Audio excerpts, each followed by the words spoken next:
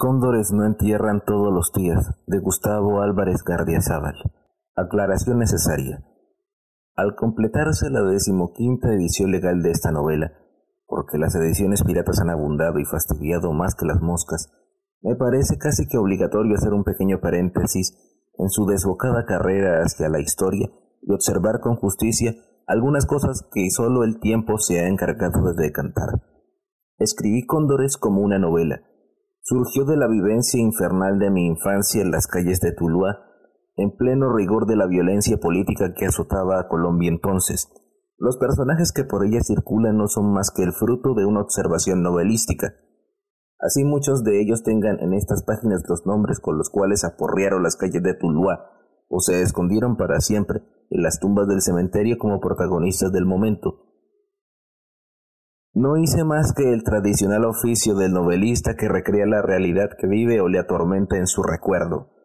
Puse para siempre en las letras de un libro la historia que se le ha ido olvidando a la patria convencido que con ella podría evitar repeticiones estúpidas.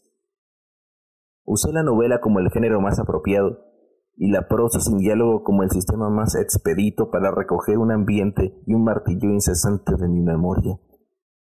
No pretendí más, pero en algo debía haber fallado porque, si sigue sumando ediciones legales y piratas, ya se completan más de 25, y la obra se sigue leyendo en un país poco habituado a revisar su pasado.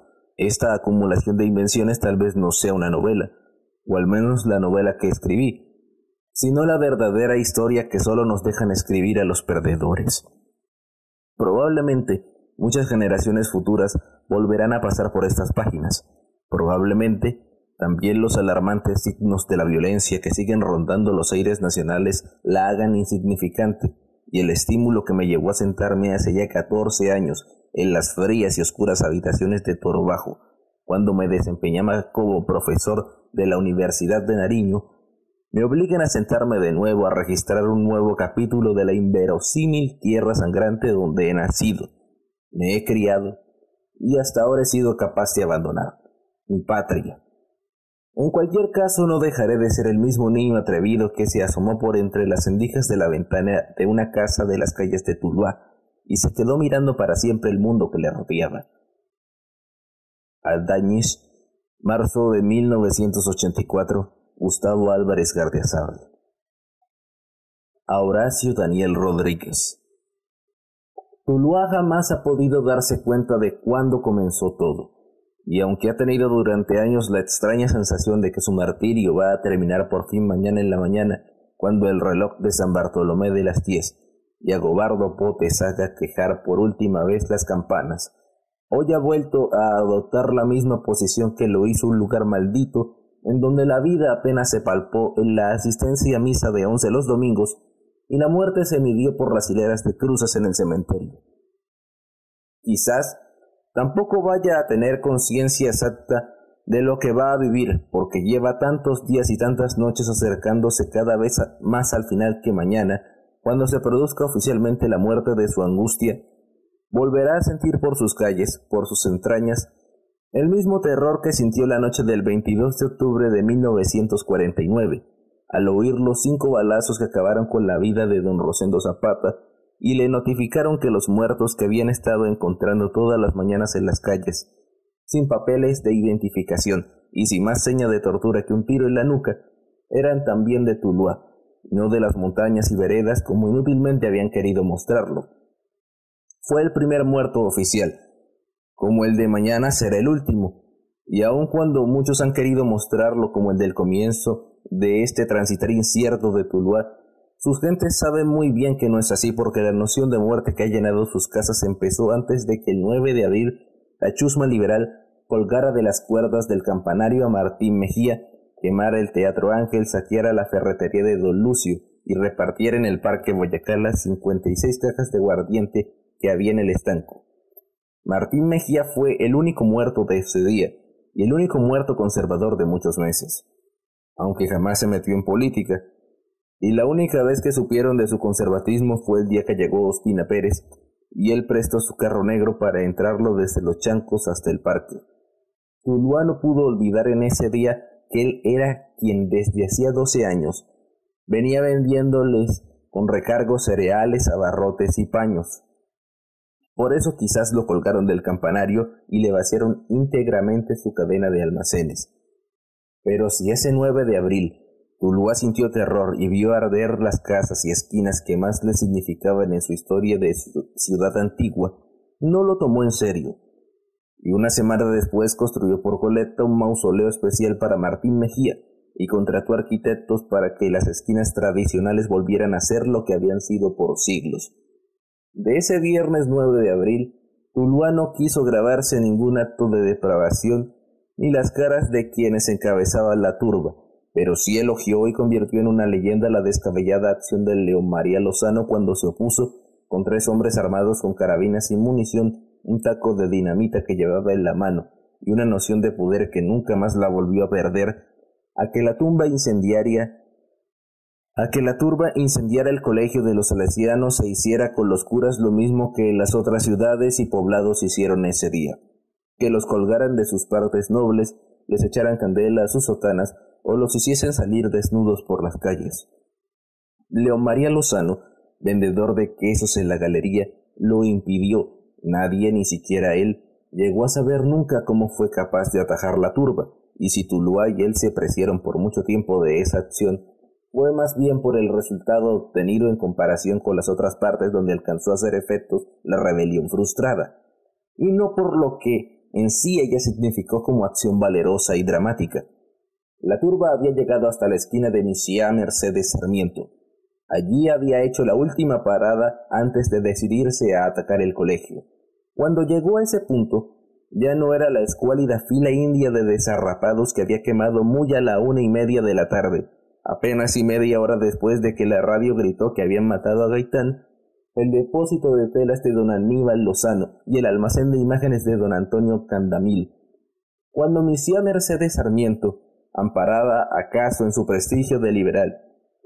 Se asomó por la ventana de su balcón y vio casi toda la cuadra llena de liberales conocidos, desarrapados anónimos, teas incendiadas, machetes sin afilar, y olió el fuerte anís del aguardiente. Supo que la rebelión había tomado forma y que aunque se interpusiera ante la masa energúmena haciéndola valer sus contribuciones al directorio liberal municipal, a la campaña de Gaitán y a la de Turbay, ella ya no podía atajar el fin del colegio donde no solamente se habían educado sus tres hijos mayores, sino donde en los osarios de la capilla guardaban los restos de su marido. Cerró el balcón y como no había teléfono que funcionara porque Chepita cerró la central apenas le olió a candela de butaca de teatro, prendió el ramo bendito, el cirio de San Blas y las espermas de Tierra Santa. Regó el agua de Lourdes disimuladamente sobre la calle y entonó un trisagio en todo el centro del patio de su casa. León María Lozano no hizo lo mismo. Apenas vio desde la puerta la turba arrasadora de todo lo que valía en su pueblo aproximándose al colegio. Adivinó la intención. Llamó a su cuñado, al que no le hablaba desde cuando se supo en Tuluá que él era el padre de dos hijas con doña María Luisa de la Espada, mientras que no tenía ninguna con su hermana Agripina, le tocó la puerta a su vecino el cabo Rojas y le gritó por el solar a don Diomedes San Clemente. Sacó de su armario la escopeta de Fisto que le habían dejado empeñada los torrentes de Barragán por la caja de pastillas de cuajo, le gritó a su cuñado que sacara las dos carabinas de cacería y se valió de don Diomedes para que trajera uno de los tacos de dinamita que le habían sobrado de su última guaquería. Con ellos tres y sus anticuadas armas, y él llevando en la mano el taco de dinamita y un pucho encendido en la boca se midió a la curva en la esquina de la casa de doña Mirita de Acosta, en donde empezaba la construcción del colegio. Doña Mirita recuerda también esos momentos que cada vez que le da el ataque, porque oye otra vez el quejido misterioso que le anunció la muerte de su marido en uno de los tantos días de muerte vividos por Tuluá, empieza a recitar detalle por detalle las palabras que se cruzaron entre el sacristán de San Bartolomé y el zapatero de la cárcel por un lado, y León María y don Diomedes por el otro.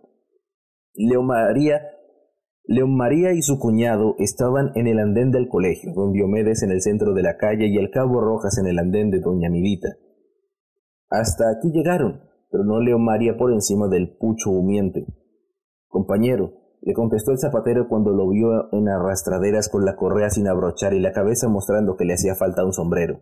¡Odo marica! le gritó borracho el sacristán, que después de haber servido durante casi un cuarto de siglo al padre Ocampo apareció liberal.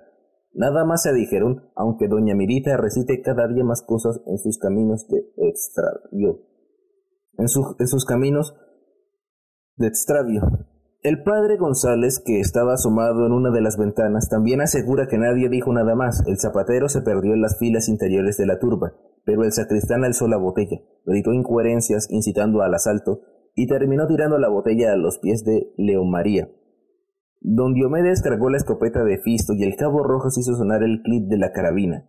León María los vio venirse entonces, con una tranquilidad que Tuluá hoy seguramente está recordando se sacó el pucho de la boca y encendió la mecha del taco.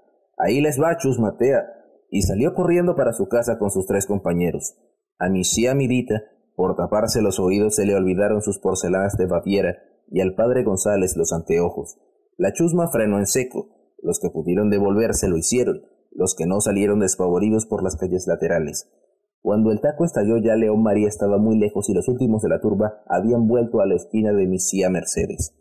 Se le rompieron las porcelanas de Baviera a doña Mirita, los anteojos al padre González, y se abrió tal boquete en todo el medio de la calle que por allí, meses después, muchos creyeron que era por donde brotaban los cadáveres que aparecían tirados en las calles de Tuluá todas las madrugadas, puesto que no hubo poder humano capaz de hacerles ver a los trabajadores del municipio que ese hueco existía, aunque por allí pasaba todos los días Pedro Bejarano, el chofer del alcalde, fue algo así como una condecoración no otorgada a León María Lozano y que sirvió para alentar la leyenda y entonces empezar a decir que un solo hombre, armado con un tabaco y sentado encima de una caja de dinamita, había ido tirando uno a uno los tacos, devolviendo una chusma de casi cinco cuadras que ya había sembrado el pánico y la destrucción.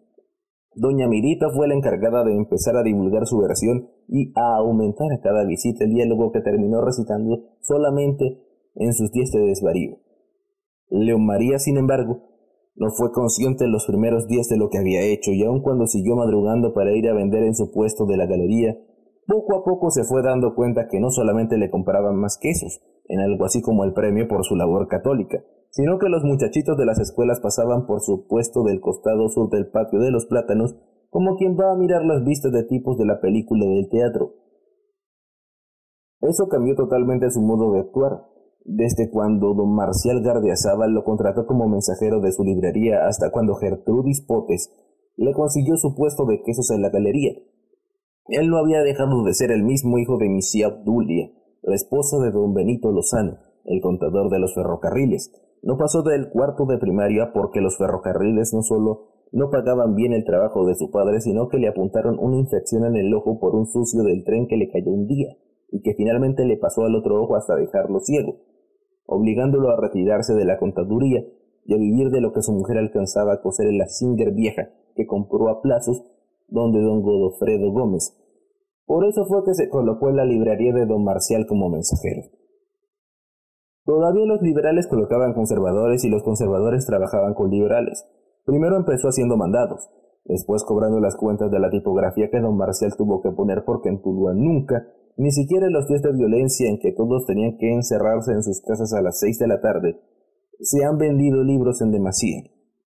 Años más tarde, León María, que ya iba llegando a los quince, terminó de dependiente principal de la librería, y aunque no sabía leer mucho, le correspondía abrirla los domingos mientras don Marcial iba con su mujer y sus nueve hijos a la misa de once en San Bartolomé. Fue por esos días que le correspondió ser testigo de la llegada de Yolanda Arbeláez, la hija de, los, de la Esmeralda. No haría diez minutos que Agobardo Potes había repicado por última vez desde San Bartolomé para la misa de once, cuando León María alcanzó a oír, en el silencio profundo que los pueblos escogen como decoración todos los domingos, el trote acelerado de una bestia.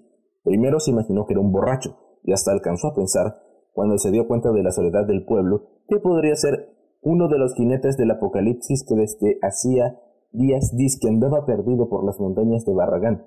Pero cuando salió a la puerta a ver por qué calle venía, miró para la entrada de la ribera, y vio una tea encendida sobre una bestia que galopaba hacia el parque, Se santiguó dos veces, miró al cielo, esperando síntoma de lo que hablaba la escritura, y entró a protegerse entre los libros.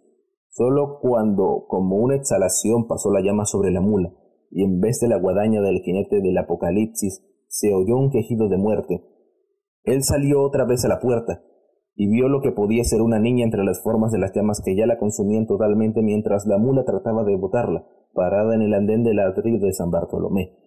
Cogió uno de los cartones viejos en que llegaba el papel del Canadá, y abandonando su puesto de se abalanzó a tratar de apagarle la muerte a la que resultó ser la hija de los Arbeláis de la Esmeralda, los únicos conservadores que quedaban en la montaña de la ribera. Cuando cayó sobre ella ya el padre Ocampo había interrumpido la misa y con la botija del agua bendita trataba de hacer lo mismo que León María pretendía con los cartones viejos. Al fin ninguno de los dos pudo hacer algo porque don Carlos Materón, más previsivo, había roto el hidrante que le pusieron en la esquina, y todos los de la misa que habían salido atraídos por el quejido lastimero aventaron el agua con las manos al achicharrado cuerpo de Yolanda Arbeláez. El padre Ocampo le dio las últimas bendiciones y en una de las bancas de la iglesia, envuelta en las sábanas de la casa cural, acabó de gemir la última víctima de la matanza de la Esmeralda, donde murieron no solamente sus padres y sus tres hermanos mayores, sino cinco de los peones, cuarenta y nueve gallinas, dos vacas y un perro. León María se quedó mirándola morir y cuando vio que ella ya no gemía y que de su carne y de su pelo solo quedaba una masa informe y que de la mula apenas sí se veían pedazos de carne viva, volvió a la librería, se sentó en la silla de don Marcial y esperó el momento en que el ataque de asma le empezara. Así era siempre que tenía una dificultad. Comenzaba a silbar con sus pulmones, a caminar enloquecido por la casa, a abrir desproporcionadamente la boca y esperar el momento en que ese desafío de la vida terminara.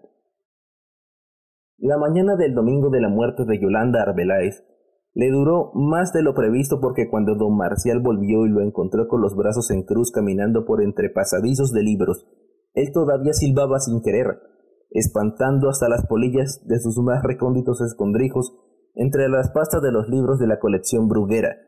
Fue después de ese ataque que él empezó a usar el fuelle de cuero para cada ocasión que lo necesitaba.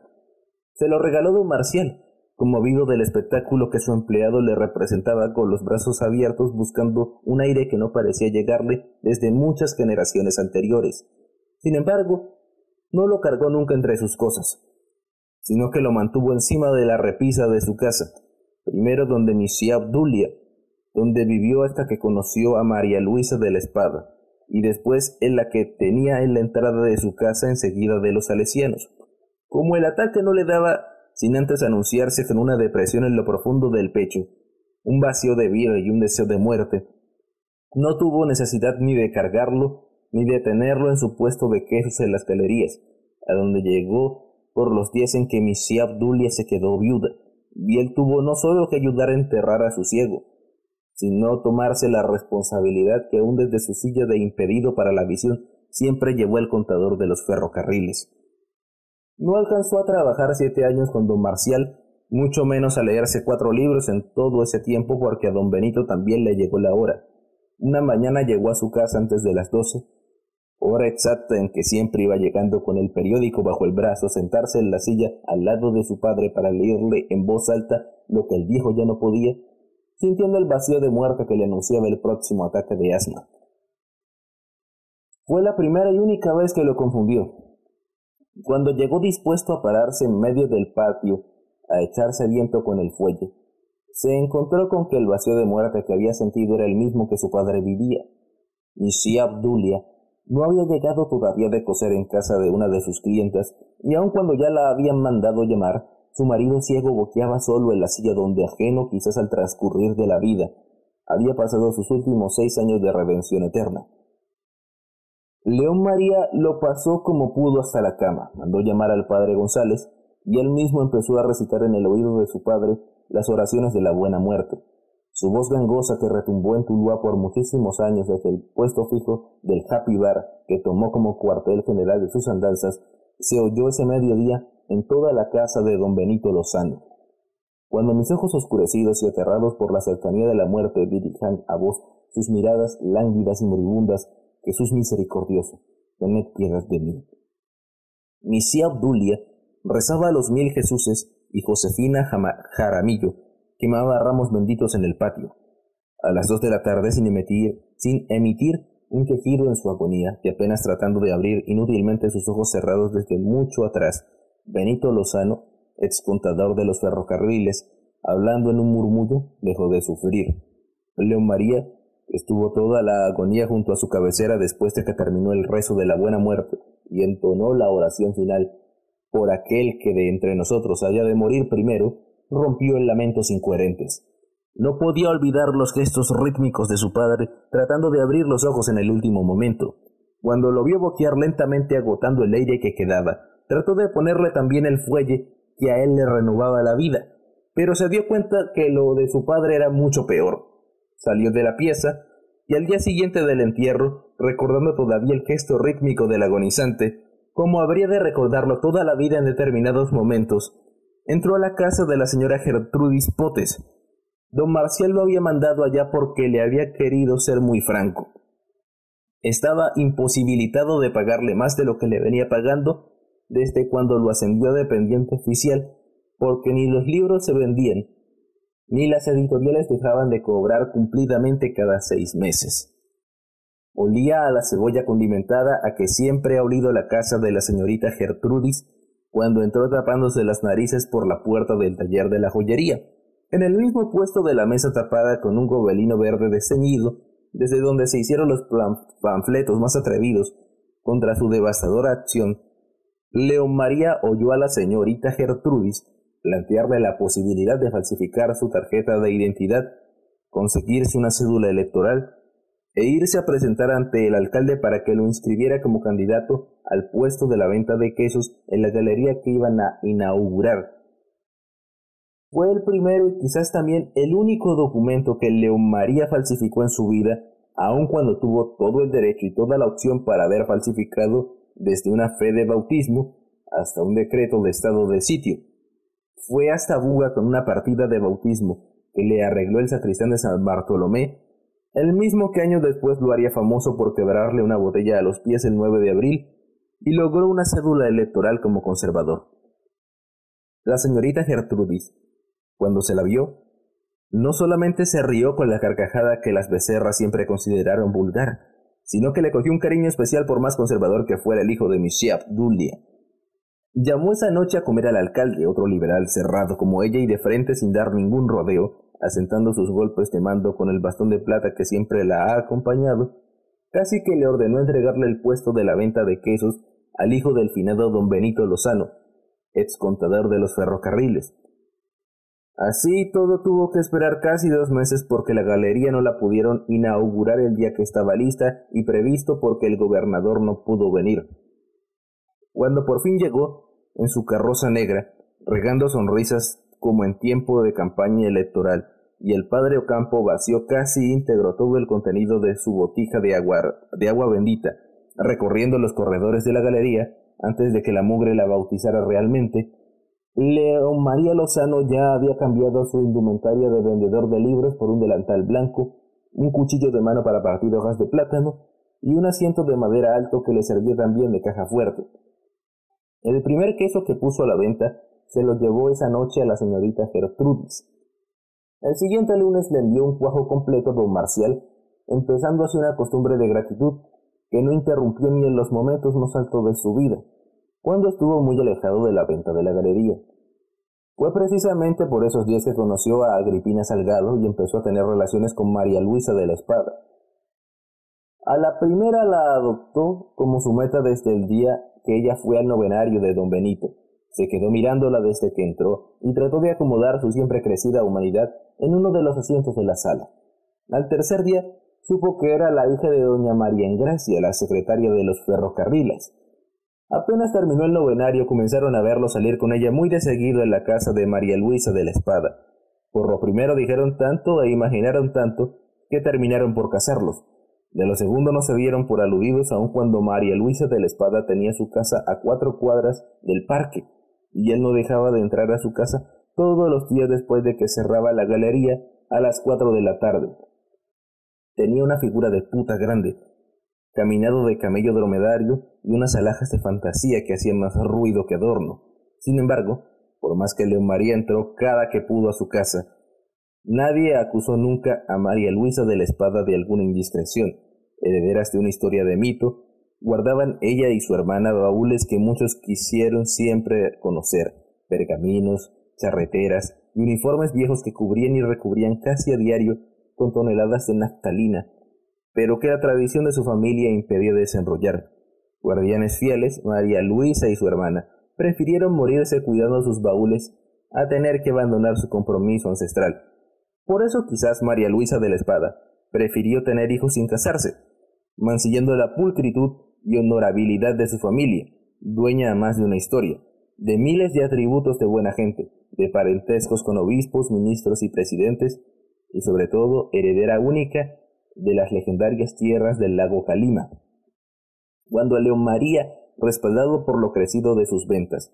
Le sugirió una tarde de esas en que siempre terminó a su lado, la posibilidad de casarse, eliminando de plano la amistad que ya todo Tuluá le pregonaba con Agripina. Ella, acaso sumisa por qué sabe nexo inviolable de familia esos baúles, le explicó muy claramente que no lo podría hacer si antes su hermana no se casaba. María se nutrió de ira, de ínfulas extrañas, y terminó con ella en la cama grande que siempre le dijeron había pertenecido a la primera María Luisa, la poseedora del tesoro del indio Calima. Desde allí empezó para los dos una amistad de siete años y nueve meses exactos, cuando la segunda de las hijas se atracó en el vientre de su madre y la desangró por completo, dejándolo a él padre de dos niñas sin crecer, que tuvo finalmente que llevar una tarde de agosto a casa de Agripina. Pero aunque Tuluá pudo haber explotado por mucho tiempo esa amistad pecaminosa, porque María Luisa de la Espada no solo salió con prominente barriga a misa de once los domingos, sino que se pavoneó por toda la calle Sarmiento cada que necesitó comprar algo para el ajuar de sus criaturas. Tuluá estaba más ocupado pensando en la necesidad de hacer casar al hijo de don Benito Lozano con Agripina Salgado, la hija de la secretaria del ferrocarril. Por eso seguramente perdonó todo lo que vio, oyó y sospechó desde cuando ella hizo notorio que estaba esperando su primera hija, y él no se afanó por negar sus visitas. Demoró, eso sí, su matrimonio con Agripina porque ella resultó no ser solamente la niña buena que iba al novenario. Manejó todo el noviazgo como si se tratara de un negocio en el que iría a invertir su único capital. Se negó por más de 18 meses consecutivos a que León María le cogiera la mano, y esperó hasta el día de su tan cacareado matrimonio para dejarse besar. Sin embargo, León María no estaba muy distante de esa misma posición de puritanismo religioso. Toda la vida Tuluá lo conoció, aún antes de impedir la quema del colegio salesiano, como uno de los más piadosos varones de la parroquia. No había primer viernes que no se le viera arrodillado en el confesionario del padre Leguizamón y comulgando recogidamente en la misa de seis. Cuando había necesidad de una obra para la iglesia o para cualquiera de las comunidades que en Tuluá fueron llegando una por año hasta llegar el cielo azul, hasta llenar el cielo azul de iglesias pequeñas, con torres que apenas sí salían por encima de los techos y campanas tímidas que tocaban todas las mañanas, Leo María era el primero en organizar bazares, piñatas, paseos y hasta festivales con ventas de empanadas y salpicón. Defensor ciego de la iglesia, nunca permitió una chanza ni una ofensa, por más velada que ella fuese, contra el padre Ocampo, ni contra ninguno de los siete curas que había en Tuluá. Por eso, cuando los salesianos llegaron y empezaron a construir el colegio en cercanías de su casa, él fue el primero en ir a saludarlos y el primero en ofrecerles a Misia Flora Plaza, la diminuta y enigmática señora que los había traído desafiando dichos y opiniones, toda colaboración para que la comunidad pudiera instalarse. Le trajo las guaduas para la caseta que Misia Cardona Utilizó todos los sábados en la venta de las empanadas para allegar fondos de la cofradía y muchas veces llegó hasta a darle manivela al fogón de carbón los sábados por la noche.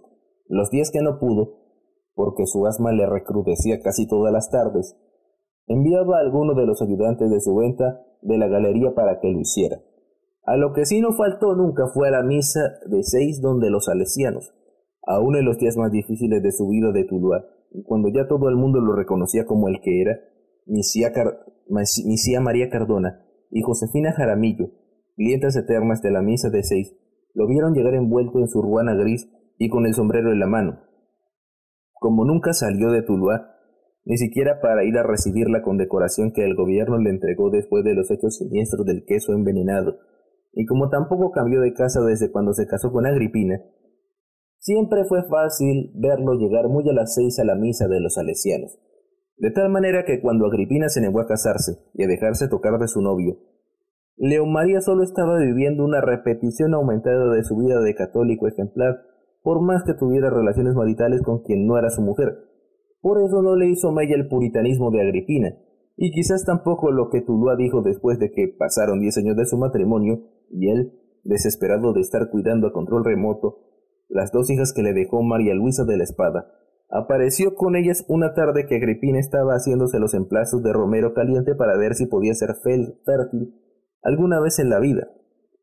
León María entró a la pieza, le cogió uno de los emplastos que tenía puesto, lo echó en la olla donde tenía los otros y salió con ellos a tirarlos a la mitad del patio.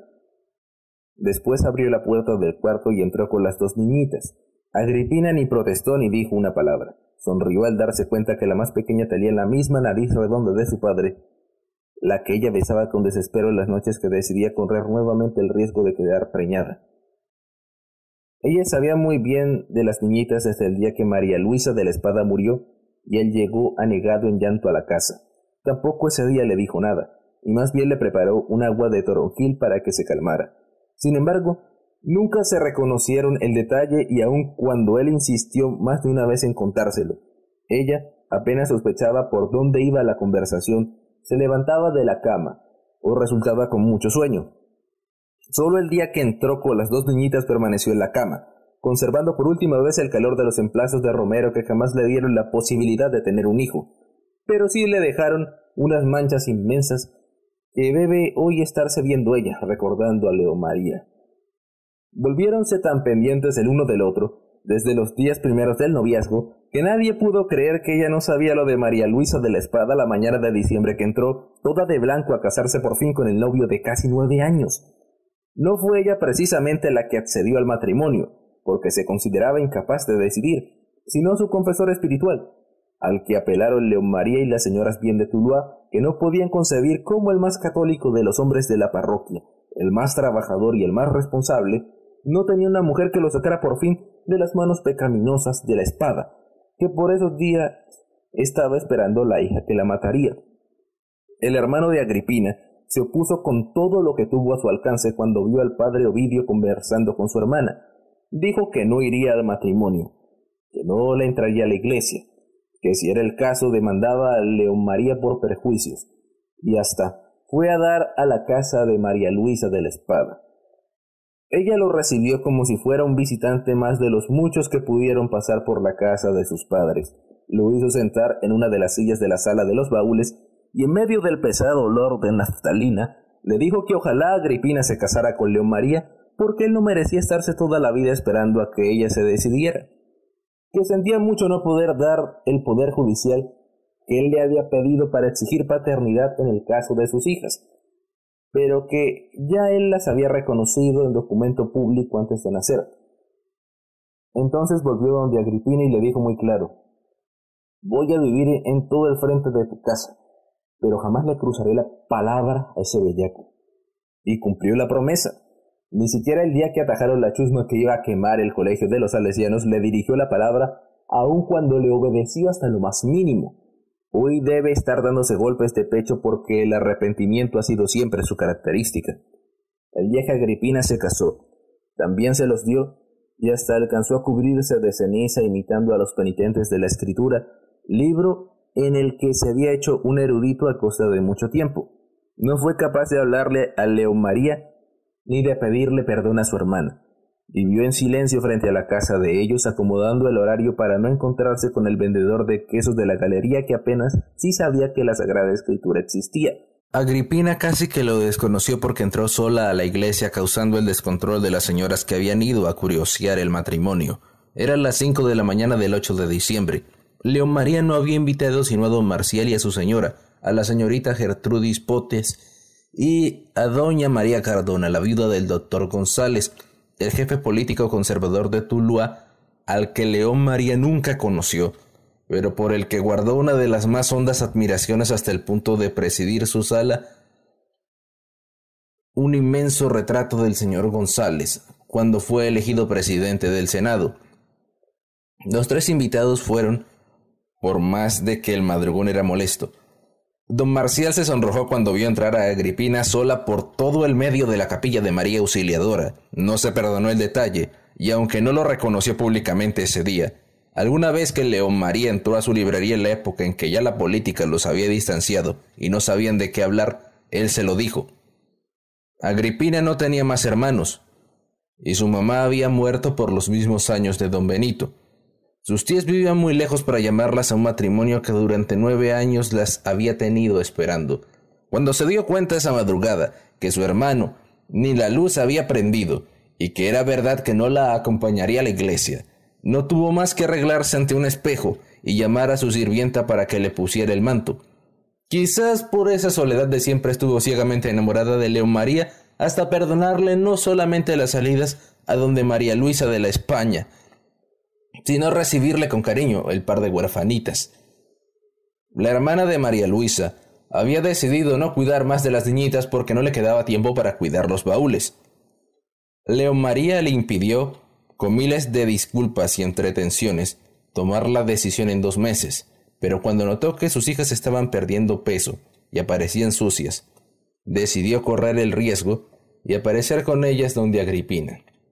Don Midita de Acosta recita muy bien el momento en que las dos niñitas fueron a misa de once con Agripina, vestidas con batas de organza rosada y caperuzas de terciopelo.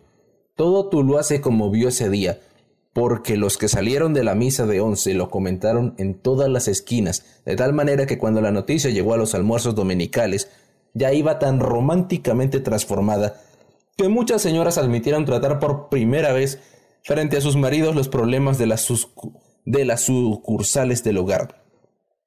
Leo María sintió tanto orgullo de sus hijas desde ese día que, cuando empezaron los rumores en Tuluá sobre sus actuaciones, y ellas no habían llegado todavía a los quince, recogió como pudo sus ahorros y economizó hasta el último centavo para enviar las internas a Manizales con una beca oficial que le consiguieron sus amigos políticos, a ruego de Agripina, porque él jamás quiso recibir un centavo por la fidelidad a los principios del Partido Conservador.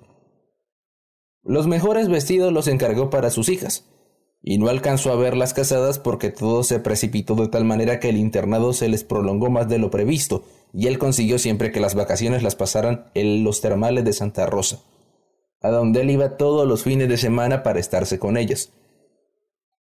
Quizás por ellas fue la única vez que estuvo a punto de emplear un arma contra alguien. Había salido de la galería para el banco cuando lo paró uno de los torrentes, vendedores de queso en Barragán, y en medio de su borrachera le gritó algo que quizás venía guardado desde el día que Leo María no le quiso volver a comprar más quesos porque le había incumplido un contrato. Que si sus hijas eran tratadas igual que los quesos, como que fue lo que le dijo. No resistió, se buscó entre sus bolsillos el cuchillo de partir las hojas de plátano y si no es porque cuando lo afiló apareció como ángel providencial don Julio Caicedo Palau, y se lo arrebató antes de que entrara en las carnes del borracho, seguramente que León María no habría podido hacer lo que hizo porque habría estado en la cárcel pagando su condena. Desde ese día dejó de cargar cualquier arma, y aunque jamás había disparado alguna, nunca se le vio ni cargando ni manejando una.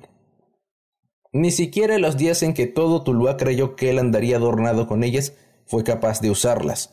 Ese día le comenzó también un ataque de asma que casi no le para once días después, cuando se postró de rodillas ante la imagen de San Blas con los brazos en cruz y volvió a sentir la misma picada fuerte que le dio el día del cuchillo y que le hizo creer que de verdad le había llegado la hora, pronosticada tiempo atrás por el lego de Palmira el día que su padre lo llevó porque le dieron la primera serie de ataques. Desde que tenía siete años comenzó su martirio. Primero no supo cuándo le daba porque le empezaba en las madrugadas y él solo se despertaba al no poder materialmente respirar. Don Benito se lo atribuyó a una gripe mal cuidada, pero cuando lo llevó a donde el médico de los ferrocarriles y le dijo que eso podía ser hereditario o nervioso, se decidió a buscarle la causa, Conversó con todos los viejos de Tuluá que le pudieron decir algo de sus abuelos, pero como ninguno resultó acordándose de ataques de asma en su familia, decidió que podía ser la oscuridad de la pieza, y le mandó abrir una ventana para que a León María no le diera miedo. Como los ataques siguieron, don Benito cambió de táctica. León María fue a dormir a la pieza del matrimonio y ellos vinieron a dormir a la del niño. El caso resultó igual. Por esos días se terminaron los exámenes del colegio a donde lo había entrado ese año, y decidió mandarlo a pasar unos meses en Santa Lucía, por los lados de la Tierra Fría, donde don Álvaro Cruz, uno de sus amigos, tenía una finca para pasar vacaciones con su familia. En ninguna de las cartas semanales que le mandó, los dos meses y medio que estuvo allá, León María sufrió un ataque, y entonces don Benito consideró que seguramente la falta de cambio de clima era la causa de los ataques de su hijo, y como hasta diciembre de ese año el niño no volvió a sufrir ninguno, la opinión predominó por muchos días. Solo cuando los ataques de asma se hicieron ya inevitables y traumáticos para toda la familia y no sirvió veraneo para suprimirlos, León María fue llevado a donde el lego de Palmira. Tenía nueve años y le causó tal impresión la manera como el lego lo examinó a través de su lupa que esa misma noche le dio un ataque de asma tan impresionante que hubo que sacarlo a la mitad del patio para que no fuera a ahogarse en la pieza oscura a la que su padre lo había vuelto a trastear. La cita le pidió don Benito con un mes de anticipación. La clientela del Lego de los Agustinos era tanta que de otra forma no se podía lograr la consulta. Madrugó con el niño, al que le hizo poner el vestido del uniforme del colegio, aunque fuera de paño negro, y cuando dieron las doce y ellos seguían haciendo cola después de haberse bajado sucios de polvo del bus que los llevó de Tuluá a Palmira, le empezó a picar tanto que se tuvo que quitar el saco antes de que le volviera a dar el ataque. A las dos y cuarto lo recibió el Lego. Se quedó mirándolo con la lupa grande, la puso en el ojo y empezó a decirle todo lo que había sufrido desde cuando salió del vientre de Misia Abdulia, que le había dado tosferina, que cuando tenía seis meses se había caído y golpeado una oreja, que el camión le había dado a los tres años, que el sarampión le había dado a los tres años, que el estómago le dolía después de que comía dulce de pera, que el pie derecho se le volteaba cuando iba caminando, y don Benito diciendo que sí, y León María oyendo todo lo que había tenido y no había sabido.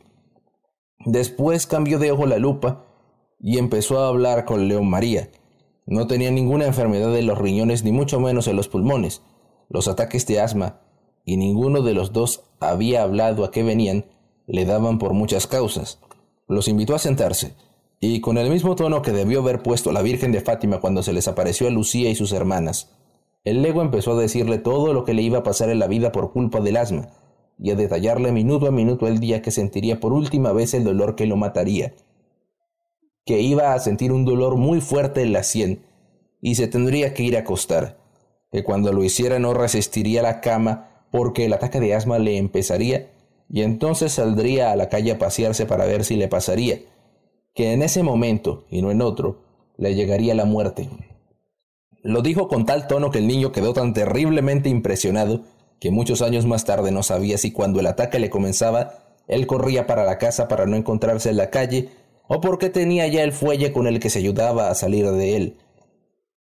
Y cuando le daba en la casa, salía solamente al patio, aun cuando en muchas veces el aire que allí recibía parecía que no le alcanzaba. Jamás salió a la calle a ventearse el asma, siempre la vivió en las piezas de su casa. Sin embargo, el día que quiso matar al que lo había insultado por sus hijas y don Julio se lo impidió, sintió que ahí sí le había llegado la hora. El dolor no fue exactamente en la sien como le había dicho el lego, pero era tan fuerte que hasta ya lo sintió. Se hizo llevar a la casa y se acostó en su cama a esperar el momento en que le diera el ataque de asma para salir a la calle a morirse. Pero el ataque no le dio hasta tres horas después, cuando ya había cerrado con doble llave y tranca la puerta de la casa, y tuvo necesariamente que ventearlo en el patio. Once días seguidos estuvo así, empeorando cada día más mientras Agripina le hacía quemar saumerios, ramos benditos y hojas de romero para purificar el aire. No durmió ni comió nada sólido. Se alimentó a base de agua de azúcar y té con limón. Al tercer día ya estaba viendo las muecas de su padre al morirse y al quinto el jinete del Apocalipsis que había cambiado por Yolanda Arbeláez el domingo de la masacre de la Esmeralda. Al sexto pareció recuperarse después de que llegó de misa de seis. Hasta intentó irse al puesto de la galería cuando se sintió bien. No pudo.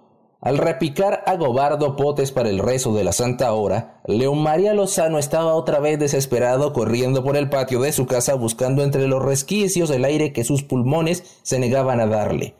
Esa noche no solo vio al jinete del Apocalipsis, sino que recordó al Lego y le habló inconexamente a su Agripina. Le subió la fiebre y deliró por más de dos horas, de tal manera que cuando el padre González le dio la absolución in articulo mortis y le puso los santos óleos en la madrugada, no pudo ni rezar el Señor mío Jesucristo. Agripina alcanzó a despertar a las niñas y mandó llamar a Carmelita Lozano, la única prima que tenía León María. El doctor Cardona llegó a las cuatro de la mañana y le puso una inyección de morfina porque parecía tan profundo el dolor que León María sentía en el pecho que estuvieron por creer que ya no era solo el asma sino un infarto. A las cinco volvió el padre González y como ya León María ni se quejaba y el pulso se le estaba perdiendo, comenzó con las oraciones de los moribundos. Agripina vio aguarse sus ojos tranquilos desde hacía muchos siglos y Carmelita sentir la comezón de la familia, pero León María no se murió. A las seis y media, como manejado telepáticamente, fue levantándose. Se lavó la cara y ante el asombro de misía María Cardona y de Josefina Jaramillo, que extrañadas de no verlo llegar a las seis ya habían averiguado de su agonía, fue entrando a la capilla de María Auxiliadora a oír la misa a la que no faltó ni siquiera ese día. Los días siguientes no fueron peores, pero tampoco mejores. La madrugada siempre lo cogía ahogado y tomando agua de azúcar. Al décimo día Carmelita le trajo las velas de San Blas y él no supo qué hacer con ellas de lo alcanzado que estaba.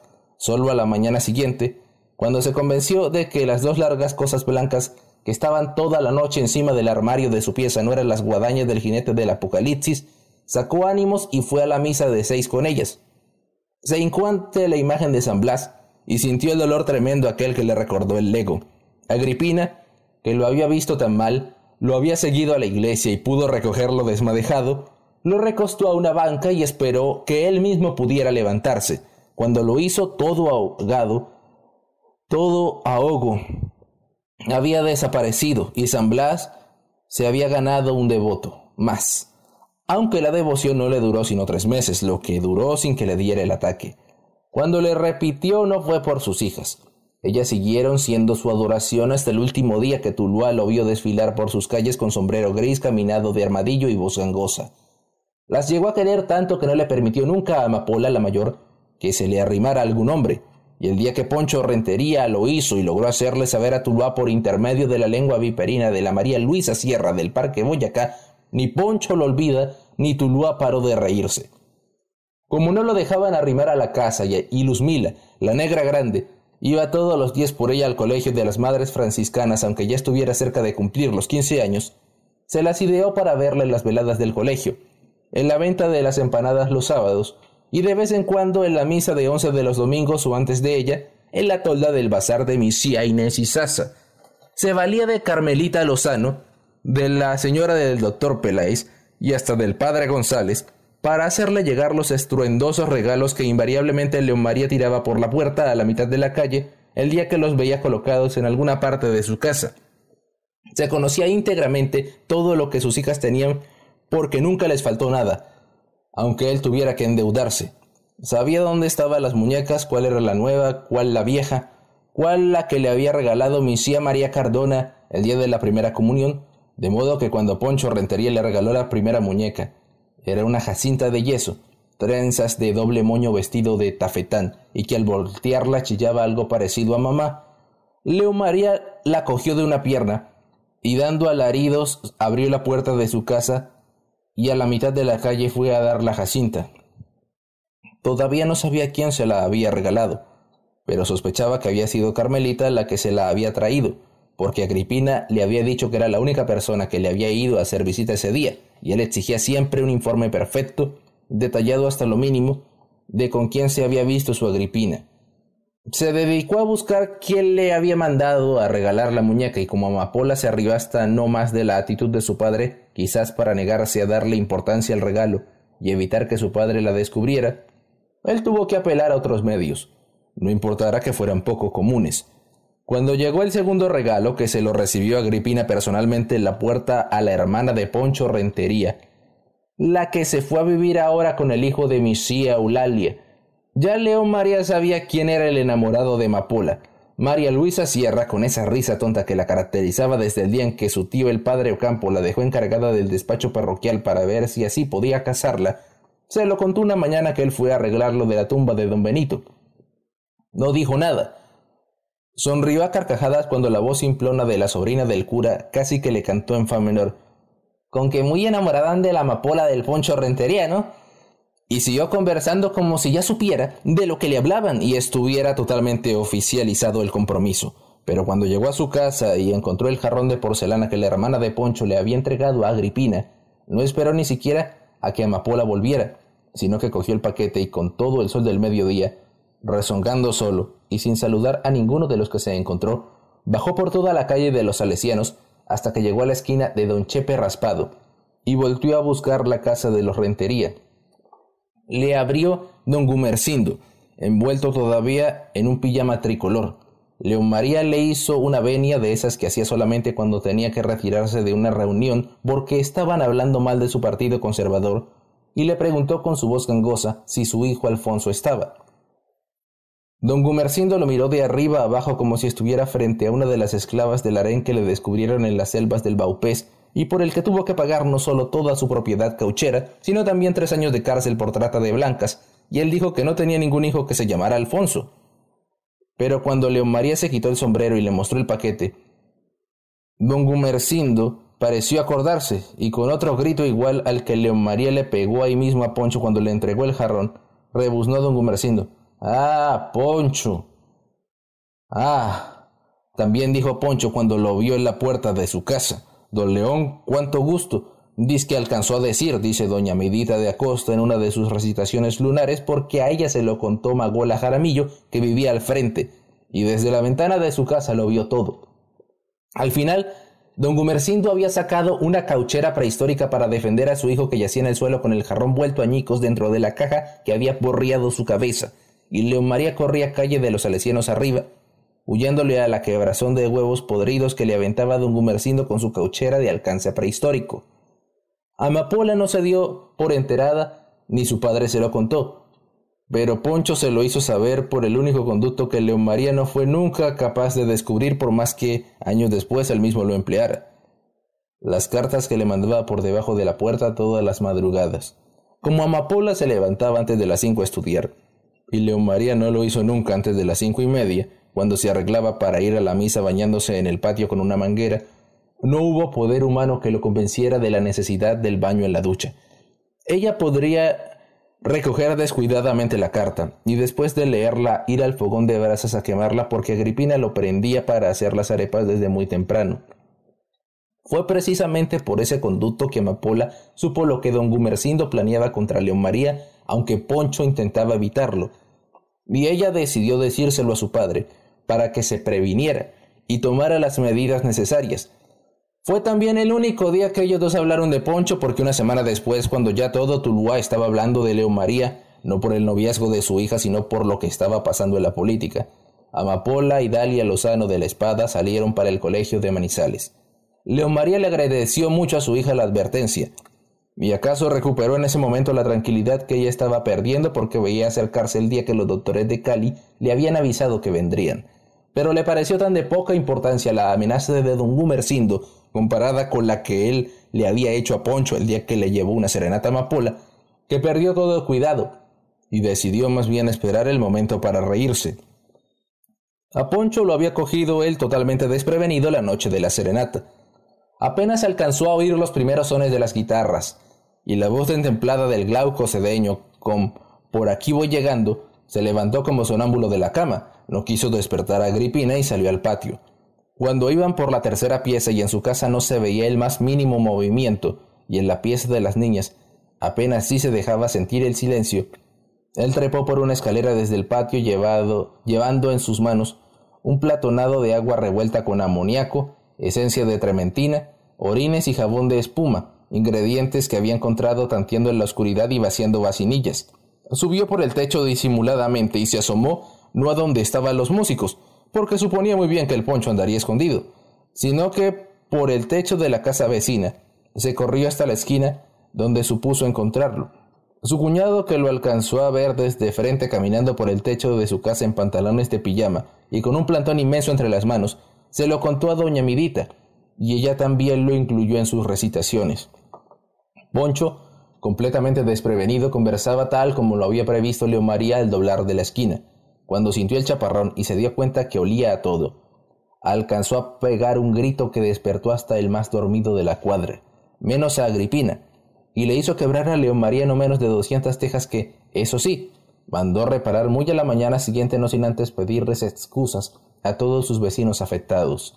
Los músicos, advertidos como estaban por Poncho de que en el momento que él pegara un grito, o ellos oyeran abrir la puerta salieran corriendo porque ese señor era capaz de pegarles un balazo, apenas oyeron el golpe del agua en el suelo, y el grito inmarcesible de Poncho. Dejaron a la pobre amapola tratando de continuar entre letras en la oscuridad de su cuarto la última canción de la serenata.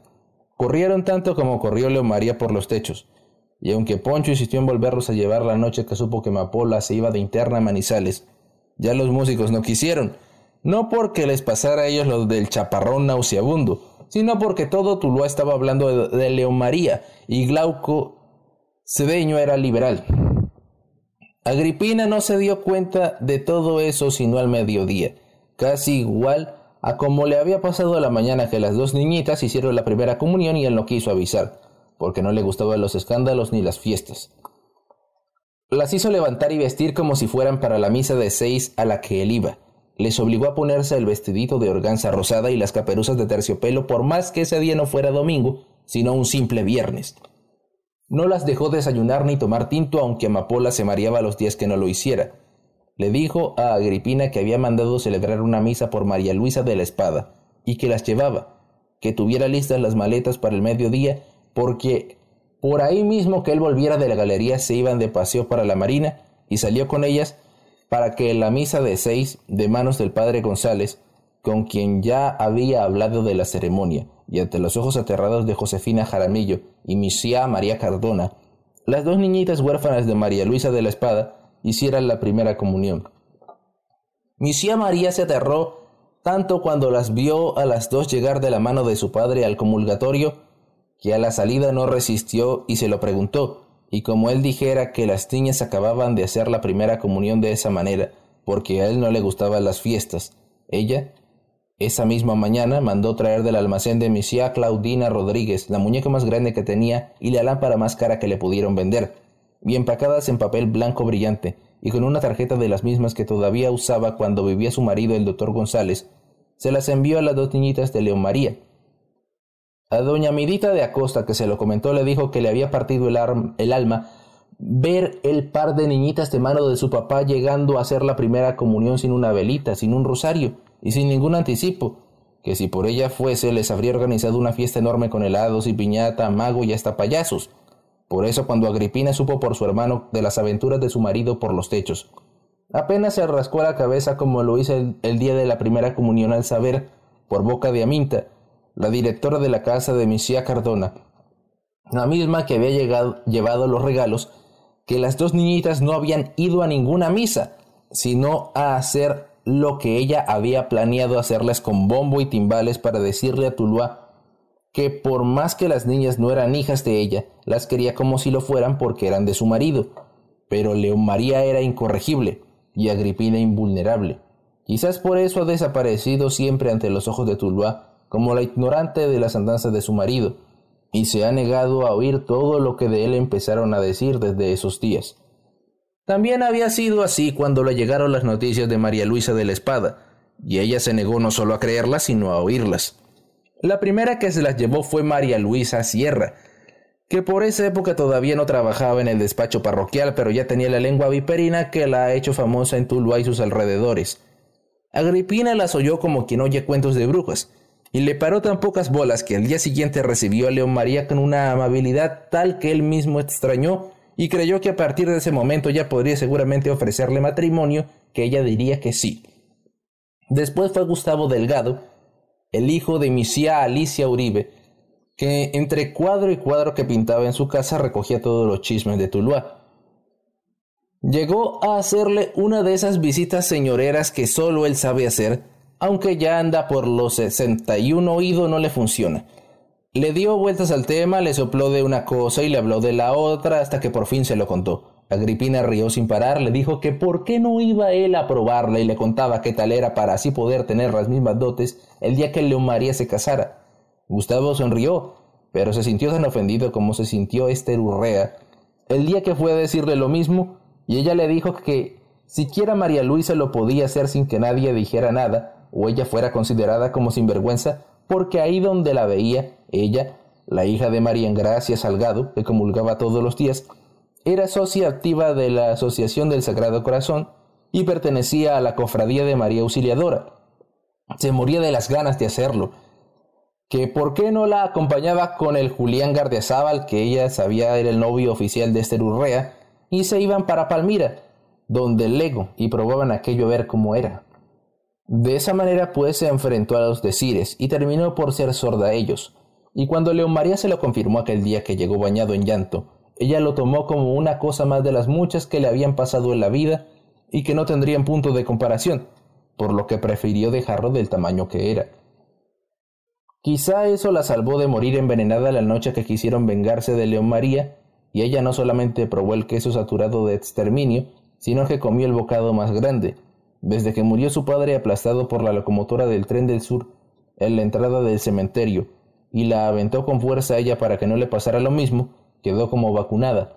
Nunca nadie ni nada le ha hecho efecto, y seguramente mañana, cuando su mito empiece a crecer tanto como el de su marido, tomará la vida con la misma actitud displicente con que la ha tomado por todos estos años. Leo María jamás le hizo un reparo, aunque siempre vivió celado de ella. No la dejaba salir a la calle si no fuera con Carmelita Lozano o con misía María Cardona, que nunca se aparecía por la casa, salvo en las Navidades y en la fiesta de María Auxiliadora.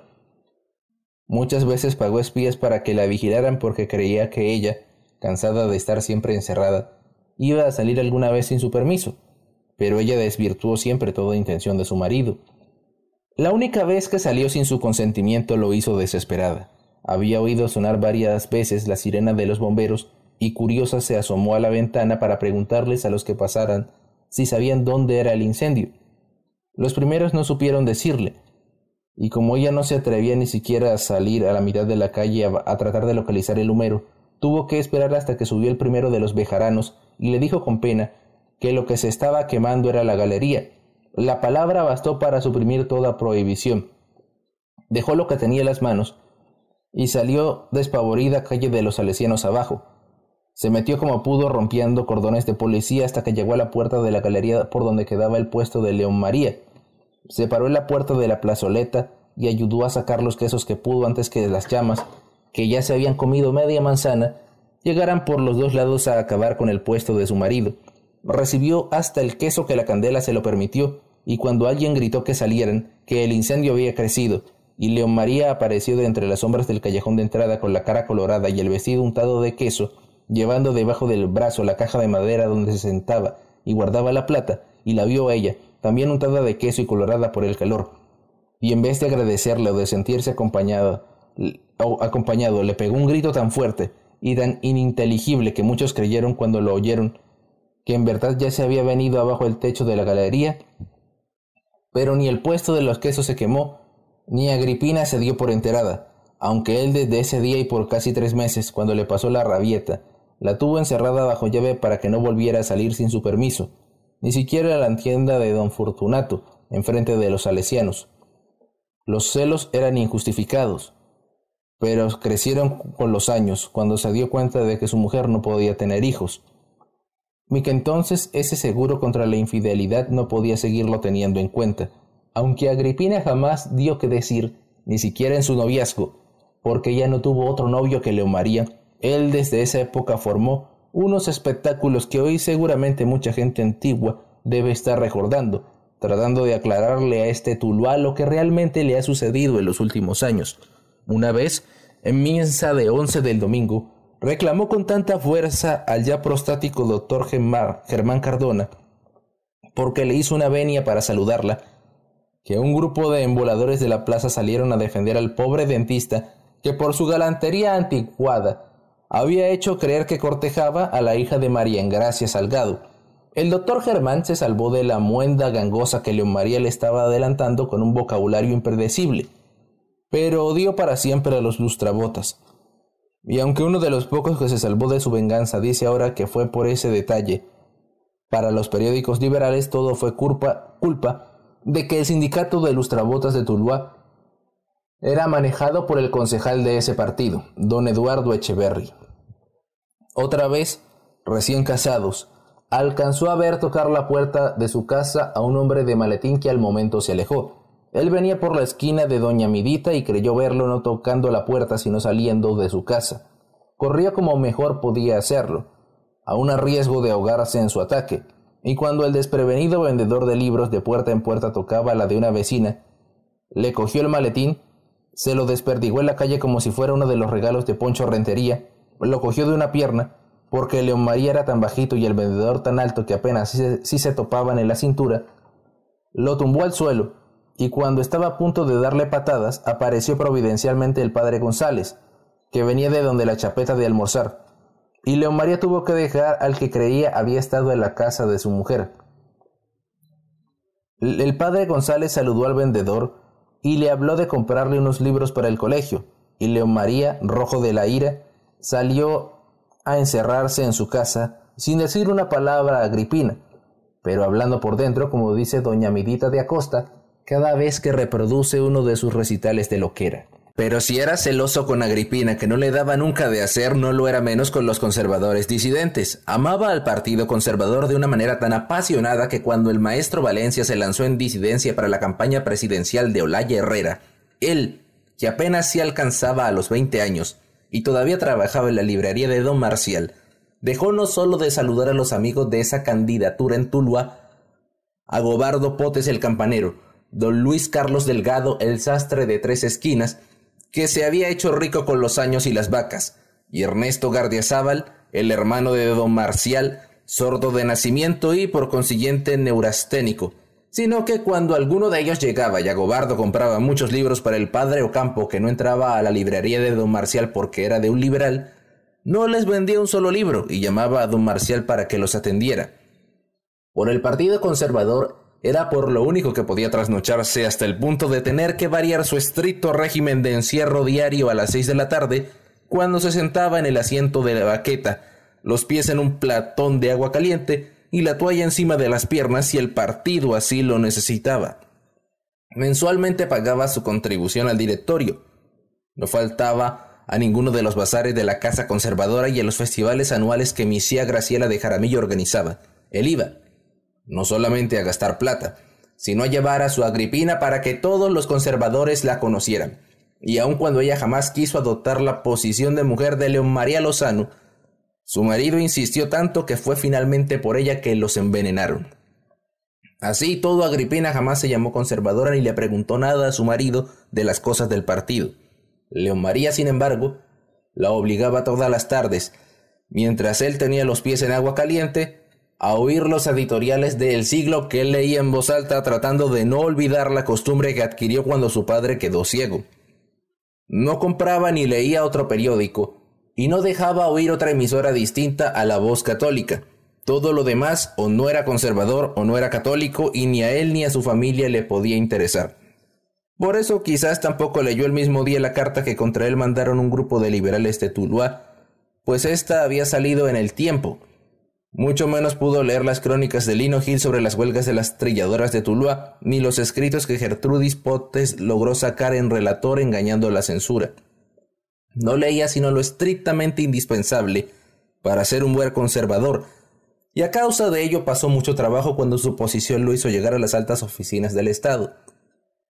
Confundía un término con otro, y lo que no lo entendía lo desechaba sin preguntar. Difícil para asimilar lo que leía, Agripina tenía muchas veces que oír dos y tres veces el mismo editorial del siglo, porque o él no entendía o quería aprendérselo de memoria para recitarlo en la vez que los jefes de su partido lo dejaran hablar en una concentración.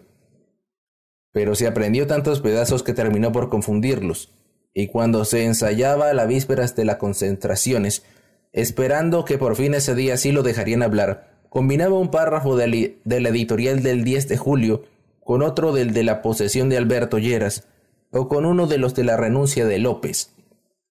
Y como los jefes políticos jamás le dieron la posibilidad, porque a la hora de los discursos siempre llegaban los de Cali, o los amigos del doctor Olano, o los del doctor Navia, o los universitarios de la comitiva y él se quedaba con su discurso ensayado, terminó por olvidarlos todos y por aplicar las frases que oía en la venta de quesos las ocasiones que tenía que dirigirse a los jefes. Con esas frases le pasó casi lo mismo que con las delegaciones a las convenciones.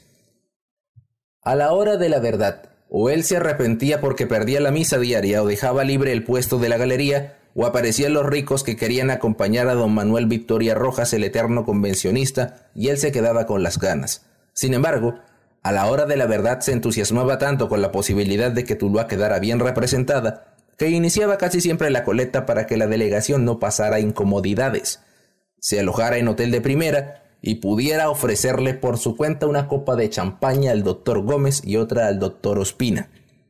De todo eso, muchas veces no recibió nada, pero cuando lo recibió se lo mostró a todos y lo enmarcó en su sala. Era una carta personal del doctor Gómez agradeciéndole la colaboración prestada para la consecución de una sede digna para el partido en la carrera séptima de Bogotá.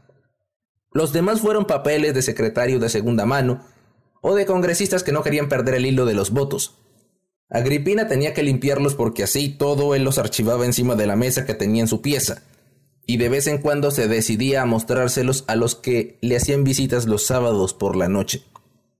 Después los abandonó, como abandonó muchas cosas en la vida, menos Agripina y la misa diaria, y los cambió por los retratos.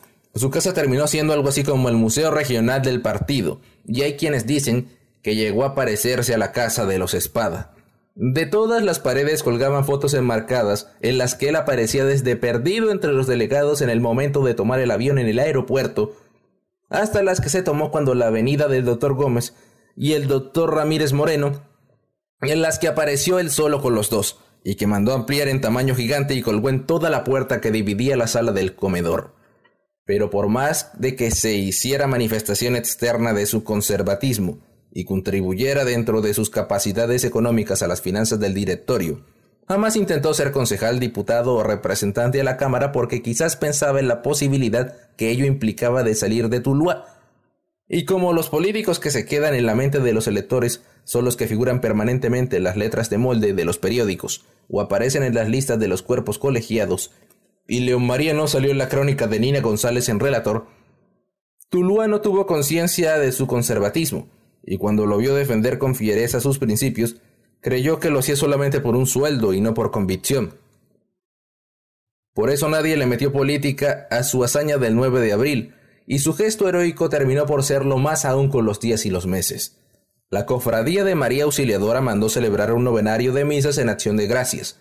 El padre González le hizo llegar una carta de Don Rúa, el director mundial de la comunidad en Turín, y las monjitas concepcionistas bordaron, en la misma lana con que hacían las ovejitas para los pesebres de Maruja Gardiazabal, un corazón en el que aparecía María Auxiliadora tendiéndole la mano desde su trono celestial.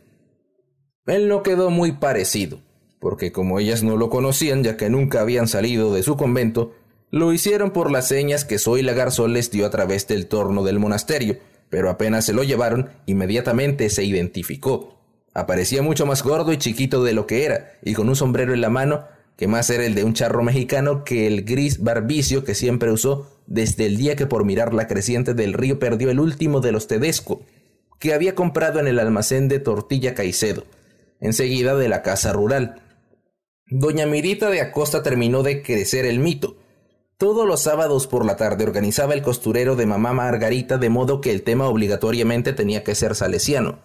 Les hablaba de la capilla, de los adelantos del templo, de las colectas y finalizaba obligatoriamente nombrando a las personas que iban a la misa de seis y dejaba ese poco de limosna con el que ya se habían comprado los vitrales en Italia, que traería al padre Biaso, que traería el padre Biaso apenas volviera de Turín. En ese momento preciso era que Esther Castaño metía su voz de gigante dormido y preguntaba por León María. Doña Mirita no resistía y empezaba a inventar porque el cuento del taco de dinamita lo había echado tanto que ella misma se había dado cuenta de lo repetido que estaba. Quizás fue por eso que Tuluá supo, Dos meses después solamente, que León María llevaba siempre amarrado de la cintura un cilicio que le había hecho su confesor, el padre Leguizamón, y que sus sacrificios eran tales que no demoraría en dejar a Agripina y meterse de cura cuando lo cierto era que la máxima penitencia que él había hecho en su vida era rezar tres yo pecadores el día que se acusó ante el padre Legui de haber tenido relaciones con la burra de don Diomedes en el solar de su casa.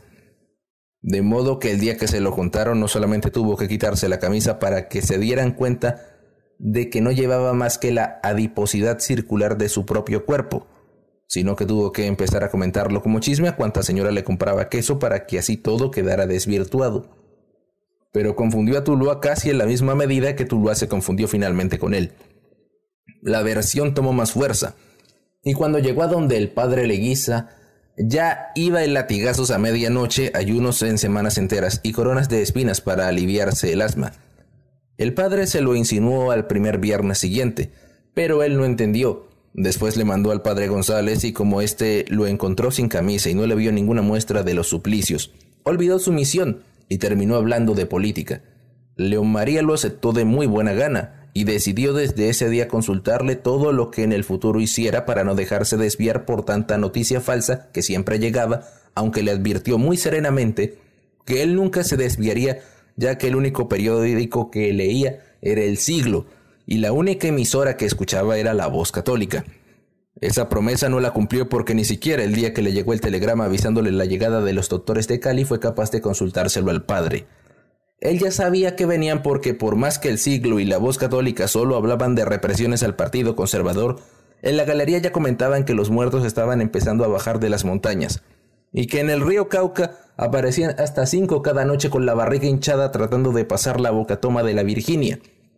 Y en verdad que era lo que él temía porque a los doctores de Cali también les había llegado la noticia de las hazañas de León María el 9 de abril y conservaban, con esa memoria de hormigas arrieras, el recuerdo fiel del gran conservador de Tuluá. El telegrama lo enviaron a la galería. Viernes próximo estaremos esa fin consultarles graves problemas aquejan partido conservador. Punto. Agradeceríamos pusiese contacto don Julio Caicedo Palau, fin utilizar detalles entrevista, punto. Copartidarios y amigos directorio departamental conservador. Lo leyó una vez y lo volvió a leer otra. Había acudido a todas las reuniones del directorio municipal, pagado todas las contribuciones para el fondo del partido, asistido con pasión las victorias y las derrotas, pero nunca había podido hablar en una manifestación para él no podía ser la consulta, los problemas del partido eran tratados entre los señores de los discursos y los grandes propietarios del dinero. El vendedor de quesos en la galería de Tuluá no tenía por qué saber de los problemas de su partido al nivel de los directorios departamentales, pero la vanidad le picó más, y como se sintió importante, mucho más importante que los días siguientes al 9 de abril, dobló al telegrama y cuando esa tarde a las 3 la campana de la sindicatura de la galería avisó que las ventas se cerraban, León María fue a la farmacia blanca a conversar con don Julio Caicedo Palau, el presidente del directorio municipal conservador. No lo estimaba mucho, pero era conservador de los viejos y se las sabía todas. Le hubiera gustado haberlo ido a consultar con don Manuel Victoria Rojas, y no con él, pero el telegrama lo decía muy claramente, y los jefes jamás se equivocan. Y era verdad, don Julio ya sabía no solo que venían, sino que los traía. Francisco Eladio, el liberal de Cali había mandado armar amparándose en que era gobernador una policía de 700 hombres íntegramente liberal. Con ellos se estaba preparando, a no dudarlo, la posibilidad del golpe de Estado cuando llegaran las elecciones. Amparados en el gobierno de integridad nacional, los liberales estaban procurando el terreno para volver al poder. Si lo habían perdido por dividirse, muerto Gaitán lo ganarían uniéndose. Francisco Eladio lo sabía, y como gobernador lo advirtió, pero no fue el único. Navia y Olano también lo advirtieron desde su sede conservadora y armaron la rebelión. La disculpa fueron los muertos que bajaban todas las noches por el Cauca. El siglo dijo que eran conservadores y el tiempo que eran liberales. Pero en la Virginia, donde los atajaban con la barriga a reventar, la cara mordisqueada por los peces y las extremidades casi siempre quebradas a palo, ninguno de los muertos llevaba papeles de identificación y como resultaba tan embarazoso cargar con esas pestilencias, apenas los sacaban los enterraban en la fila de los que como NN crecieron tantos cementerios de Colombia. En esas condiciones la policía fue cambiada a liberal porque había necesidad de proteger la vida, honra y bienes de los ciudadanos, y los liberales también lo eran. Los conservadores no se quedaron atrás. Y como el gobierno de Bogotá, pese a ser conservador, no les creyó por andar regando la muerte en otras formas del llano del oriente a la sabana de la costa, los conservadores del Valle del Cauca formaron ellos mismos su policía privada y le dieron funciones específicas con miras a las elecciones presidenciales. Don Julio lo contó detalle por detalle a León María, pero le advirtió muy claramente que él se opondría desde todo punto de vista a que en Tuluá se formara ese cuerpo armado. Tuluá había sido primero que el Partido Conservador, y la muerte no tenía por qué enterrar sus calles limpias de sangre desde los días de las batallas de los chancos en, en las guerras del 70. León María no le entendió porque para él quizás no significaba tanto Tuluá como el Partido Conservador y quizás por eso o porque la vanidad seguía picándole y mirando a quien le hablaba. Con el mostrador de por medio, veía las posibilidades de convertirse él en el jefe, dejando a un lado hasta a don Manuel Victoria Rojas. Le dijo que sí, pero con cara de asustado, y cuando se despidió quedó comprometido de estar al otro día almorzando con los doctores de Cali, diciéndoles, en palabras más, palabras menos, lo que doña Midita de Acosta recita cuando oye el quejido de ultratumba, y a llegar envuelto en costales el cadáver masacrado de don Alberto, su marido. El partido tendrá en mí a su más ferviente defensor, y si ustedes me garantizan la subsistencia, cuenten conmigo. Es posible que así no fue como León María lo dijo en ese mediodía, pero el silencio que ha llevado don Julio a través de todos estos años sin negar ni explicar su actitud ha terminado por confirmar las recitaciones de doña Midita. Llegaron al mediodía, el carro negro cubierto de polvo frenó secamente en la calle del parque. Preguntaron por la casa de don Julio Caicedo Palau, dieron unas gracias que nadie oyó y dejaron con la palabra en la boca a don Carlos Materón, que quiso acercarse a saludarlos cuando los distinguió por entre la costra del polvo. Cuando se bajaron, solo León María y don Luis Carlos Delgado estaban en la sala de don Julio Caicedo. A los otros cinco que habían citado, o no les llegó el telegrama, o sabían lo que don Julio le contó a León María y prefirieron desconocer la situación. Los tres doctores tenían polvo hasta en las orejas. El saco negro del doctor Navia había dejado de serlo, y entonces él se había quedado con el chaleco. La calva brillante del doctor Olano parecía ya un riel del ferrocarril. Solo el doctor Ramírez Moreno se conservaba limpio. Tenía esa propiedad, o la tiene todavía, porque, aunque los años han pasado y los causantes han sido signados, él ha podido permanecer sin mancha como en ese mediodía permaneció limpio sin el asombro de la costra de polvo que sus compañeros de viaje no sabían cómo eliminar de sus vestidos. Hablaron media hora, repitieron casi que idénticamente las palabras de don Julio en la farmacia, agregaron que las fuerzas públicas de don Pacho Eladio ya no eran solamente de 700 sino de 1300 y que los 54 muertos atajados en la Virginia estaba demostrado eran conservadores en 49 de los casos y que como los jueces eran todos liberales, las denuncias estaban condenadas a perderse en los archivos desordenados de los edificios de justicia. Don Luis Carlos, con la voz ya cansada que finalmente le daría el aviso de su partida, intentó desbaratar los argumentos oponiéndose con la sencilla frase de nunca en política se puede pagar con la misma moneda. Don Julio se quedó callado, tan callado que León María creyó que en verdad había perdido la posibilidad de reemplazarlo en la jefatura del partido en Tuluá. El doctor Navia no se hizo esperar. Abrió la bodega del carro y sacó tres cajas rectangulares.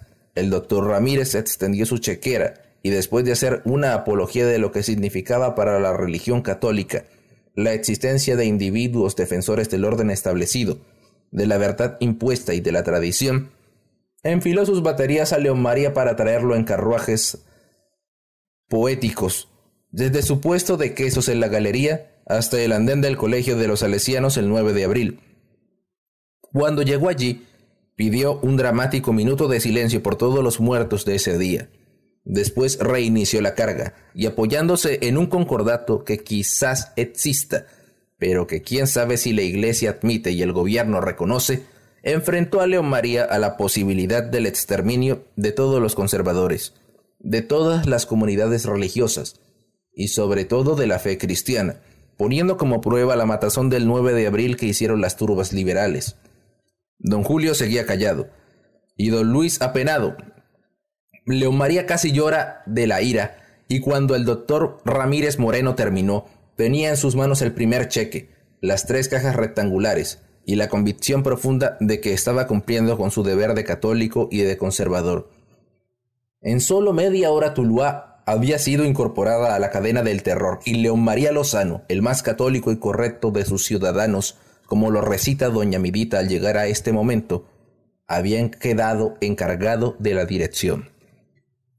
Don Julio le sirvió un refresco, ayudó a montar nuevamente las tres cajas en la bodega y vio salir en el carro negro a León María, Don Luis Carlos se quejó de un dolor en la espalda y corrió a su casa para que la vida no se le fuera en las calles.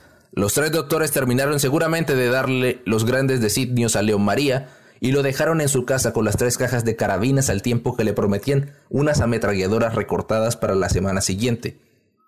Agripina se quedó mirándolos. Ayudó a su marido a meter las cajas debajo de la cama, y aunque muy claro vio que en ellas no podía haber nada bueno, empezó su silencio, su desconocimiento de lo sucedido, su mutismo integral. Las dos niñas habían salido ya para el colegio y evitado de esa forma todo compromiso con la historia. Don Luis Carlos también estaba seguro de poderlo evitar y por eso quizás corrió tanto hasta su casa.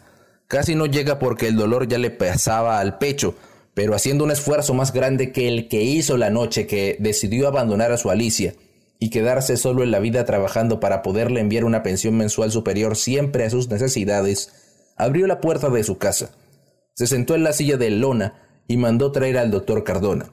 Leyó el periódico de Bogotá, se tomó un agua de toronjil y esperó tranquilo el momento de evitar la historia. Cuando el doctor Cardona llegó, don Luis Carlos Delgado había podido salvarse de la condenación. El padre Ocampo no lo había confesado ni él lo había mandado llamar, porque seguramente le diría que no lo absolvía mientras no repudiara a la otra mujer que había conseguido para reemplazar adúlteramente a su Alicia. Prefirió quizás la condenación del otro lado, que al fin de cuentas desconocía no solo él, sino todo humano, y no la condenación que Tuluá le daría por no haberse opuesto a su baño de sangre. Alicia Uribe, su mujer, don Manuel Victoria Rojas en representación del Directorio Nacional, don Julio Caicedo Palau en representación del Directorio Departamental Monseñor Caicedo como obispo de la diócesis y el padre Nemesio como oficiante lo enterraron al día siguiente. León María también asistió al entierro y pudo hacer allí los contactos que necesitaba para emprender la lucha. Esa misma noche, después del entierro, los reunió en su casa, pero como no le había avisado a Agripina, ella solo les pudo dar agua panela y arepas trasnochadas. Don Julio quiso evitarlo y hasta alcanzó a ir a donde los salesianos, pero doña Midita lo detuvo y don Alberto le hizo tomar un trago de aguardiente. Cuando salió ya había olvidado a qué había ido, y aun cuando vio todavía carros en la puerta de la casa del León María, prefirió negarse a la realidad y volvió por donde había subido. Una hora más tarde, sentado en su vieja Remington, redactó la carta al directorio, hizo el inventario de caja y de muebles y muy a las seis de la mañana fue a la casa conservadora a verificarlo firmó un cheque por los 1.700 pesos que había en la cuenta del Banco de Colombia y puso la carta en el correo de Avianca. Le envió una copia a don Manuel Victoria Rojas y otra a León María. Se puso el delantal blanco con que atendía en la farmacia y entró en un silencio tan dramático y rígido como el que don Luis Carlos ha estado guardando desde su tumba. Esa noche aparecieron los primeros muertos en las calles. Misía María Cardona y Josefina Jaramillo encontraron dos de ellos antecito de la casa de don Pacho Montalvo. Primero creyeron que eran dos borrachos porque no vieron ninguna muestra de sangre en el piso. Pasaron al otro andén y hasta se, y hasta se taparon los ojos con los mantos. Siguieron derecho a la iglesia. Saludaron a León María, pero no pudieron olvidar en toda la misa la manera tan extraña como estaban tirados el par de borrachos en las calles. Cuando salieron se lo comentaron al padre Legui que venía de la calle, y él apenas se dignó contestarles con una sonrisa. Don Pacho Montalvo lo había mandado llamar para que diera la absolución al par de desconocidos que con un tiro en la nuca le habían tirado en el andén de su casa. Misía María miró a Josefina, alzó los hombros y bajó por la calle por los de los salesianos hasta que llegó a la esquina de Doña Mercedes Sarmiento. Desde allí vieron gran cantidad de gente aglomerada alrededor de los dos desconocidos, que ellas creyeron al pasar eran un par de borrachos. Don Pacho Montalvo se encargó de explicarles cuando ellas, curiosas pero asustadas, se arrimaron al tumulto. Se santiguaron tres veces seguidas y fueron aceleradas hasta sus casas. Pretendieron, prendieron la radio para oír lo que pudieran estar diciendo, pero apenas escucharon la voz destemplada de Pedro Alvarado en noticiero matinal informando de los daños ocasionados por la creciente del río Tuluá en las cementeras de la orilla del pabellón antituberculoso. Los periódicos de Cali no decían nada. Pero a Luisita Lozano, que llegó cuando ellas apenas sí acababan de despedirse, les contó que no solo eran los dos muertos de la casa de don Pacho Montalvo, sino cinco, porque en todo el frente de la casa de don Alfredo Garrido, en la orilla del río, habían encontrado otro, y Ercilia Rendón, que venía de la galería, había visto recorrer a dos más en la puerta del pabellón de carnes. Don Julio no quiso comentar nada a todo el que le puso el tema ese día en la farmacia. León María ayudó a recoger a los dos de la puerta de la galería, y enloquecido como estaba por saber la afiliación política, esculcó él mismo los bolsillos de los dos. Pero se encontró con la realidad inmensa de todos los muertos de los últimos meses. No tenían papeles de identificación. En el noticiero del mediodía Pedro Alvarado dio la noticia escueta. Sin ningún comentario leyó el comunicado del comandante de la policía que hablaba de cinco muertes por causas desconocidas, a quienes se les practicaba en estos momentos la autopsia para dar a conocer en verdad el motivo de su fallecimiento, ya que no dice que se les encontró huella alguna de herida. Quienes oyeron la noticia y habían visto los cadáveres se imaginaron inmediatamente lo ocurrido. La policía del gobernador era la causante, como no se conocían los nombres de los difuntos ni nadie los reconoció en el anfiteatro a donde los llevaron, y tuvieron toda la mañana, terminaron por creer que eran de los que mataban en otra parte y venían a tirar en Tuluá, donde no había por qué esperar la violencia. Pedro Alvarado no lo quiso comentar en su noticiero, pero pasó en las tres emisiones restantes la misma noticia y leyó el mismo comunicado de la policía. Misia María Cardona alcanzó a creer que en realidad eran unos envenenados en alguna fiesta de otro municipio, y que para evitar responsabilidades los habían tirado en las calles de Tuluá. Luisita Lozano y Josefina Jaramillo creyeron lo mismo, y en el costurero de mamá Margarita, doña Midita de Acosta dio la versión que le había contado el chofer del alcalde, y a todas esas permanecía callado.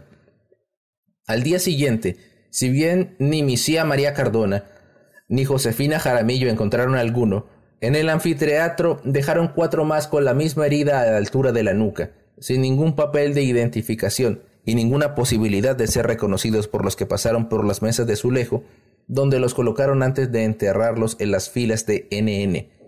León María fue a verlos y a esculcarles los bolsillos. La policía también, pero ese día economizó el comunicado y Pedro Alvarado no dijo más que la noticia otra vez escueta. En la mañana de hoy cuatro cadáveres nuevos de desconocidos aparecieron en las calles de la ciudad. La policía investiga las causas del deceso. El alcalde no se había dado por enterado, pero le había prohibido a la emisora propalar noticias alarmantes, inseguras o ligeramente equivocadas. Al tercer día fue solo una, pero la noticia se perdió, no por la costumbre que el hecho estaba empezando a dejar entre los habitantes de Tuluá, sino porque comenzaron los chismes sobre León María que lo obligaron a mandar a sus hijas al internado en Manizales luego de un viaje relámpago a Cali para conseguirles desde allá la beca en el colegio. Todo había empezado porque lo vieron comprando unos repuestos en donde Buchafá, el turco del Puente Blanco, después porque lo vieron entregando una plata grande a uno de los Espinosa de Trujillo en el Banco de Colombia. Por la noche, porque los carros de quienes vinieron al entierro de don Luis Carlos estuvieron hasta tarde cuadrados frente a su casa. Al otro día, porque su exigua cuenta del banco resultó con una consignación imposible de hacer con la venta de quesos en un mes. Don Rosendo Zapata, que era el jefe de cuentas corrientes, lo contó en el bar central. Las lenguas empezaron a producir. María Luisa Sierra debió haber sido la primera en comentarlo. María Elena Jaramillo y Poncho Rentería los primeros en entregar datos concretos. Los hijos de don Luis Carlos que veían esfumarse la herencia en manos de la moza que su papá tenía en la caballera, terminaron por forjarlo. La plata que León María estaba gastando y las ínfulas que se estaba dando tenían que venir del capital del recién fallecido don Luis Carlos. León María había sido el último en verse con él. Don Julio Caicedo, inconscientemente, terminó de confirmar la noticia, y por más que siempre creyó que con lo hecho la noche del entierro y el día siguiente con los bienes del directorio, el cheque al portador y la carta de renuncia demostraría su, pureza de obrar en lo que estaba sucediendo, Tuluá ha pensado muy al contrario. No entendió su gesto y lo condenó hasta el punto de que hoy ni farmacia tiene y vive de lo que su hijo el juez le manda desde Bogotá o de lo que él gana vendiendo clubes de lotería. Todos creyeron en Tuluá que don Julio había hecho eso para darle salida legal al robo que León María hábilmente había logrado en el momento final de don Luis Carlos, hasta cuando se dieron cuenta que don Julio apenas sí tenía farmacia, y eso que hipotecada. Jamás han pensado en lo que verdaderamente hizo ese día. Quizás haya sido por el nivel que adquirieron los chismes del artículo Mortis que logró León María de don Luis Carlos. Tuluá no lo sabe porque su memoria se acerca mucho a la de la gallina. Por eso tampoco y pueden saber exactamente cuando empezó su martirio, don Julio, que podía haberlo dicho con pelos y señales, ha preferido callar, protegido primero por sus drogas de la farmacia, y después por el silencio extraño de su retiro de pobre vergonzante. Don Luis Carlos se llevó la explicación a la tumba, y León María se ganó la fama de la herencia que no recibieron los herederos del muerto. A causa de ello tuvo que llevar a sus hijas al internado. Los chismes ya no pasaban solamente por la boca de María Luisa Sierra, ni terminaban donde doña Midita, que impresionada todavía por lo que vio el 9 de abril no podía permitir que se dijera eso de un varón tan egregio como León María. Pero los chismes llegaban, y León María, que adoraba a sus hijas, no permitía que ellas se dieran cuenta y perdiera la confianza ciega en su padre. Él lo supo la mañana que entró al bar central. Desde que recibió la orden de los doctores de Cali solo iba dos horas a la galería los primeros días aumentando así el rumor de la herencia lograda. Y un borracho gritó desde una de las mesas, Abran paso, que llegó el heredero de Luis Carlos. Y cuando él lo miró, con los ojos de mula cansada con que empezó a mirar a todo el que no le gustaba, el borrachito se levantó y palmoteando lo volvió a decirle, No es cierto, don León, que usted ya tiene plata porque heredó. Entonces León María no tuvo necesidad de averiguarlo, mucho menos de arrimarse hasta donde María Luisa Sierra para oírselo. Le pagó al borracho una cerveza, gastó tinto para dos tipos con que andaba y alquiló un carro expreso para Cali. Fue la única vez en su vida que pidió un favor o logró fruto de su actividad política. Se demoró el tiempo que demoraron en conseguir la llamada al doctor Navia. Cuando éste colgó, ya sus hijas tenían una beca en el internado de Manizales y León María una orden firmada por el secretario de Educación del departamento, aunque no había tenido necesidad de ir hasta allá. El doctor Navia tenía ya las órdenes firmadas y solo bastaba llenarlas. Era el comienzo de la podredumbre en el gobierno. Todavía existía el gobierno de integración nacional, pero ya sus miembros habían tomado posiciones para la batalla electoral que veían venir y los unos usaban los métodos y ventajas de los otros para mostrar la podredumbre en el futuro. León María no sabía nada de eso aun cuando estuviera realizando una de esas labores. Él solo cumplía con su deber, y como lo hacía también, había solicitado un favor, el único, porque salió tan impresionado de la manera como desde el bufete de un abogado se maneja la administración pública, y eso lo repitió en sus extraños momentos de charla, había quedado tan impresionado que prefirió desde ese momento ser Estado a tener que hacer uso de tales artimañas. Y lo logró. Empezó al día siguiente cuando llegó por las niñas y les empacó para Manizales sin que Agripina tomara parte de la decisión. Las llevaron en el mismo carro expreso que había pagado para ir a Cali, los dos compañeros del nuevo trabajo, José del Carmen Celín y Emiro Ateortúa. Los había conseguido en el entierro de don Luis Carlos, se lo recomendó uno de los Espinosa de Trujillo. Él no le dijo para qué era, y Espinosa creyó que sería para instaurar directorios en tierras de prohibición.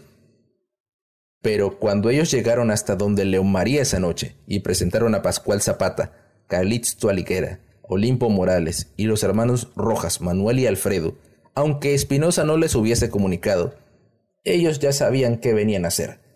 Por eso, no tuvieron mucho que discutir sino recibir las carabinas que todavía estaban abajo de la cama, tomarse la aguapanela que Agripina les dio y trazar los primeros planes de acuerdo a las normas implantadas por los señores doctores de Cali. De esa manera fue formando a su alrededor un verdadero gabinete de Estado. Consiguió quien le manejara el puesto de la galería, se hizo el sordo de allí en adelante para lo que Tuluá dijera respecto a la herencia de don Luis Carlos, aunque siempre se encargó de aumentar el rumor, y dio comienzo a lo que Tuluá nunca ha podido explicar cómo fue, aunque don Julio Caicedo todavía viva. El día que León María y Agripina empacaron sus hijas, el padre González fue a darles la bendición, iniciando así el día más largo de su existencia como confesor.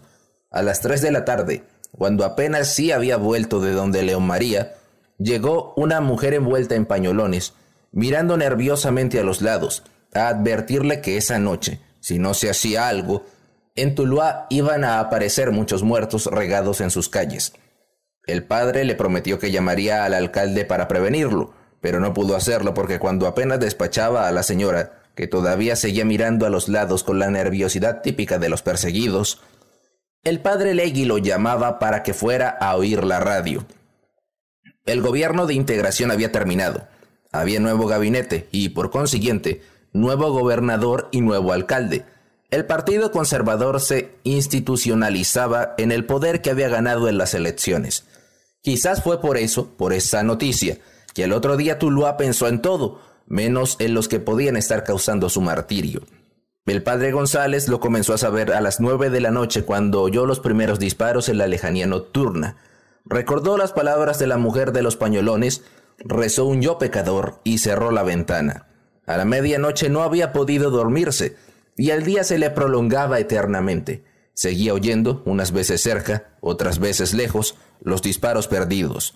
Quiso contarlos para poder comenzar el sueño, pero lo despertaron los primeros carros. De lejos sintió que eran camiones, pasaban de largo acelerados, frenaban en algún sitio y volvían a arrancar. Por más que asomó a la ventana no pudo detallar a ninguno, pero sí constató que eran camiones. A las cuatro de la mañana dejaron de pasar, terminaron los disparos y comenzó la tocadera en la ventana del colegio. Se vistió como pudo y dio principio a la serie más larga de bendiciones de la buena muerte que en todos esos años, aun cuando bajaron los muertos de la masacre de Frazadas, ha hecho el padre González. En todas las cuadras de Tuluá, menos en la del colegio y en la de León María Lozano, tuvo que entregar la bendición a un cadáver. Todos tenían la herida de bala en la nuca y estaban bien muertos. No cargaban papeles de identificación y a la hora del traslado al anfiteatro nadie los reconocía. Solo una mujer, la misma de los pañolones del día anterior, llegó al anfiteatro y reconoció un cadáver. Nos habían puesto unos encima de los otros, desnudos, boca arriba los de la derecha, boca abajo los de la izquierda. Para el que terminaba el montón había una sábana, para los otros el abrigo de las moscas. Ninguno tenía muestras de otra herida, y aun cuando al irlos colocando no faltaba alguno que derramara sangre, solo el runruneo de las moscas y el olor a formol demostraba que era una masacre. Por las ventanas de Angeo las caras curiosas vieron descargar cadáveres, pero nadie entraba porque en Tuluá nadie había perdido nada. Cuando la mujer de los pañolones entró a eso de la una y dijo ante el policía del anfiteatro que venía a reclamar un cadáver, y no la dejaron entrar porque esos muertos estaba ya comprobado que no eran de Tuluá, los que oyeron al policía terminaron por convencerse que algo había planeado en todo eso. Tuluá decidió achacarle la masacre de desconocidos al cambio de gobierno, y si bien los muertos no tenían un solo documento de identidad, todos en Tuluá supieron que eran liberales. Pedro Alvarado lo dijo esa noche por la emisora en la última emisión del noticiero. El alcalde, un militar que había llegado esa tarde a reemplazar al antiguo, le impuso multa de 500 pesos y la suspensión del noticiero por tres días. La mujer de los pañolones le había ido a decir todo después de que no la dejaron entrar al anfiteatro. Había vuelto donde el padre González y él la había acompañado. Primero fueron donde Pedro Alvarado y él tomó los datos. Después se fueron al anfiteatro. El policía apenas vio al padre y lo dejó entrar. Creyó que iría a darles bendiciones a los túmulos de manos y pies que ya hedían. pero cuando oyó gritar a la mujer que había entrado con el padre, recordó que era la misma que había atajado al mediodía. Entre los muertos del lado izquierdo había reconocido una mano. Se abalanzó sobre ella, y como el equilibrio de los cadáveres era tan precario, cuando jaló duro para buscarle una cicatriz, todo el resto se le vino encima y sus pañolones quedaron abrazados por las manos de la muerte. El padre González trató de prevenirla, pero ella, agarrada fuertemente de la mano de quien resultó ser su marido, trabajador de una de las lecherías de la montaña, donde ella vivía, había resistido imperturbable la avalancha. El policía entró, y olvidando quizás al padre, miró el reguero y gritó, ¡Puta la vieja! El padre fue en su búsqueda. La mujer limpiaba el cadáver. Con un pañolón le quitaba las costras de sangre que tenía bajo la oreja. Con el otro intentó cubrirle la desnudez. Allí estuvo hasta que el padre volvió con una caja y Tarcisio Vidales, cubierto escasamente con el pañolón de su mujer, salió para el entierro. En la misma capilla del cementerio lo cantó el padre González. Cuando terminó, los obreros del municipio que ya habían sido trasladados en carretas, los otros muertos a una fosa común que habían hecho en el lado de los NN, ayudaron a la mujer a cargar el cadáver de su esposo.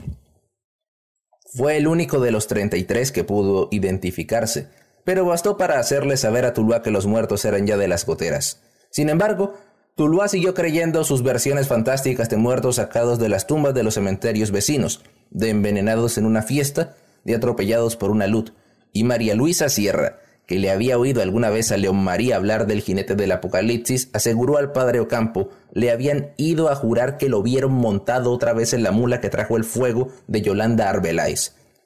A León María se lo fueron a preguntar, pero como él dijo que en su cuadra no había aparecido ningún cadáver, él no podía dar ese testimonio, pero que si lo veía, y quién mejor que él, que ya lo conocía, avisaría inmediatamente.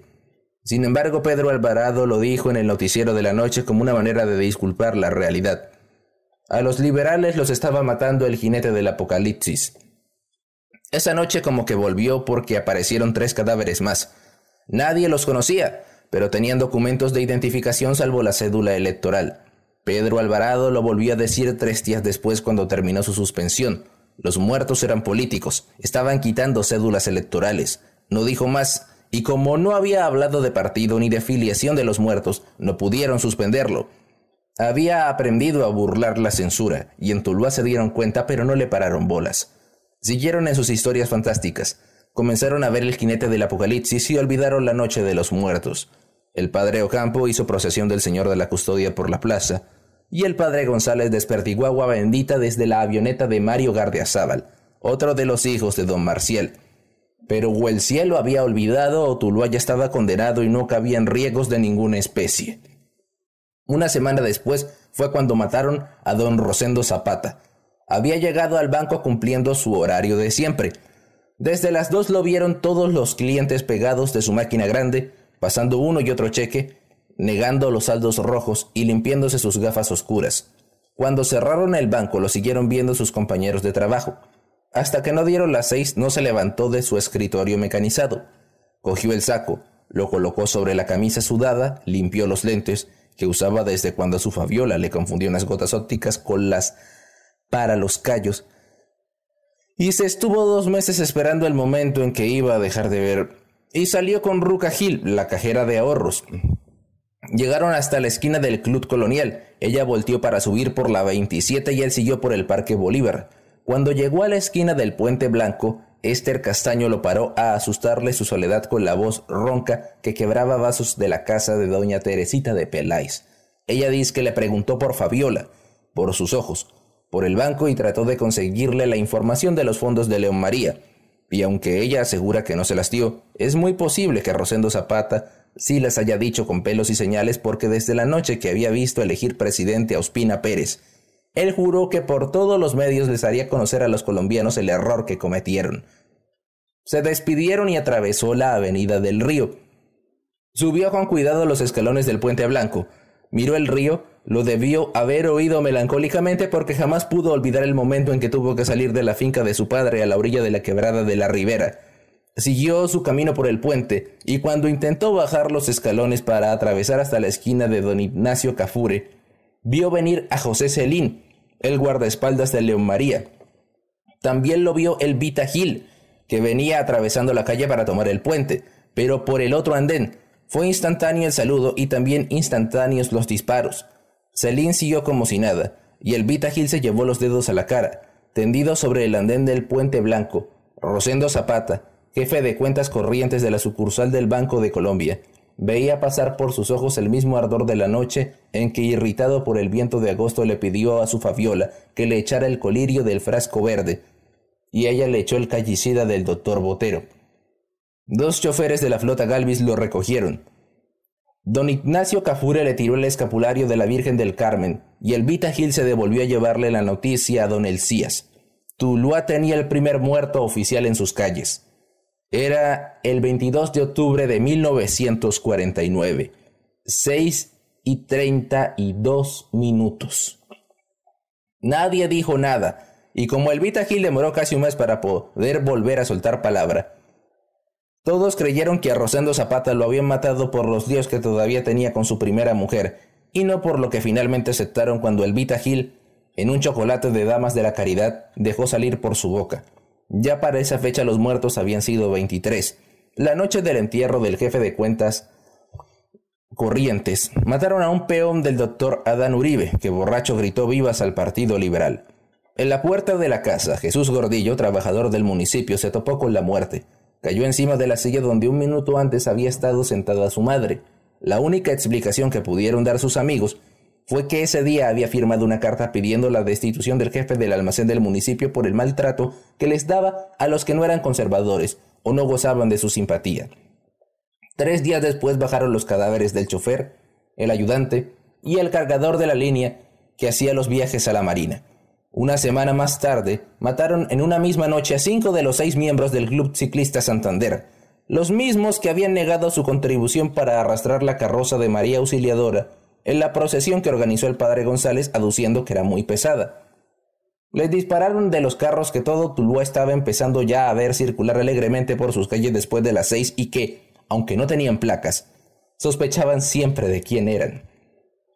El primero fue Gilberto Galvez, que vivía a la vuelta de donde León María. Cerró su botica de la calle Sarmiento y montado en su cicla como si estuviera montado en la carroza que no quiso dejar empujar, Repartiendo sonrisas y venias, llegó hasta la sede del club, en un costado del Parque Bolívar. La secretaria le pasó a firmar tres o cuatro papeles. Él revisó el cuadro de competencias para el siguiente domingo y alcanzó a llevar las manos a los ojos.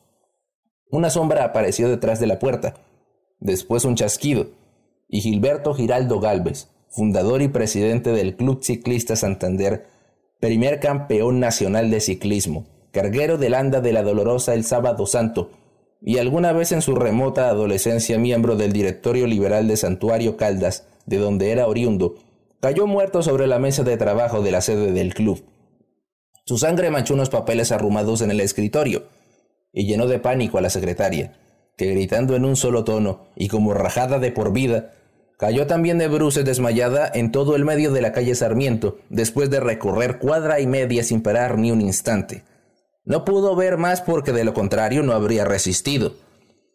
Con el disparo llegaron otros tres miembros del club y precipitadamente levantaron a su presidente tratando de revivirlo de una muerte que ya le había llegado. Lo extendieron sobre el escritorio y antes de que alguno de ellos pudiera salir a pedir auxilio, los vecinos oyeron otra vez los chasquidos y los tres socios del club le hicieron vela eterna al cadáver de Gilberto Giraldo Galvez. Al quinto lo mataron casi a la misma hora cuando salía de la fábrica de tubos de don Braulio Gardeazábal, otro de los hijos de don Marcial.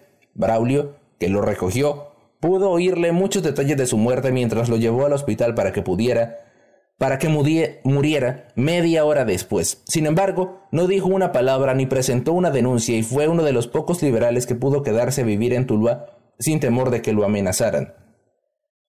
El sexto miembro del club, Arcadio González, el marido de Nina, la redactora social del, del relator, apenas le contaron de la balacera en la sede del Parque Bolívar, trancó puertas y ventanas y fue a dormir por el solar a la casa de su suegra, doña María de la C. Pérez y Botija. uno de los pocos habitantes de Tuluá que todavía guardaba pergaminos y rendía culto a la heráldica. Al otro día, montado a medias en su bicicleta pero con el uniforme blanco, los zapatos Croydon de rayitas negras y la boina roja en la mano, acompañó a León María Lozano en el entierro de su vecino. Cuando enterraron a don Rosendo Zapata, León María también iba a la vanguardia del cortejo y casi llora cuando abrazó a Fabiolita para darle el pésame. Arcadio González no lloró como Fabiolita, pero temeroso de que algo pudiera sucederle, y conociendo bien el prestigio de héroe que tenía León María, lo buscó en el entierro, y llevando la bicicleta de la mano se hizo a su lado durante todo el trayecto de San Bartolomé al cementerio. Seguramente hoy estará arrepentido de haberlo hecho, porque esa posición en el entierro obligó a Tuluá a desviar todos los comentarios de las muertes a otros lados menos al político y permitió a León María sobreponerse a los rumores que algunos liberales decididos dejaban caer por gotas todos los domingos en el restaurante de la Chapeta, a dos cuadras de su casa, después de que empezaron a cosechar chismes de las largas visitas que le hacían antes de la comida a los señores de un carro gris con placas de Cali.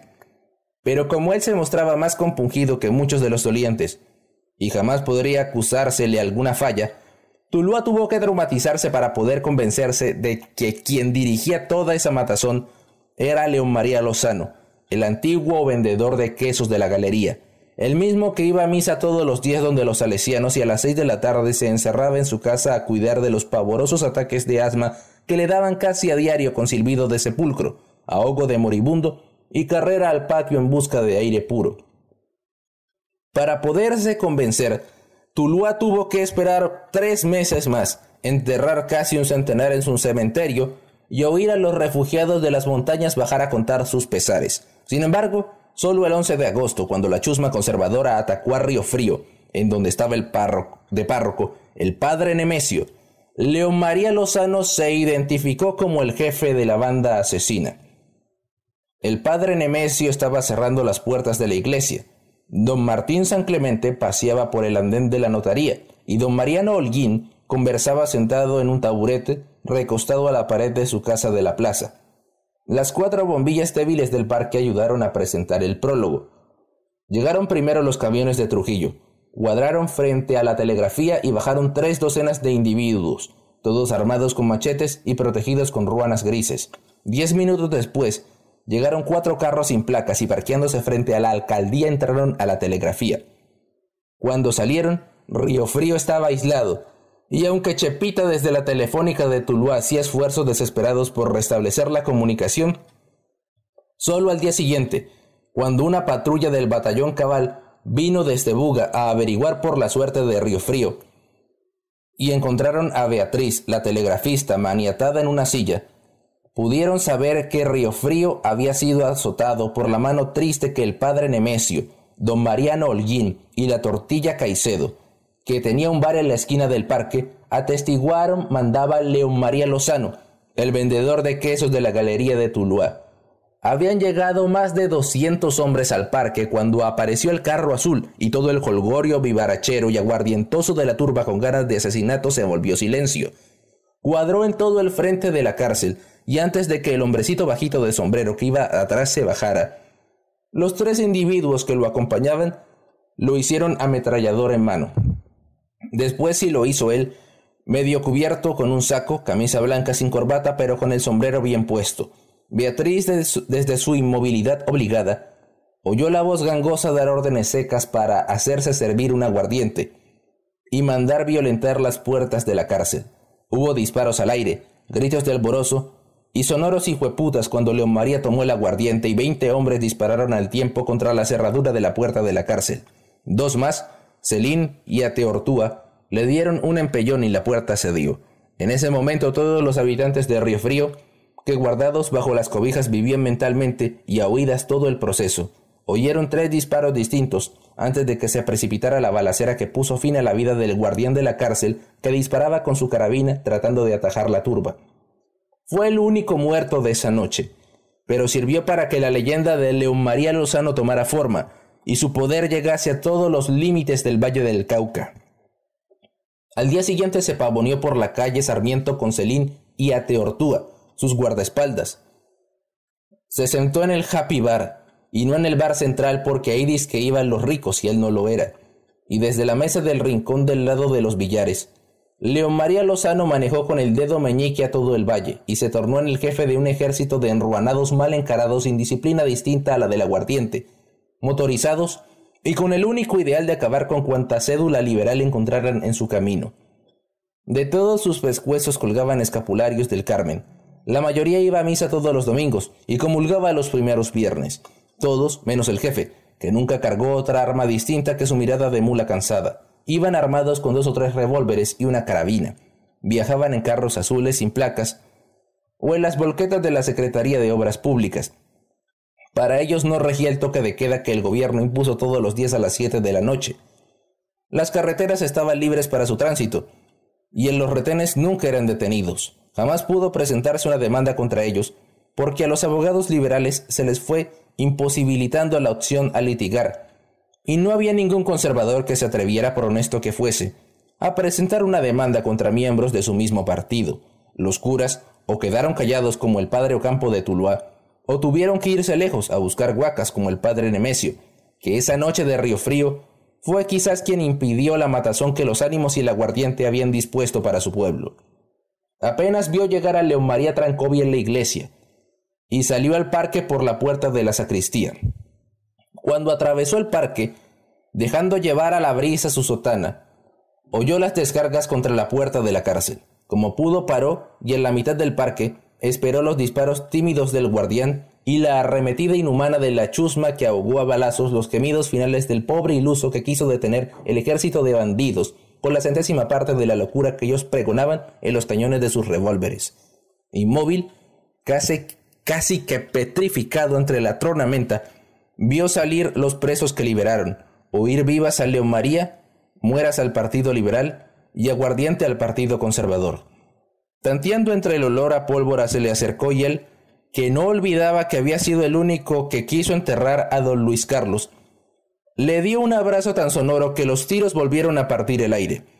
Tres aguardientes con el jefe de la chusma y entre uno y otro la solución de que en menos de una semana habría hecho salir a todos los liberales de Río Frío siempre y cuando en esa noche los respetaran junto con los demás. Afortunadamente, León María se doblaba ante la iglesia y Río Frío pudo salvar la vida de 37 familias liberales que vivían en sus calles. Una semana después, el padre Nemesio salió al lado de Pedro Nel Navarrete, su mujer y sus tres hijos y dos docenas de gallinas, llevando él solamente los avíos de guaquería y los deseos locos de la huida. Nunca volvió a un curato, ni siquiera ahora que las cosas han cambiado bastante. Adoptó la posición que muy pocos de sus compañeros adoptaron, huir antes que verse imbuidos en una matazón que no tuvo límites ni de tiempo ni de espacio, y que llenó de sangre calles, ríos y sembrados de Colombia. Pedronel Navarrete era el último de los liberales que quedaban en Río Frío, de la premura tuvo que vender por la mitad de lo que le costó su tienda de la calle Caliente y dejar alquilada a menos precio su finca de Trujillo. El plazo no era prorrogable, y él y el padre Nemesio lo sabían tan bien como lo supieron los muchos miles de campesinos, que tuvieron que salir corriendo a las ciudades para salvar sus vidas sin importarles perder el capital de años, dejándoselos a los más ricos del pueblo, que siempre tenían la plata en caja fuerte, y eran conservadores, Leo María, aunque pudo haberse vuelto más rico que todos ellos juntos, jamás compró una plaza de tierra ni obligó a nadie a vendérsela. A él no le importaba el dinero, con lo que recibía mensualmente del directorio le alcanzaba para llevarle al mercado a su gripina y pagar los viajes al colegio de las niñas en Manizales. Además, y eso lo pregonaba cada que tenía cuatro aguardientes en su cabeza, la política la hacía con dinero, pero no para conseguir dinero. Eso como que lo dijo esa noche de Río Frío porque el padre Nemesio lo acababa de recordar por la radio en una entrevista que le hicieron hace un rato y que seguramente deben haber oído en este Tuluá todos los que ya están empezando a cerrar puertas y ventanas esperando lo peor. El único bar que permanece abierto en esta tarde es el Happy Bar. Allí llegó León María al día siguiente de que apareció en Río Frío como jefe de lo que el relator llamó en primera página los pájaros. La mesa del rincón fue la escogida accidentalmente porque la de la orilla de la carrera 25 estaba ocupada por tres dentistas de la calle del dolor. Celina a un lado, Ate Ortúa al otro, más tarde llegaron los Osorio de Trujillo y los Londoño de la Marina. Juntó dos mesas para recibirlos y le pareció tan especial el rincón que desde allí presidió, con su voz gangosa y su ignorancia atrevida, todo lo que él consideró desde ese momento que debía pasar por sus manos. Nadie le interrumpió jamás en ese sitio, y aunque los muchachos volvían a pasar por la puerta del bar como en los días siguientes al 9 de abril, pasaron por su puesto de galería para verle la cara de héroe que estaba tomando. Solo una vez tuvo que obligar a disparar a sus hombres en ese sitio. Fue el día que los perros de don Alfonso Pineda salieron y armaron una camorra con la perra de Paco Escobar, con aullidos, gruñidos y orinadas en todas las patas de las mesas, hasta que León María no resistió y mandó matar los tres perros. Fue una descarga sorda que retumbó en toda la cuadra y cerró inmediatamente las ventanas y puertas de todas las casas vecinas en menos de medio minuto, salvo la de don Alfonso Pineda, que arrastrando sus piernas, apoyado en una muleta de palo, que con las pocas ventas de su tienda había mandado hacer a Chepe el carpintero, llegó hasta la puerta del bar y en la media lengua que le quedaba después de su ataque cerebral, maldijo a León María por haberle matado sus perros de raza. Casi se le salen las lágrimas al tullido tratando de enhebrar una palabra con la otra para elevar su maldición. León María lo miró con sus ojos de mula cansada, y cuando vio que ya no podía decir más siguió, imperturbable, en la charla con sus pájaros. Sin embargo, al día siguiente, Alfonso Pineda oyó tocar antes de las seis de la tarde la puerta de su casa. Su Esther creyó que les había tocado el turno a ellos como para... como decían que les tocaba a todos los que León María no quería. Llegaban antes del anochecer, tocaban la puerta, preguntaban por el dueño de la casa, lo hacían salir como se encontrara, y sin permitirle siquiera un beso para su mujer o sus hijos, lo montaban en uno de los carros azules que hacían las noches del Valle del Cauca. Al día siguiente, la mujer y sus hijos tenían que ir al anfiteatro a reclamar el cadáver que casi siempre encontraban unos pescadores del río Cauca o los barrenderos del municipio en la avenida del río Tuluá. No llevaban otra marca distinta que la de los balazos en la nuca o la de las cabullas con que los amarraban de pies y manos para tirarlos al río. Los primeros días no avisaban porque casi siempre escogieron a gente pobre que les daba lo mismo que saliera o que muriera. Al fin de cuentas era una boca menos en casa. Con los meses, el sistema fue perfeccionándose y en la angustia de los tulueños tomó caracteres apocalípticos la llegada de la noche. Debajo de las puertas de las casas de los que los pájaros querían sacar de Tuluá, aparecían las famosas boletas hechas en caligrafía gótica. El plazo era de un mes, una semana, 48 horas. Si no se iban en ese tiempo, al amanecer llegaban a tocar la puerta. Si se iban, también hacían lo mismo recorrían la casa como si fueran los policías del gobierno, que a todas esas permanecía sordo y ciego a la matazón.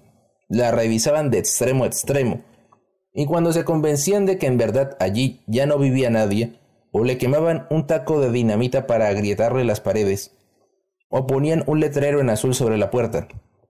Letrero que no decía nada, acaso sí cuatro iniciales, o una cruz y una lanza, pero que era seña indeleble para que nadie ocupara la casa y la ruina le entrara para siempre desde afuera. Eso era lo que Estercita de Pineda estaba temiendo la tarde que oyó tocar la puerta de su casa. Recordó el momento del día anterior, cuando su marido llegó pálido de la ira a contarle en su medio idioma que León María le había mandado matar sus perros porque estaban haciendo mucha bulla, y él no había podido ir hasta su mesa a decirle todo lo que se merecía, porque la maldita lengua no le había dejado hablar. Tampoco lo dejó hablar esa tarde, cuando él mismo abrió la puerta, apoyado difícilmente en su muleta, y encontró el carro azul que todos decían conocer, y en el andén a Ateortúa, teniendo de la mano dos cachorros de pastor alemán, de los mismos que tenía la policía, que León María le enviaba sin ningún comentario. Mas eso lo puede contar hoy don Alfonso Pineda a su mujer, porque él también debe haber cerrado nuevamente su tienda, pero no los miles de huérfanos que se quedaron esperando que de pronto, a la misma hora en que vieron salir a su papá en el carro azul, volviera rejuvenecido y no en el ataúd en que lo trajeron al día siguiente. León María y sus pájaros podían reemplazar perros, pero no podían recrear papás. El camino era irreversible, y todos los liberales lo fueron conociendo aún por encima de la censura que el gobierno fue implantando poco a poco en los periódicos y que dejó casi sin noticias a media nación. Reator fue el último en callar la boca porque se las ingenió para publicar las noticias de los crímenes con otros títulos. Sin embargo, alcanzó a circular el 23 de octubre de 1952, dos años exactos después de la muerte de Rosendo Zapato de Zapata en las calles de Tuluá para narrar en detalles entrecortados, inconexos y hasta ininteligibles para quien no supiera las, las claves que a Ceilán le habían echado candela por los cuatro costados los pájaros que acaudillaba León María Lozano. Al 24 ya no habló nada más. Su primera página se convirtió en página social y la de la Crónica Roja en un resumen de los mágicos informes del Comando Departamental de Policía que disculpaban de manera fabulosa a los muertos que a diario entraban por la puerta del anfiteatro. El imperio del miedo y de la sangre estaba ya en su furor. El gobierno también era de ellos. Fue por esos días cuando León María ya no solamente entraba al Happy Bar, sino que paseaba por los salones del cuartel de la policía o por las dependencias del alcalde. Él hacía los nombramientos de maestros, los de inspectores de policía, y revisaba toda la correspondencia oficial que a esos despachos llegaba. El comandante de la policía no tomaba una determinación sin antes no consultársela, ya fuera en la mesa del Happy Bar o en su casa, o en el puesto de quesos de la galería, al que no dejaba de ir todos los días cuando sonaban las doce. Sabía primero que cualquier otro funcionario del municipio las órdenes que el gobernador mandaba desde Cali, o que el ministro de gobierno despachaba por telégrafo desde Bogotá. Y cuando esas órdenes no le parecían, él mismo se encargaba de llamar desde la telefónica de Chepita a quien la hubiera dado para informarle en términos muy claros que no la cumplirían en Tuluá. De tal modo daba él esas órdenes que las capitales fueron volviéndose temerosos, y cuando algún nuevo funcionario mandó una orden que lo sacaba de quicio, y él aparecía en los pasillos del Palacio de San Francisco en Cali, se originaba una conmoción tal que todo el mundo creía que el tan cacareado golpe de Estado por fin se había producido en Bogotá. No pidió cita, ni se identificó ante la guardia. Ate Ortúa y Celín, con sus ametralladoras al aire, lo decían todo subió al despacho del secretario de Educación, quien era el que había mandado la orden que lo había hecho salir de su retiro de Tuluá. No tocó la puerta ni pidió permiso, y cuando el maestro Romero Lozano lo vio por encima de sus lentes gastados y lo situó con su diente único, tragó entero y se levantó a darle un abrazo. Ni él sabía que su pariente lejano de Tuluá era el famoso León María, ni éste sabía que el loco de los Romero de Buga era el imbécil que le había mandado la orden de destitución para la maestra de la escuelita de Madrigal por no cumplir con el escalafón. León María extendió el papel ajado que la maestra de Madrigal le había llevado al Happy Bar y en el mismo tono gangoso con que mandaba regalar los perros a don Alfonso o matar a los siete liberales que todavía quedaban en Roldanillo, le exigió explicaciones sobre el individuo ese llamado escalafón que obligaba a la destitución de la maestra de Madrigal. El maestro Romero le explicó entre labios, apuntando con su diente único, pero como ni León María, ni Ate Ortúa, ni Celina entendieron, y el maestro se declaró incapaz de explicarles otra vez, León María salió para el despacho del gobernador, y en la misma absurda manera logró no solo interrumpir la cita que tenía con un gringo de la revista Life, que quedó mudo viendo llegar a ese individuo que no usaba corbata, aunque se ponía saco, y camisa de cuello duro, y que venía rodeado de dos guardaespaldas de ametralladora, sino que en un minuto tenía en sus manos la contraorden para que Luzbeli Valencia, maestra de Madrigal, corregimiento del municipio de Río Frío, fuera ascendida en el escalafón de primera categoría y restituida en el puesto de maestra titular de la escuela mixta de ese corregimiento. El gringo quedó mirándolo durante el minuto largo que estuvo en el despacho, pero no se atrevió a preguntarle nada. Solo cuando ya salía, sin despedirse ni haberse intentado quitar el sombrero, se acercó a Ateortúa, que ya iba a cerrar la puerta, y le preguntó monosilábicamente, ¿Usted decirme quién es el señor grande? Pero como Ateortúa no entendió nada, Celín, que le alcanzó a oír, le gritó desde el pasadizo, El jefe de los pájaros, gringo huevón y al mes siguiente, con fotografías que consiguió de muchas de las viudas que acostumbraban tomárselas a sus maridos cuando los bajaban envueltos en costales para que no hicieran la de los muñecos de mantequilla con el sol, porque después de la matanza de Ceilán ya no bastó con el disparo en la nuca, sino que los empezaron a machetear, la revista Life sacó en 40 páginas todo un recuento mágico de la guerra civil no declarada que se vivía en Colombia, encabezándola con el título La Tierra del Cóndor, el jefe de los pájaros. Hernandito Rodríguez, que recibía la revista en inglés, fue una mañana al Happy Bar y la mostró ante León María. Tradujo lo que pudo y como en verdad no decía mucha cosa buena de él, mandó llamar a su abogado, otro pájaro tan grande y sanguinario como él, pero de gente distinguida, para que ultimara los detalles contra ese gringo que lo calumniaba. Sin embargo, como Hernandito siguió leyendo, y él fue dándose cuenta de que eso era más propaganda que la que había podido, que la que podía haber ganado con la atajada de la chusma el 9 de abril y la bajada en Río Frío, redactó a los gritos un telegrama al gobernador informándole de lo leído y firmado no ya como León María Lozano solamente, sino como el cóndor, el jefe de los pájaros. Era febrero de 1953. Por esos días fue que trajeron el cadáver de don Alberto Acosta. Doña Midita vivió para siempre esos minutos. Quizás por ello cuando los recuerda empieza a desvariar y a recitar sus versiones de lo sucedido en estos años en Tuluá. Eran las dos de la tarde. Acababan de darlas en el reloj de la sala y las estaban repitiendo en el campanario de San Bartolomé. Oyó llegar el jeep de su marido. Casi siempre llegaba esa hora de su finca de San Pablo. Salía desde temprano en la mañana y regresaba con la leche y los plátanos al día siguiente. Conservador hasta los tuétanos, nunca dejó de pagar un centavo al directorio, pero tampoco metió sus narices en nada de la política. Con doña Midita había formado un hogar ejemplar, como diría la crónica social de Nina en relator al día siguiente, del que apenas le quedaron dos hijos varones que no pasaban de los siete años. Nadie oyó decir jamás que don Alberto Acosta ofendiera a alguien o debiera algo. Por eso cuando el chofer del jeep tocó la puerta de la casa y doña Midita quedó mirándole a sus ojos brotados, ella supo muy bien que le había pasado a su marido y pegó carrera a llorar ante la imagen del Sagrado Corazón en la sala de atrás. La voz hueca del chofer retumbó en el zaguán de su casa y quedó confundida con las incoherencias del mayordomo que le decía a doña Midita que ahí, en ese bulto que cargaban entre los dos, estaba lo que la chusma de Manuel Rojas había dejado de su marido.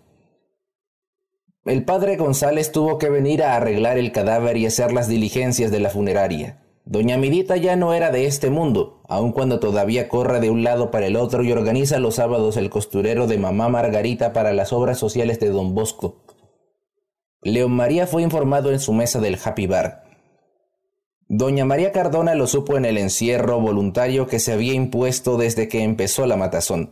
Ambos salieron despavoridos de sus sitios y llegaron casi al tiempo a la casa de doña Midita. Es el colmo, León María, le dijo energúmena Misía María. Esto no se queda así, señora, se lo prometo por la memoria de su marido. Y la verdad no se quedó así. Alfredo y Manuel Rojas eran dos hermanos que desde la noche del entierro de don Luis Carlos Delgado vinieron a engrosar las filas de León María. Con los meses, y ante la imposibilidad de León María de estar manejando personalmente todo el territorio del valle, había ido cediendo el poder a las bandas que encabezaban los que primero habían estado a su lado, salvo Celín y Ateortúa, que seguían siendo sus guardaespaldas. El uno, Alfredo, había tomado poder en toda la banda occidental del río Cauca y manejaba desde Ansermanuevo hasta Yotocó. Vivía de las cuotas voluntariamente obligadas que recogía de los dueños de las tierras.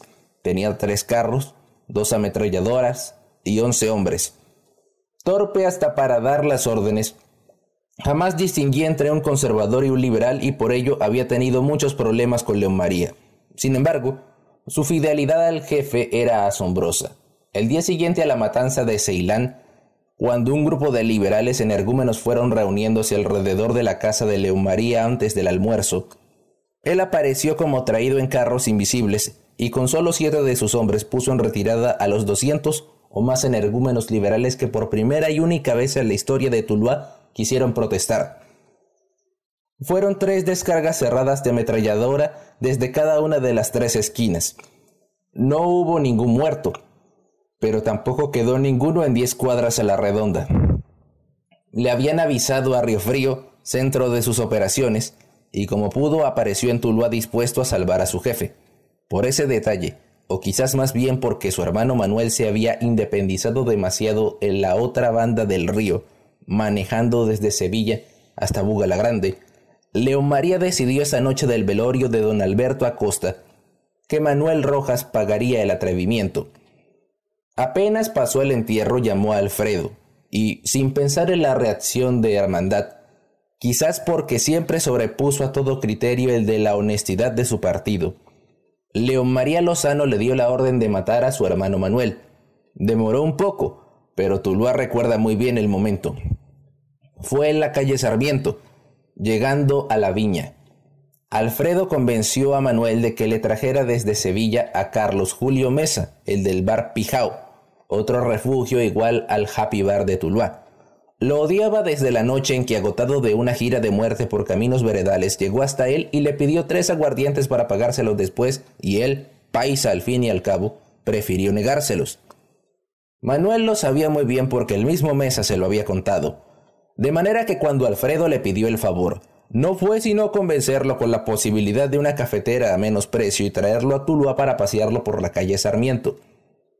Alfredo lo esperaba parado en la puerta del almacén de Misia Claudina Rodríguez. Julio César Velasco, que ya vendía los panes que después le hicieron regalar la noche de la envenenada de León María, atestiguó siempre que quien había disparado era Alfredo, y no el cabo de la policía, que el juez 25 de instrucción criminal dijo después de haber detenido como culpable de la muerte de Manuel Rojas, y a instancias de la escandalera que León María Lozano armó en todos los periódicos y oficinas del gobierno, porque en las calles de Tuluá le habían matado y a pleno día, a pleno día, a uno de sus más serviciales subalternos. El toque de queda se adelantó ese día para las seis de la tarde. Las tropas del batallón Palacé custodiaron a la ciudad. La policía fue acuartelada y de allí sacaron al cabo Torres, un liberal que extrañamente había quedado todavía en el cuerpo armado, y después de encadenarlo a uno de los amanes de la permanencia y bañarlo en agua caliente hasta que olió a chamuscado, llevarlo desnudo por las calles hasta la orilla del río donde lo metieron a una radiopatrulla y nunca más lo volvieron a ver en persona, pero sí en, las, en todas las primeras páginas de los periódicos porque el gobierno se encargó de demostrarle a la opinión nacional que precisamente un liberal incluido en la policía desde la época de la gobernación del doctor Pacho Eladio había sido el autor de tan execrable delito. Doña Midita no entendió bien lo que le dijeron esa mañana que mataron a Manuel Rojas porque todavía seguía oyendo el cuento del mayordomo de cómo había arrinconado a su marido contra el jeep, y después de haberlo desnudado lo volvieron picadillos entre cinco con sus machetes, y ella no había preguntado quiénes eran los asesinos, o lo había olvidado. Pero Misiac María Cardona sí que lo sintió, y bien duro. Desde ese día, se ha considerado la culpable de la muerte de Manuel Rojas, y aunque en cada comunión lo encomienda al Señor todos los sábados, en la capilla de María Auxiliadora celebran una misa por el alma del asesino de don Alberto Acosta, y ella deja de fumar todo el mes de mayo como sacrificio por el pecado que le atormenta. Sale muy poquito a la calle, y aun cuando nunca más volvió a verse con León María, él, todos los 24 de mayo, le hizo llegar la cuota para un día de la novena de la Virgen Auxiliadora. No había necesidad de que nadie se lo recordara. No olvidaba ese detalle, como tampoco olvidó hacer llegar todos los sábados un queso a don Marcial Gardiazabal, hasta el día que un infarto lo tumbó en medio de sus libros, y vinieron a enterrarlo todos los hijos del doctor Uribe para darle quizás un significado netamente liberal al cortejo. Los ataques de asma no lo habían abandonado. Si tomaba más de cinco aguardientes diarios por la noche, Agripina tenía que mantenerse a su lado ventilándolo con el fuelle de cuero hasta que él, desesperado, salía al patio a conseguir el aire que no lograba en su alcoba. Pero nunca salía a la calle.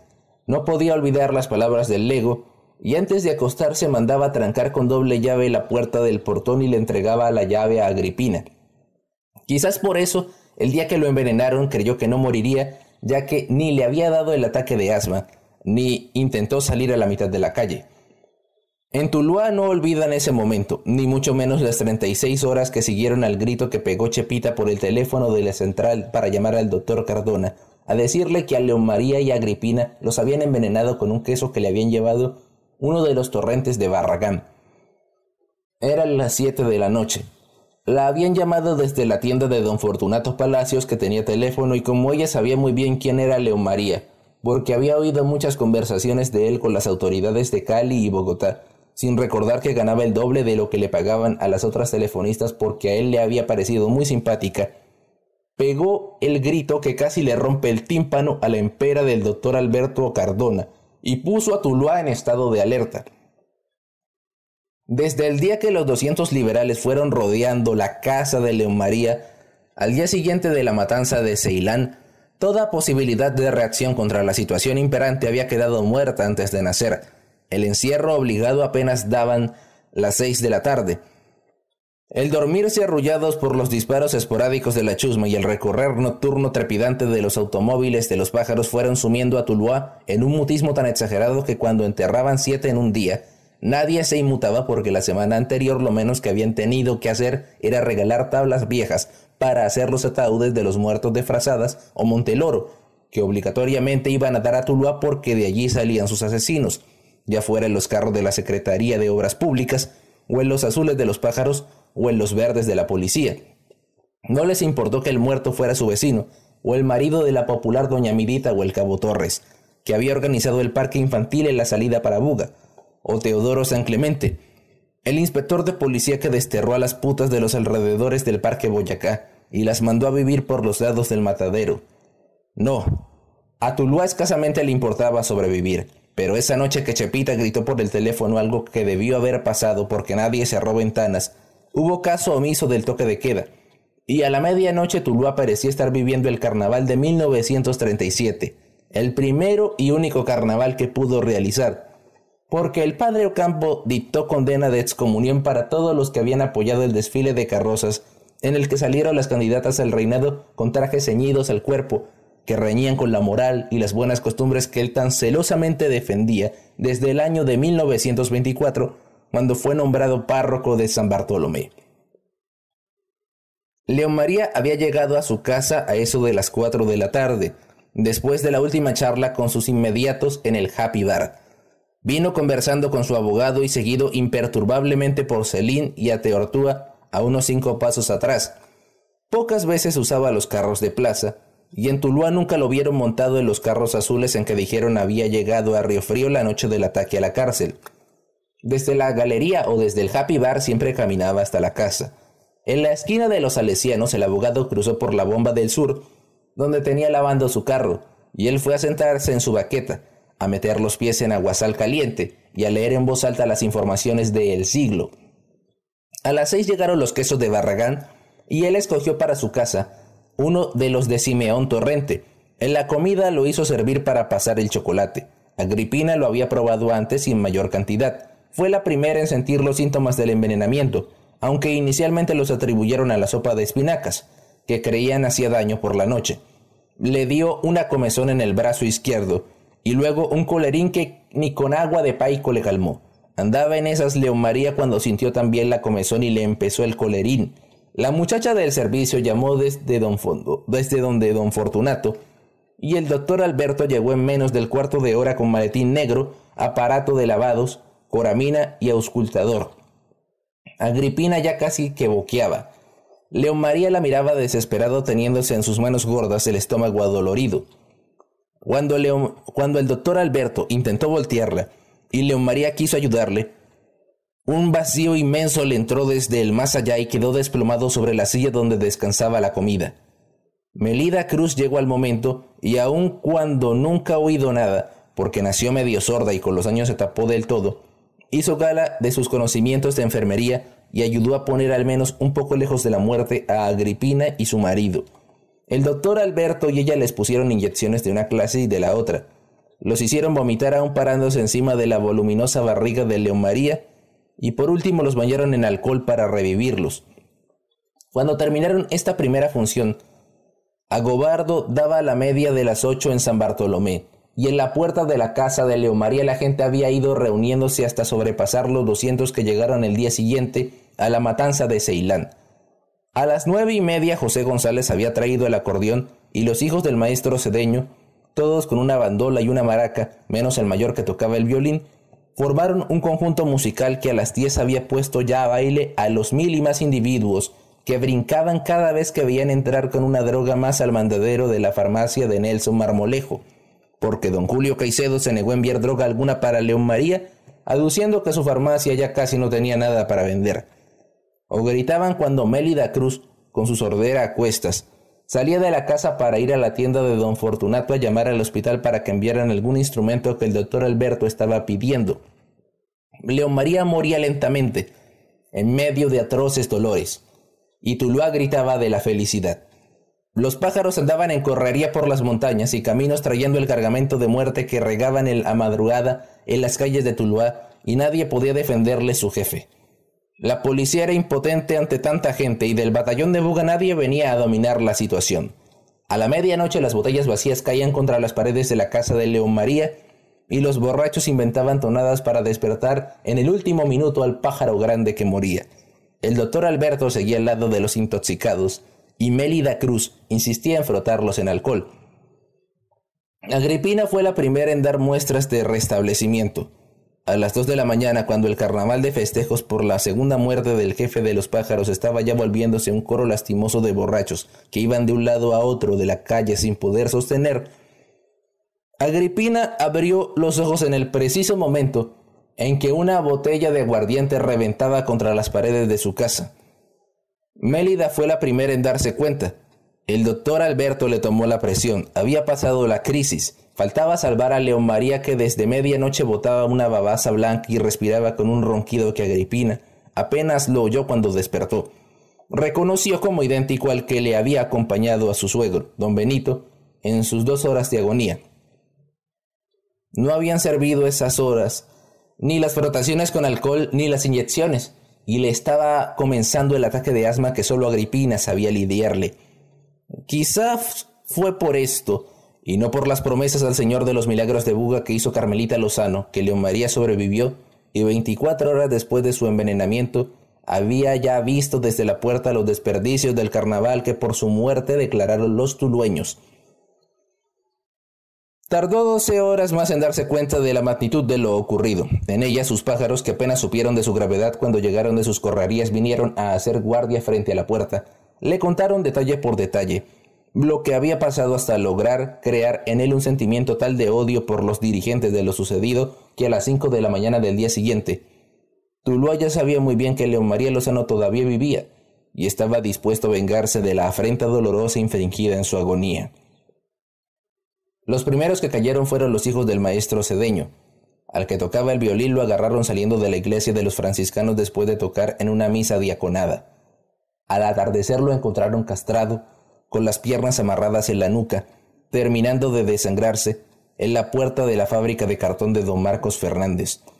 A sus otros dos hermanos los hallaron tres días después, cauca abajo con sus bandolines amarrados de la nuca, y sin otra compañía que un gallinazo solitario en sus estómagos. El maestro Cedeño los enterró al día siguiente con la misma pompa y protocolo con que enterró al primero, pasándolos por la puerta de la casa de León María lentamente durante siete veces seguidas, dándole vuelta a la cuadra, mientras sus compañeros de banda entonaban una marcha ecuatoriana llena de una melancolía que hizo llorar a Agripina y poner cabizbajo a León María por primera y única vez en su vida de violencia. Pero la venganza no fue únicamente contra los hijos del maestro Cedeño, aunque sí fueron los primeros. José González salvó su vida viajando esa misma noche del carnaval. De los otros, que pretendieron ser masa informe, no fueron sino quedando cruces en los cementerios. Los vecinos del cuartel de la policía los oyeron casi a todos, durante dos semanas largas que duró la venganza, quejándose de los latigazos que iniciaban su agonía. Empezaron por los que todo el mundo recordaba haber visto finalizar el baile, ya porque los encontraron borrachos tendidos en la mitad de la calle, o en los quicios de los andenes, ya porque María Luisa Sierra se encargó de descubrirlos con su lengua viperina, contando todos los detalles del carnaval en la esquina del parque, delante de los choferes de la plaza. Fueron doce días de sangre, doce días de muerte, doce días que terminaron por guardar en lo más recóndito de Tuluá la posibilidad de protesta y dejaron sumida en el más impresionante silencio las calles que hoy también están adoptando la misma situación, aun cuando han pasado muchos años desde esa semana. Pedro Alvarado, el dueño de la emisora, Intentó denunciar el atropello que se cometía con la complacencia de las autoridades municipales, pero tuvo que verse obligado a leer el decreto número 1453 del Gobierno Nacional por el cual la condecoración de la Orden de San Carlos era entregada al ilustre colombiano don León María Lozano, gestor de muchas lides cívicas, patrocinador indiscutible del bien público, a quien oscuros asesinos habían intentado ponerle fin creyendo así privar a Tuluá del más egregio de sus hijos. Sin embargo, Pedro Alvarado no cayó, y esa misma tarde hizo leer una nota firmada por él como comentario a la condecoración en la que daba gracias al cielo por tal gesto, ya que de lo contrario, las doce noches de terror que Tuluá había vivido desde cuando León María Lozano volvió a la calle, hubieran seguido hasta dejar a Tuluá convertido en lo que seguramente él y sus pájaros querían, el pueblo de los abuelos. Vino el gobernador a ponérsela. Hubo un multitudinario zancocho de gallina y docenas de cajas de aguardiente vinieron regaladas por las rentas departamentales. La banda de San Pedro amenizó el festejo, pero solo las 249 cruces del cementerio respaldaron la condecoración. Esos habían sido los muertos de los doce días, de a once por noche, salvo los 19 que mataron en la finca de Rosalvina Ortiz, la viuda ávara de Palo Bonito. Los demás fueron buscados expresamente en sus casas o esperados en el Puente Blanco, por donde tenían que pasar, convirtiendo ese sitio en el paredón del terror, hasta el punto que muchos tulueños, temerosos de terminar pronto, finalizaron viviendo en el otro lado del río sin tener ningún contacto con sus familias, que vivían en el barrio Albernia. Allí fue donde intentaron matar a Aurelio Arango, el causante indirecto de la muerte de Pedro Alvarado. Había bajado ese día de la llanada a pagar una de las tantas cuentas que siempre ha tenido y que muy pocas veces ha pagado.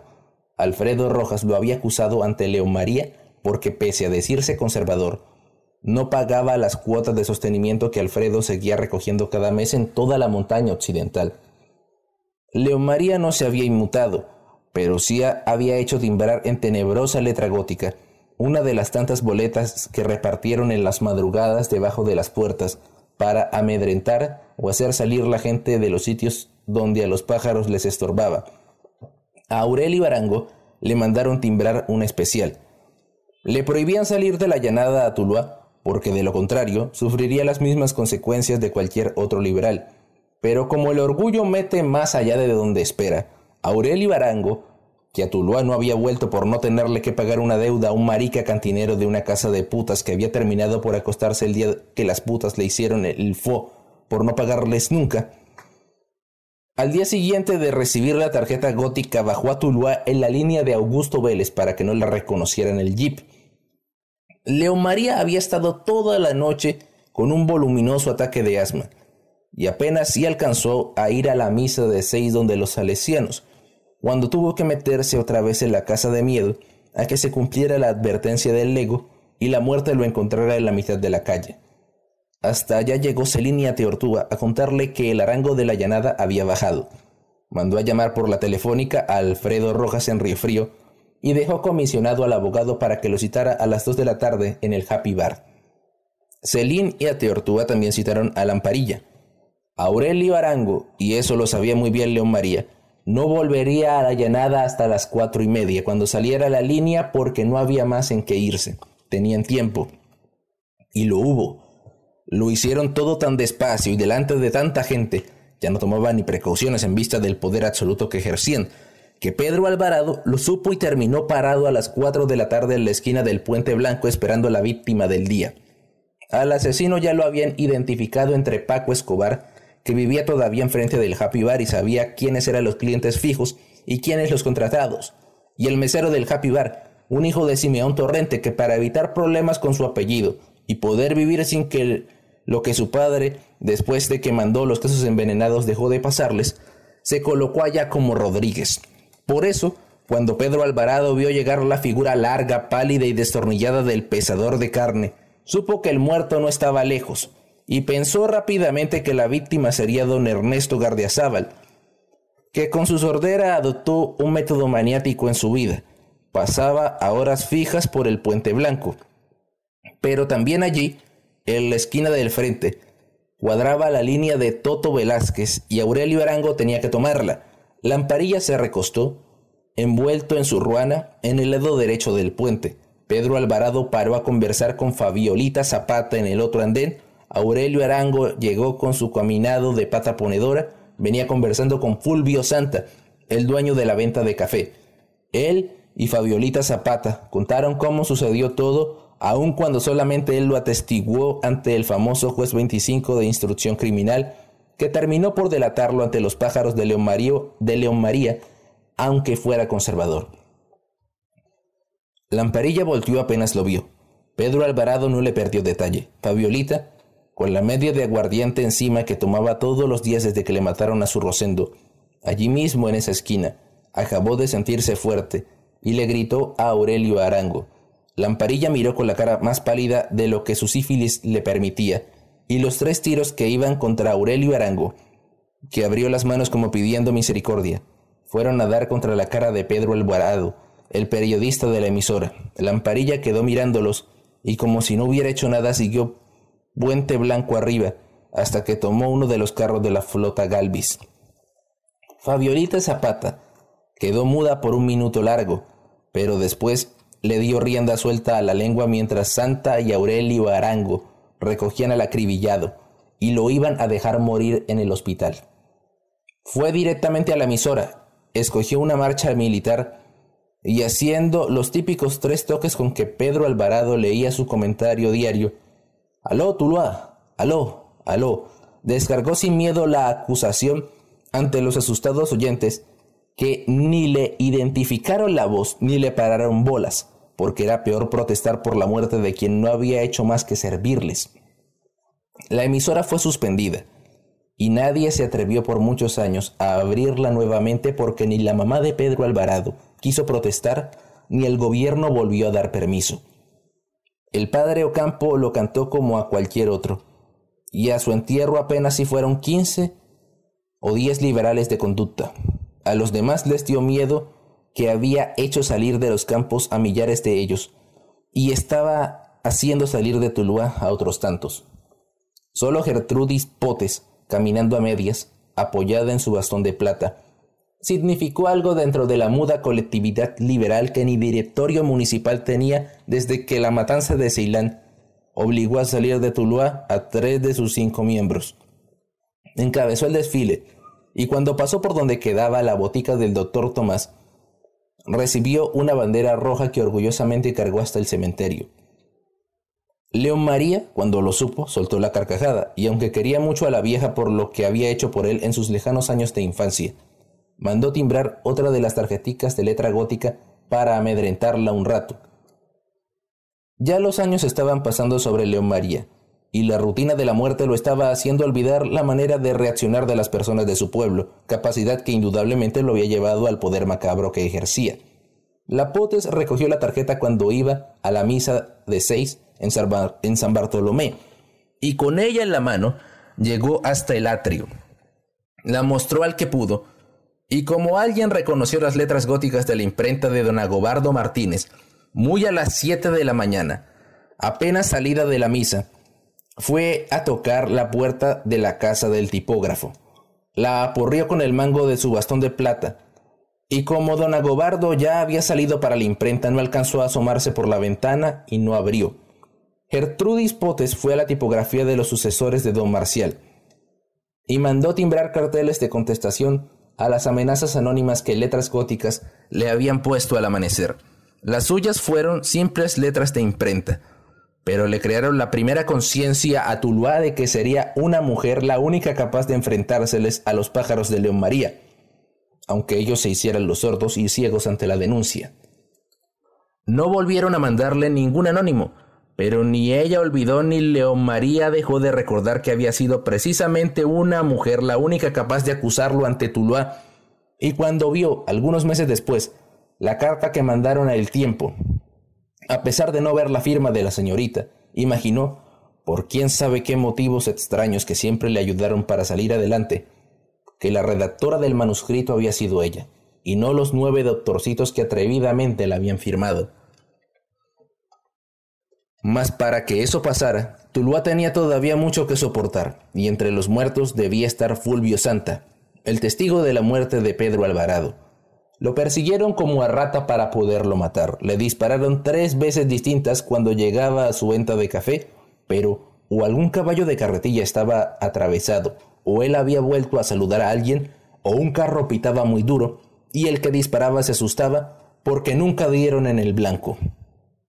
Se fue entonces a vivir a Bugalagrande y allá lo persiguieron. Subiéndose a un trazo campo, le dispararon trabajosamente desde lejos y él ni se inmutó.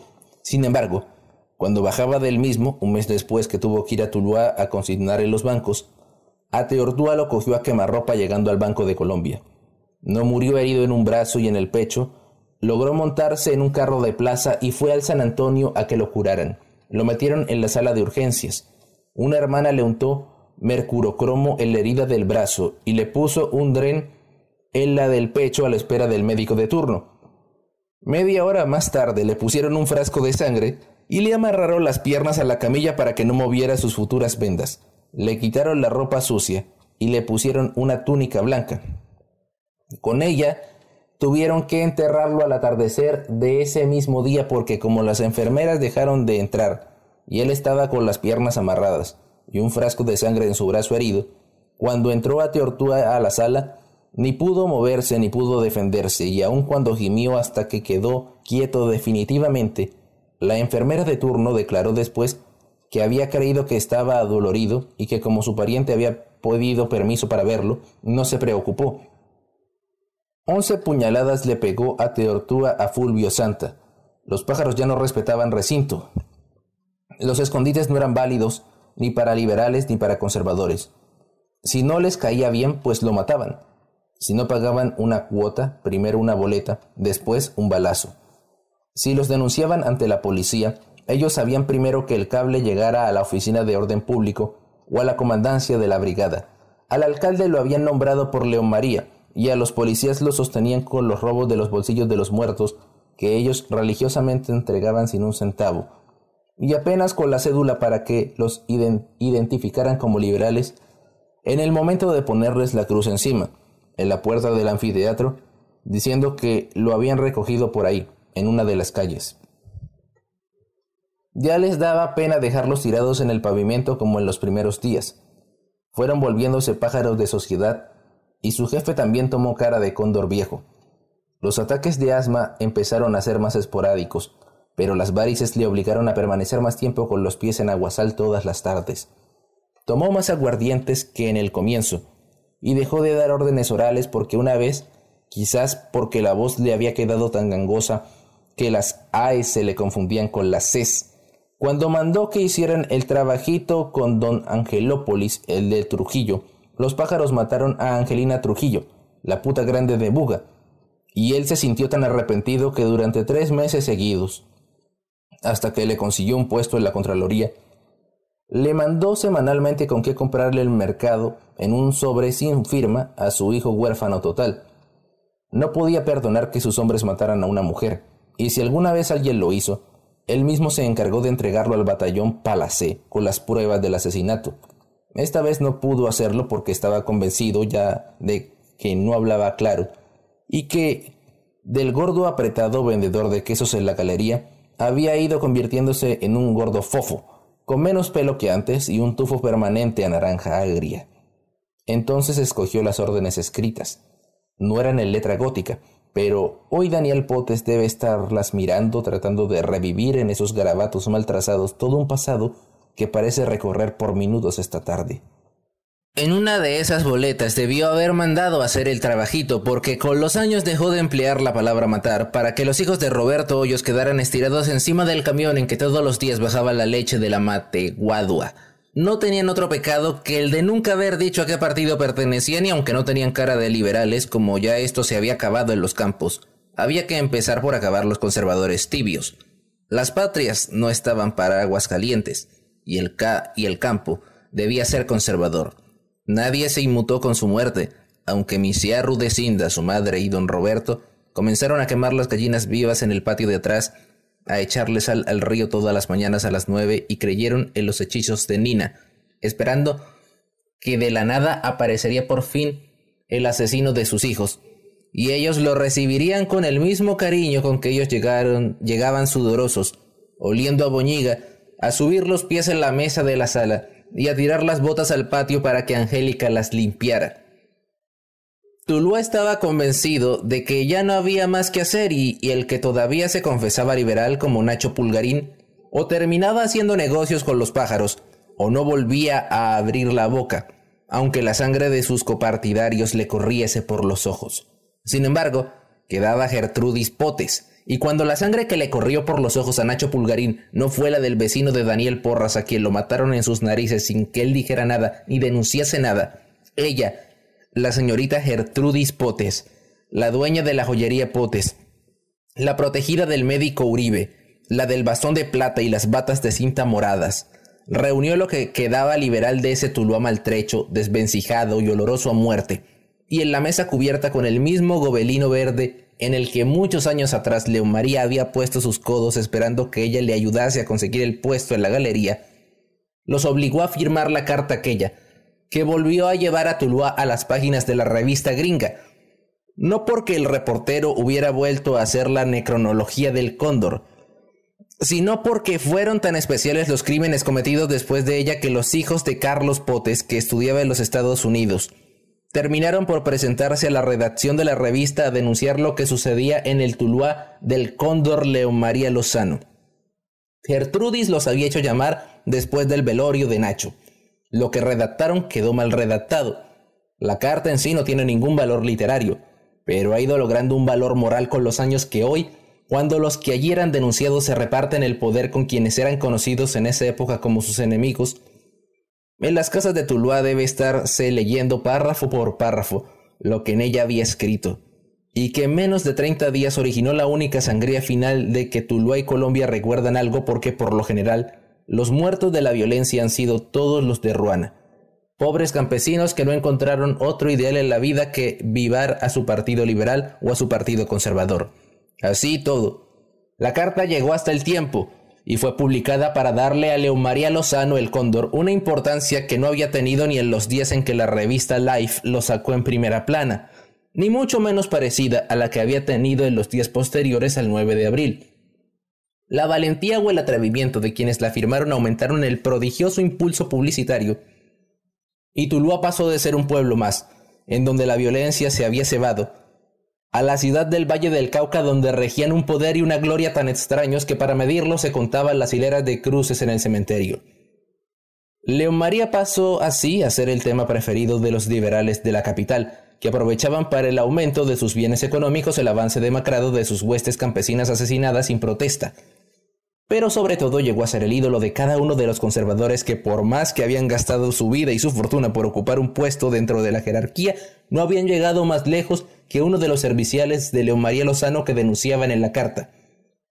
León María no la leyó ese miércoles que salió en la página cuarta del periódico porque él nunca compró el tiempo, y como ninguno de sus amigos lo hacía, salvo el abogado que fue quien finalmente se la llevó para que la leyera, ese miércoles pasó como uno más de los de su vida, sentado en el happy bar, arreglando planes y sumando votos para una elección que al fin de cuentas nunca iba a llegar. Solo notó que ese día pasó más gentes por la puerta del happy bar y que cuando subía para su casa, acompañado como siempre por Celín y Ateortúa, todos los que venían por el andén pasaban al otro o bajaban a la calle para saludarlo desde lejos y con unas venias que no hacía ni el prostático doctor Cardona. Agripina tampoco lo supo por más que doña Midita de Acosta ya había convocado a plenum general de señoras de la cuadra y aumentado milímetro a milímetro los detalles de la carta, llegando hasta prever lo que León María podría hacer. Pero como Agripina no salía nunca, aunque ya su marido le había levantado el veto de los celos que le impuso alguna vez, ella tampoco supo que su marido ese miércoles era comidilla de todos los círculos a lo ancho y largo de la nación. Le preparó el aguamanil con agua caliente, media libra de sal y unas pinticas de orégano para cicatrizar. Se sentó a su lado a oírle leer el siglo y después a oír la voz católica de las seis de la tarde. A las siete Carmelita Lozano tocó la puerta. Agripina pensó en lo peor porque para que ella viniera a esa hora algo debía haber sucedido. Sin embargo, Como ninguno de los dos dijo nada y ella apenas tomó un tinto y conversó con León María, notó que León María no sabía, salió disculpándose, diciendo que venía del novenario de la señorita Aurea Girón, el único habitante de Tuluá que había muerto de muerte natural en muchos meses, y volvió a salir con su peinado de bailarina de Charleston y su caminado de muñeca de pesebre italiano. Agripina no durmió esa noche. Oyó pasar los carros de la muerte y contó siete disparos en todo su insomnio. A medianoche hizo agua de toronjil y miró el cielo estrellado en el momento que un aerolito pasaba de una estrella a otra y ella recordaba que algo tenía que estar sucediendo porque no en vano todo estaba unido para demostrarlo. A las dos oyó cantar unos gallos y creyó que ya amanecía. Volvió a levantarse y cuando vio que el reloj de la sala apenas iba a dar las dos, preparó agua de lechuga y volvió a la cama. Recordó entonces a sus hijas en Manizales, a María Luisa de la Espada y a don Benito Lozano boqueando en su agonía. La cogió despierta el toque seguido de la puerta. Celín, que dormía en la pieza del zaguán, se levantó asustado. Ella se quedó quieta. Conocía muy bien que algo había sucedido y estaba completamente segura de obviarlo. Despertó a León María y fue a abrir la puerta. Era el abogado con el periódico en la mano. Señora, su marido. Y... Carajo, ¿qué pasa?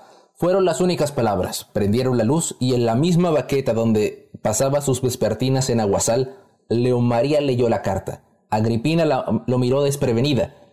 Mentiras, dijo en su interior y fue a hacerle desayuno al doctor. Misia María Cardona había dicho lo mismo si lo hubiera visto entrar a la misa de seis y media, pero como hasta eso había suprimido en su encierro voluntario de arrepentimiento, solo Josefina Jaramillo pudo verlo, pero ella sí no pensó igual. No podía hacerlo, puesto que sabía muy bien que a su sobrino Freddy lo habían masacrado esos mismos pájaros la noche del 7 de diciembre por haber gritado borracho vivas al Partido Liberal en el bar de Camila Giraldo, y León María, aunque fuera a misa y comulgara junto con ella, no podía quedar libre de la sangre de su sobrino. Tuluá entonces comenzó a hacer cábala sobre la reacción de León María por la carta. Los nueve firmantes, que el relator llamó batallón suicida en una editorial al día siguiente, permanecieron en Tuluá y pasearon más a menudo por la calle Sarmiento. El Happy Bar fue un hervidero ese día porque todos los pájaros vinieron a dar satisfacciones al rey y las cábalas aumentaron. Unos los vieron caer muertos, todos una misma noche. Otros los vieron morir agujereados uno por uno en un mismo día, pero todos coincidieron en que antes de un mes no quedaría ninguno. León María también debió haberlo creído así porque los 30 días siguientes los muertos de Tuluá no solo disminuyeron, sino que las campañas por las montañas fueron diluyéndose en requisas sin sospecha y en pagos de cuotas mensuales. Pero al mes exacto de haber leído en la baqueta de su casa la carta que ellos enviaron, Tuluá supo que estaba confundido respecto a León María. Era el 16 de julio. Todavía sonaban los voladores que Gobardo Potes quemaba en el atrio de San Bartolomé después de la procesión de la Virgen del Carmen. El Parque Boyacá, que desde la muerte de Rosendo Zapata había ido perdiendo clientela con los días, estaba otra vez lleno como en sus mejores épocas. Alba Marina Vázquez se paseaba de la mano de Delmar Lozano, el doctor Dávila y doña Alba ronroneaban en una banca Chuchú contaba, agotada mojándose los pies en el agua de la fuente de los zapitos, los escapularios que le quedaban después de la venta en la procesión. Nadie recordaba los muertos del día anterior ni las hileras de cruces de los tres últimos, de los tres últimos años. Pero en un minuto, como hoy que más, bastó que la noticia llegara para que todo terminara. El parque Boyacá quedó sin un alma y la gente, que aparentemente perseguía al enruanado que había disparado, pero que en verdad corría despavorida para la casa. Tornó histérica cuando tres policías con las bayonetas de sus fusiles al aire los hicieron devolver porque tenían órdenes precisas de evitar el apresamiento del asesino de Aristides Arrieta Gómez, el abogado presidente del directorio liberal, que encabezaba el grupo de los nueve que había firmado la, la carta. Lo mataron llegando a la esquina de don Carlos Materón. Muchos vieron al asesino y aunque algunos reconocieron a uno de los que se sentaba en el Happy Bar cuando Gertrudis Potes, apoyada en su bastón de plata y sin más compañía que su ira de liberal y sus 75 años, estuvo junto al cadáver tratando de conseguir un testigo, nadie le sirvió y ella misma tuvo que quitarse el pañolón que le envolvía su cuello de tortuga de las Galápagos para taparle los ojos destrozados al negro Arrieta, mientras parada junto al cadáver, sin decir una palabra y evitando no pisar el charco de sangre, impedía que la policía viniera a recogerlo para que al otro día en relator apareciese el comunicado de la brigada diciendo que en la zona suburbana de Tuluá, de golpes proporcionados al caerse de la cabalgadura en que viajaba, había quedado muerto Aristides Arrieta, 34 años, natural de Tuluá, de raza negra, abogado de profesión. Sin embargo, ni relator ni el tiempo pudieron publicar la noticia, porque las llamadas a Bogotá y Cali quedaron suspendidas inmediatamente, y cuando intentaron hacerlo, porque las noticias les llegaron por el radioteléfono de Hernandito Rodríguez, los sensores de turno lo impidieron y solo los de mejor memoria pudieron asociar el aviso grande, que en primera página pagó el tiempo invitando a las exequias, con el nombre que encabezaba la lista aquella, que a todo el mundo había parecido tan atrevida, y que si se juzgaba por el muerto, a León María Lozano le había producido bastante malestar. Aristides Arrieta había muerto en su ley. Era el primer liberal de los grandes que caía. Tampoco fue el último, aunque también por esos días arreciaron las muertes en las montañas y las bandas que centralizaba León María empezaron a matar no solamente en sus rondas nocturnas, sino también a pleno día. El gobierno era algo igual a los pájaros, y los pájaros eran algo igual al gobierno. 62 muertos fueron los de Monteloro, 47 los que enterraron en Bolívar, porque los mataron en la montaña de primavera cerca de la llanada de Aurelio Arango, 32 los que cayeron en La Habana por la carretera al Tolima, todos liberales y todos campesinos. Sus defunciones solo aparecían en el boletín de la brigada porque la censura había obligado a no titular de muertos. Sin embargo, fueron muchos en muy pocos días y todos tan cerca de Tuluá que un grupo de señoras bien, el padre Nemesio, la presidenta de las Damas de la Caridad, la de la Asociación de los Sagrados Corazones y Misia María Cartona, directora de la cofradía, se reunieron a instancias de esta última con la intención de firmar una comunicación a León María solicitándole que interviniera ante sus hombres para que la paz renaciera nuevamente en Tuluá y su comarca.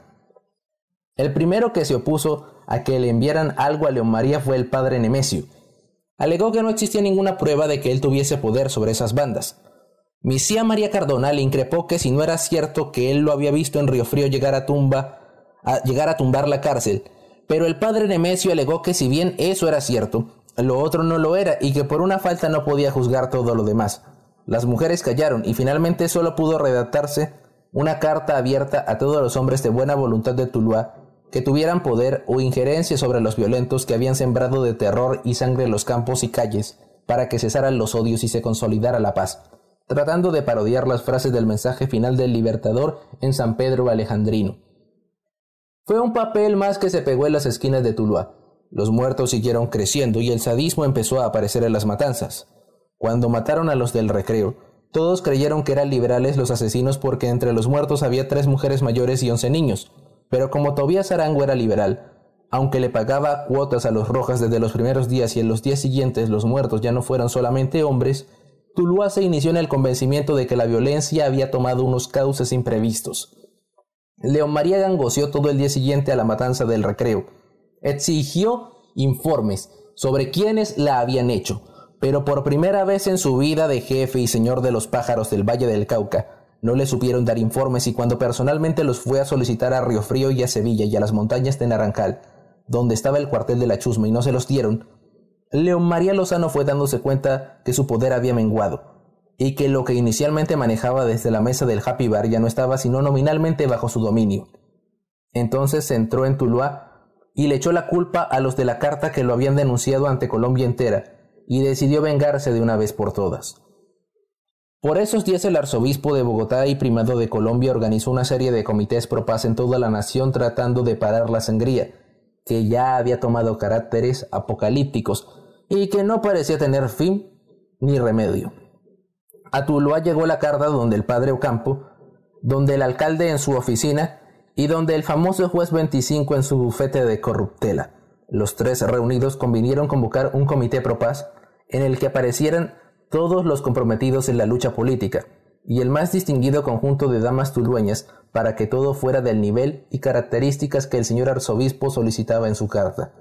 Llamaron otra vez a Misía María Cardona, a la presidenta de la Asociación de los Sagrados Corazones, a la de las Damas de la Caridad, a la secretaria ejecutiva de la Acción Católica, a la señora del doctor Peláez, el director del hospital, a la del doctor Ramírez, el vicepresidente del directorio conservador, y terminaron por meter a todas las superioras de las comunidades que habitaban en Tuluá. Al final el comité pro paz parecía más bien el colegio de la madre Alberta reunido otra vez para las bodas de plata y no lo que Colombia estaba esperando de esos comités. Hicieron una reunión en el Teatro Sarmiento. Se hicieron tomar una foto inmensa a lo ancho de todo el escenario. Repartieron boletines en la función y durante la primera semana convinieron en citar a una reunión de los directorios políticos. Pero cuando todo eso estaba planeado vino la venganza de León María y el Comité Pro Paz quedó del tamaño de quienes lo habían ideado y que, pese a su autoridad, sabía muy bien quiénes y cómo hacían la violencia.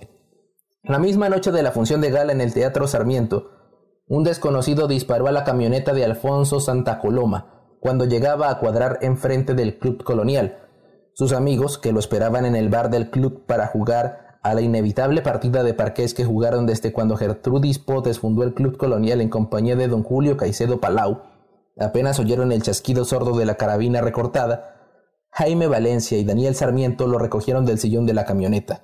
La bala lo había traspasado desde la oreja derecha hasta el cuello, pero Alfonso Santa Coloma, el segundo de los firmantes de la carta, todavía vivía. El doctor Ramírez lo operó esa noche. A la mañana siguiente lo volvieron a operar el doctor Peláez y el doctor Echeverry. Era el viernes 22 de febrero y durante tres días Tuluá estuvo pendiente de la salud de Alfonso Santa Coloma, como no lo había querido estar nunca de su suerte de horror. El hospital se vio obligado a cerrar sus puertas para impedir la avalancha de visitas. Raquel Martínez, su mujer, teniendo entre sus brazos un crucifijo, sentada en una poltrona de las que Elvira Henao regaló para el hospital de Tuluá en la época que todavía tenía dinero, veló día y noche a esperar a espera de la suerte de su marido. El gobierno impuso el toque de queda todas las noches, pero a la madrugada del sábado tuvo que hacerse el de la vista gorda porque era tanta la gente remolinada en la puerta del hospital que el policía de guardia creyó morir sofocado y tuvo que meterse detrás de la puerta. El sábado pareció recuperarse, la hemorragia quedó suspendida. Y a eso del mediodía recuperó un rato el conocimiento. Su mujer y sus hijos estuvieron allí. Los acompañaba Clara Satwaski, que había venido de Cali enviada por su marido, el dueño de Relator, el doctor Otto Morales Benítez, antiguo secretario general del Partido Liberal, doña Eulalia, la dueña de la Carmela, y el obispo Caicedo Telles, que guardaba gran estimación por el hijo de su amigo don Andrés Santa Coloma, otro de los firmantes de la carta. De la carta. Me la cobraron, ¿no? dijo Alfonso cuando abrió los ojos. ¿Te viniste a verme morir? le dijo a Clara Zadwaski. ¿Y usted, monseñor, por qué no los ataja para que no maten a los otros? No volvió a decir nada, aunque tampoco cerró los ojos. Los mantuvo abiertos, iluminando un estado de conciencia que ya no poseían ni él ni Tuluá, que en ese mediodía del sábado 23 de febrero fue arremolinándose en su muerte dejando vacía la puerta del hospital donde había permanecido impaciente. La razón era muy sencilla. El gobierno, previniendo los desórdenes que la importancia del muerto podía acarrearle, había enviado mil soldados armados para que custodiara las calles de Tuluá y puesto tres policías militares en la puerta de la casa de León María Lozano para evitar represalias pero no faltó quien pasara los informes dentro y fuera del hospital, por más que el comandante del batallón obligó a requisar e identificar a todo el que entrara al hospital. A las 4 de la tarde llegó el doctor Balcázar. Venía acompañado del doctor Aragón Quintero y del señor Zadbaski, el dueño de Relator. A las 5, cuando salieron luego de una minuciosa requisa en la puerta del hospital, llevaban el convencimiento de que Alfonso Santa Coloma moriría en pocas horas. Sus ojos fijos, la respiración jadeante y el color de muerte que había ido cogiendo eran el mejor aviso. Al llegar al parque Boyacá, pararon en la casa de Gertrudis Potes y desde allí informaron a Tuluá por los solares y por los aires que de pronto pareciera un telégrafo, que Alfonso Santa Coloma estaba muriendo. Resistió otro poco más, y aun cuando León María no pudo sino salir ese día a la misa de seis donde los salesianos porque los policías militares le pidieron el favor de no hacerlo, Josefina Jaramillo, que lo vio, aseguró que la cara de felicidad que tenía no la había tenido en ninguno de los otros días de su vida, y eso que ella lo había estado viendo desde hacía casi 10 años. Solo en la madrugada del 24 de febrero, domingo, Alfonso Santa Coloma decidió morirse. Su Raquel lo abrazó llorando y Clarinés Basqui, que había trasnochado, lo ayudó a morir bien. Media hora después, en un cajón simple, sin arandelas de cobre y extraordinariamente liviano, los médicos del hospital de Tuluá salieron con el cadáver en hombros. No les importó el toque de queda ni la patrulla de vigilancia que había en la puerta. Tenían sus gorros blancos puestos, y como entonces no usaban todavía el uniforme verde que el gobierno les obligó a ponerse hace unos días, los seis vestidos blancos fueron desfilando por las calles de Tuluá. Detrás del féretro, las monjas del orfanato entonando cantos gangosos para despertar a Tuluá en la madrugada y anunciarle que el segundo firmante de la carta había muerto. Ningún soldado intentó detenerlos aún, en cada cuadra, aun cuando en cada cuadra había más de diez. Al llegar al puente blanco cogieron la calle para pasar por el parque. En ese momento, el río reflejó sus figuras y tres soldados no advertidos dispararon al aire para atajar el espanto. En el momento que lo entraron a la casa de Gertrudis Potes, Agobardo hizo tocar las campanas fúnebremente, aunque el padre Ocampo después lo despidiera por atrevimiento. Pedro Eduardo Lozano y los Gardiazabal pusieron a funcionar sus máquinas y a las doce del día todas las paredes de Tuluá vomitaban carteles invitando al entierro que celebraron los franciscanos. Era las cuatro de la tarde, y allí estaban los grandes y los pequeños del Partido Liberal del Valle del Cauca, los conservadores energúmenos, con la identificación de muerte que había logrado su partido, y sobre todo, tres ovejos que seguían tímidamente el cadáver y que prendían una elegancia inusitada a los siete sobrevivientes de la carta. Los soldados salieron al tercer día, porque lo único que hizo Tuluá fue asistir abigarradamente al entierro. Los policías que quedaron fueron los de León María. En las casas de los siete firmantes no había ninguno, aunque ellos fueran los amenazados. Tampoco hubo poder humano capaz de convencerlos de que debían salir de Tuluá antes de que les llegara el turno. A todos los había ido cogiendo el virus de la rebeldía, que también había tomado a los campesinos de las montañas y veredas que, aun sabiendo de su segura muerte, prefirieron quedarse a morir en lo suyo que ir a aguantar hambre en las selvas de las ciudades, donde ellos serían unos más en la interminable lista de refugiados. Por eso, un mes y doce días después de la muerte de Alfonso Santa Coloma, mataron a Fabriciano Pulgarín, el cuarto firmante de la carta. Saltaron al tercero porque era don Andrés Santa Coloma, y acaso una doble muerte en la misma familia podía producir resultados contrarios. Los pájaros ya empezaban a tener miedo. La sangre de tantos muertos, aunque les había hecho costra, ya les estaba pesando. A Fabriciano Pulgarín también le pesó mucho en los ojos esa tarde que lo acribillaron en la, en la puerta de su casa. Pedro Peláez, que lo acompañó hasta un minuto antes, aseguró después que no había tenido ningún presentimiento ni recibido ningún aviso, como si lo recibió Gertrudis Potes en ese mismo momento, amarrado en una piedra que le tiraron desde la calle al patio. Su mujer, que lo vio llegar desde la sala a través de las cortinas, no dice que había visto los dos tipos que lo esperaban hacía más de media hora, según dijo después a las amistades, no al juez. Lady Zuluaga, que vivía al frente, tampoco oyó los disparos que acabaron con los ojos de su marido antes de desplomarse boqueando en la puerta de su casa. Oyó solo el batacazo que dio contra el andén y creyó que se había tropezado con la paleta de cemento que los del acueducto habían dejado desde meses atrás. Estaba tan desprevenida de la muerte, aunque su marido estuviese casi que condenado, que cuando lo vio con las manos sobre los ojos, quitándose acaso la última sangre que le pesó mucho, impidiéndole ver el momento final de su vida, pegó un grito tan espantoso que en la iglesia de San Bartolomé todavía se oye el eco. Cayó desmayada junto al casi cadáver de su marido y no volvió nunca más a pronunciar palabras del punto de que todos están creyendo que le pasó lo de Carlotica Pérez, la tía de Nina y hermana de la señora de las heráldicas, que tuvo paperas internas en los oídos hasta el día que los oyó reventar y se sumió en un silencio total hasta el punto que olvidó hablar. Ertrudis Potes, que apareció como pudo, apoyándose en su bastón de plata, fue la primera en darse cuenta del mutismo de la mujer de Pulgarín. También fue la primera en el entierro al otro día en San Bartolomé. Nadie invitó por carteles, no dejó, pero el tiempo sí pudo sacar en primera página la fotografía, aunque con una leyenda mínima. Fabriciano Pulgarín ha muerto en Tuluá. El tiempo se une al dolor del pueblo liberal de la martirizada ciudad. La censura no les dejó escribir más. Hacerlo sería darle otra vez a Tuluá la importancia de centro nacional de la masacre que los comités pro paz estaban tratando de eliminar con rezos al anochecer y ángeles cantados por las emisoras. Tampoco fue mucha gente al entierro.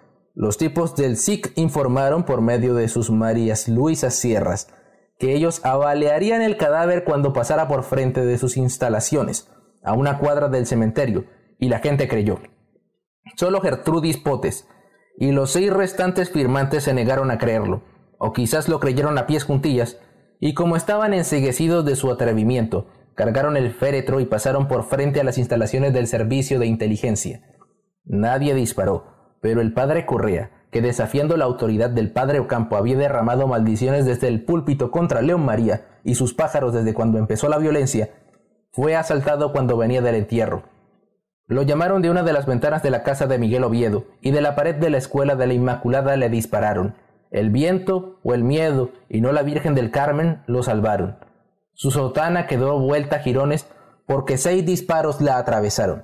Él se tiró al suelo y el roquete y el misal barrieron la calle. Al otro día volvió al púlpito y maldijo nuevamente a sus asesinos. No duró 24 horas en el puesto de capellán de la parroquia. El señor obispo lo llamó a más altos menesteres. Tuluá, acostumbrado a ello, no sintió la salida de su levita denunciante porque ya había quedado tan poquita gente de conducta que la mayoría resultaba ser igual al que hoy ha vuelto a cerrar puertas y ventanas y entona trisagios en los patios de sus casas. Gertrudis Potes fue hasta el atrio a despedirlo y a Gobardo hizo sonar las campanitas del monasterio de las Conchitas, a donde había tenido que colocarse después de que el padre Ocampo decidió prescindir de sus servicios y compró un reloj automático que daba las horas y que en vez de campanas prendía un disco de las campanas de San Pedro en Roma. Esa medianoche, en medio de los disparos de la pajaramenta de León María, Josefina Jaramillo vio quemar la casa de Pedro Vicente Cruz y tuvo que recoger entre sus trastos viejos, olorosos a Benjuí, a la mujer y las dos hijas del antiguo concejal liberal que había salido por el solar a refugiarse en el convento de las Conchitas. Ya la bala no bastaba para los pájaros, la candela también se usaba. No fue eso lo que usaron contra don Andrés Santa Coloma la tarde que le correspondió el turno, y que por consideración habían saltado. Sentado en su silla de lona, leyendo la prensa de Bogotá, le llegó el pago por honrado liberal y caballero. No dispararon un solo tiro, pero lo cosieron a puñaladas por encima del periódico. Su mujer apenas le escuchó un sordo protestar y creyó que seguramente había leído una noticia burdamente corregida por la censura. Pero cuando volvió a la sala para sentársele a su lado, como lo había hecho desde el día en que 37 años atrás se casaron en la Basílica del Señor de los Milagros de Buga, Rosalvina Rodríguez, tuvo que pegarse de la nada porque en la silla donde estaba su marido solo quedaba un periódico agujereado y un charco de sangre que salía hasta la puerta de la calle. Los pájaros habían cogido el cadáver del patricio y amarrándolo de un lazo que afortunadamente reventó en el Parque Boyacá, arrastraron su humanidad de servicio por las calles de Tuluá del famoso carro azul de la violencia. Todavía está llorando mi cierro Salvina y seguramente Hoy mirará con terror la urna de cristal en que encerró desde el día siguiente la mecedora en que mataron a su marido. No ha podido dejar de llorar porque si a Raquel Martínez ella le ayudó a llorar la muerte de su Alfonso, a ella nadie le ha ayudado a quitarse de la cabeza la idea de masacre que tuvo que resistir cuando salió a la calle y como loca corrió hasta el parque Boyacá detrás del carro que arrastraba los restos sanguinolentos de su marido por cuarenta años. Del Mar Lozano, y Inés y Sasa lo recogieron y envolvieron en sábanas grandes, de las que usaban para los altares del corpus en las esquinas de la notaría. Alba Marina Vázquez y Blanquita de Tejada le dieron agua de tilo a Misia Rosalvina. Gertrudis Potes quebró, de la ira, los faroles del Parque Boyacá a golpe de cabeza de su bastón de plata. Quería quizás que, aunque fuera por eso, la tuvieran presa esa noche de muerte y de vergüenza para Tuluá y su gente, pero el señor alcalde, un militar más de esos que tuvieron como tales para tolerar la sangría, apenas sí mandó cortar la luz a las empresas municipales para que no fuera a producirse un cortocircuito. Tuluá entonces tuvo que vivir la noche más tétrica de su historia de muerte completamente oscuras. El alcalde no tuvo necesidad del toque de queda, ni en la casa de los Santa Coloma hubo que prender cirios para velar el, el cadáver de don Andrés. Surgidos de la nada, aparecieron por docenas los cirios para velación perpetua. Unos los mandaba con los hijos de Lamparilla, otros los traían personalmente desafiando la oscuridad. Fueron tantos que Ernesto Gardiazabal hubo de ponerse con sus dos hermanas solteronas a pegarlos en el andén como si fuera noche del 7 de diciembre.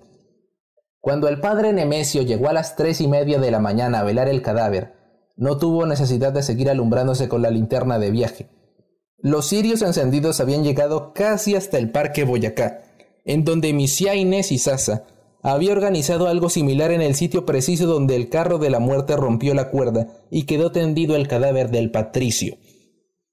La idea no fue despreciada y al día siguiente, cuando ya habían regresado todos del cementerio de dejar tumba con tumba los cadáveres de don Andrés y el de su hijo Alfonso, muertos con solo dos meses de intervalo por haber dicho la verdad, Tuluá rindió un homenaje extraño a la memoria del anciano asesinado y quizás a la memoria de las miles de cruces blancas que aumentaron su cementerio en los últimos años. Apenas dieron las siete, en todos los andenes de Tuluá, en todos los quicios de las puertas, en todas las bancas del Parque Boyacá y en los muros del Parque Bolívar, aparecieron encendidas filas inacabables de velas como si siguiera el 7 de diciembre de la noche anterior. No quedó una casa, ni siquiera la de León Marina, porque la Agripina fue la primera en hacerlo, convencida de que su marido no era sino un pobre hombre calumniado, ni mucho menos las de las las de los cinco firmantes restantes, que desde esa noche comenzaron a desfilar por las calles de Tuluá, luciendo una seda negra en el bolsillo de la camisa y mostrando a quien encontraban en el camino una boleta en donde estaba subrayado el puesto exacto que le correspondería según el turno de los pájaros. Todos tuvieron velas en sus andenes, en sus puertas y en sus ventanas. El alcalde creyó que era el fin de Tuluá y que el incendio no demoraba en producirse como protesta general por la matazón sin límites y por la muerte vergonzosa de don Andrés y llamó, asustado, nuevamente a los mandos del batallón de Buga para que volvieran los soldados a recorrer las calles. Esa vez no vinieron sino cincuenta, pero con ellos Tuluá tuvo para sentirse, ahí sí, herido de muerte, y al otro día el que no cerró su almacén puso un aviso de venta o dejó todo a la buena de Dios y se fue en el primer tren que pasó o en el último transocampo que pudo volver a arrimar a sus calles. Gertrudis potestió alaridos, paseó por la calle Sarmiento y contó 36 almacenes cerrados y 11 locales desocupados, la galería no vendió ni siquiera la quinta parte de sus ventas de día lunes y los hijos de don Marcial tuvieron que apagar las máquinas de la imprenta porque nadie mandó a hacer trabajo. Días después, levantaron las máquinas y se radicaron en Cali. No eran liberales solo los que partían. Los conservadores de bien, como recita doña Midita en sus desvaríos, también salieron. Dos meses después, Tulú parecía el pueblo muerto que León María había querido desde la mañana que tuvo que ir a Cali para conseguirle puesto a sus hijas en el colegio de Manizales. No podía perdonarles que hubieran sido ellos mismos quienes les habían impedido, a él y a Agripina, contar con la compañía de sus hijas, las que nunca más volvieron a Tuluá porque ni León María las quiso traer, ni Agripina fue capaz de decírselo. Hoy seguramente que ellas vendrán detrás y Tuluá podrá verlas con la prepotencia de su terror. Se asustarán de verlo tan solo porque ellas ni vivieron ni supieron de la soledad que terminó por apoderarse del pueblo después de la muerte de don Andrés Santa Coloma, y creerán que de verdad su papá tuvo que irse porque aquí ya no había de qué vivir, como fue que Agripina les escribió contándoselo el día que llegó la orden fulminante y tres carros, de los mismos que antes patrullaron la cuadra de su casa cuando hubo muerto importante. Los esperaron en la puerta para llevarlos lejos de Tuluá. Todo empezó con el éxodo. Tuluá no fue la única que aportó la ruina. En las montañas no fue quedando con quien trabajar y en las poblaciones pequeñas la vida terminó languidamente.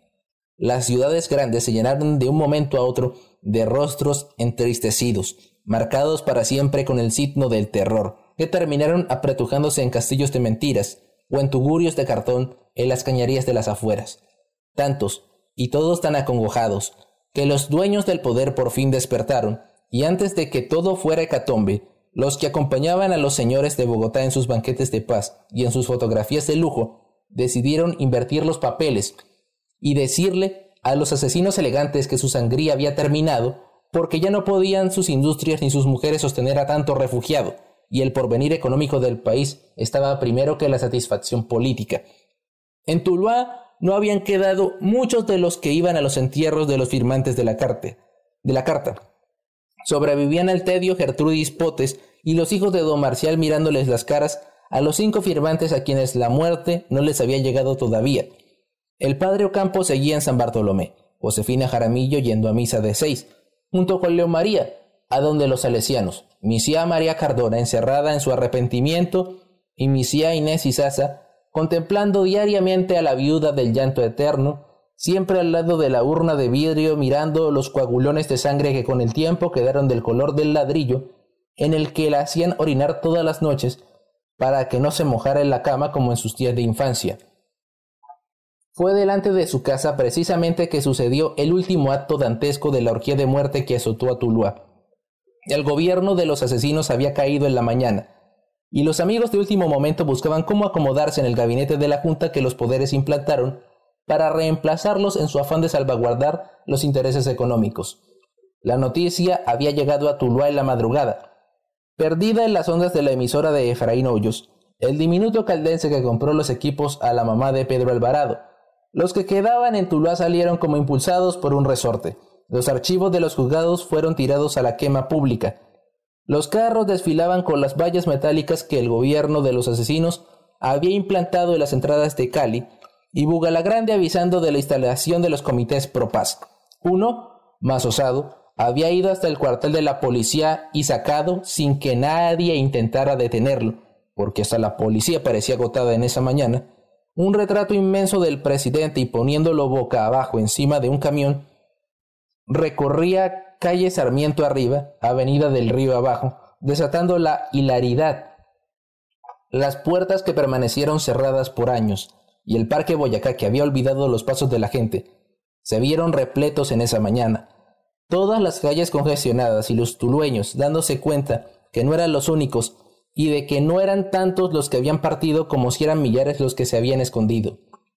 Los cinco firmantes sobrevivientes fueron sacados a pasear como trofeos en el carro de bomberos. Solo Nacho Cruz no quiso subir en ese espectáculo de carnaval porque no confiaba ni en el fracaso del régimen anterior ni en el éxito del que le sucedía. Quedó parado en el Parque Boyacá, frente a la casa de Misía Inés Izaza, viendo el desfile enloquecedor. Leo María permaneció encerrado con Celini Teortúa y el ejército, que dice que había ayudado a derrocar el régimen, mandó veinte hombres bien armados para que hicieran con la casa del jefe de los pájaros lo que él había hecho la tarde del 9 de abril, cuando atajó la chusma que intentaba quemar el colegio de los salesianos. Nadie pasó por esa cuadra, y mucho menos cuando a Nacho Cruz le cobraron en medio del holgorio el atrevimiento que sus otros cuatro compañeros mártires les habían cobrado ya. Miraba el paso de los vehículos carnestoléndicos de la caseta del retén de Río Frío que venía encima de un camión vuelta boca abajo, significando la derrota final del periodo del terror. Del Mar Lozano le conversaba por el lado derecho y Misia Inés y Sasa lo seguía paso a paso desde la puerta porque creía en sus cábalas, y esa mañana, cuando se levantó, lo hizo por el lado derecho a pesar de que toda su vida la jiba prominente que tenía la había hecho levantar por el izquierdo. Estuvo allí hasta el mediodía. Apenas dieron las once en el reloj de San Bartolomé, se despidió de Del Mar y le hizo una venia a Misía Inés. En ese momento dispararon sobre él, pero como se había indignado tanto para decir adiós, los tres disparos que le hicieron le atravesaron la boca y uno hasta le voló las muelas, pero nada más. Nacho Cruz, el quinto firmante, fue llevado al hospital y quince días después pudo decir, ya con sus huecos laterales rellenos nuevamente, que había sido el último de los firmantes en probar la muerte. El día que salió del hospital también hicieron salir a León María de Tuluá. El nuevo gobierno, obedeciendo al clamor público, pero al mismo tiempo conservando su línea política que le impedía procesarlo, obligó por medio de decreto supremo la extradición del territorio de Tuluá para León María Lozano, en la misma forma como había determinado la misma medida para otra docena de jefes políticos de reconocida fama en el resto del territorio nacional. No lo desterraron porque la constitución no lo permitía, y no lo metieron a la cárcel como seguramente lo estarían pidiendo desde sus tumbas los 3.569 muertos de la violencia que fueron enterrados en el cementerio de Tuluá, porque el que había nombrado ministro de gobierno, don Carlos Materón, no olvidaba que venía en el carro aquel que preguntó por la casa de don Julio Caicedo Palau unos días antes de iniciarse la matazón que hoy Tuluá no, pude, no puede precisar cuándo comenzó realmente. El coronel del batallón de Buga vino a comunicarle oficialmente la medida a León María. Cuando Agripina lo hizo seguir, León María ya sabía que venía. Su abogado se lo había dicho una semana antes. Van a echarlo lejos, le darán una pensión por seis meses siempre y cuando no vuelva a Tuluá. Y casi que fue cierto porque cuando el coronel del ejército le entregó una copia del decreto oficial y una carta personal del ministro de gobierno, decían que debía salir de Tuluá en el plazo de 48 horas, pero que el gobierno nacional, por intermedio de la brigada, no solamente le pagaría una pensión durante los tres años mínimos que podía durar la condena, sino que pondrían a su disposición los elementos necesarios para el transporte de los muebles y enseres de su casa. Y en la mañana del miércoles 28 de mayo, Leo María Lozano, jefe y señor de las bandas de pájaros del Valle del Cauca, conocedor íntegro de lo que pasó en Tuluá durante casi cinco años, salió con su Agripina montado en un jeep del ejército. La tarde anterior había estado por última vez en su rincón del Happy Bar firmando papeles a su abogado. Solo Celín lo acompañaba porque Ateortúa ya había sido nombrado jefe de aduanas en Maicao y los otros jefes de sus bandas azules o vivían de la renta que él despreciativamente abandonó a su suerte, o también habían sido nombrados para similares cargos burocráticos al de Ateortúa. Cuando fue a pagar los aguardientes no tenía un centavo. La venta de quesos ya no era suya, y la cuota que el directorio le pasaba mensualmente había sido suprimida. Su abogado tuvo que pagar esa tanda, como también todos los gastos que originaron sus negocios hasta que pudo alquilarle la casa y recogerle unas deudas. Josefina Jaramillo fue la primera en darse cuenta de la salida. Ese día, por primera vez en casi todo el historial de la capilla de María Auxiliadora, León María no fue a la misa de seis. Tampoco se despidió del padre González, aunque sí le había mandado un queso inmenso el día que vendió el puesto de la galería.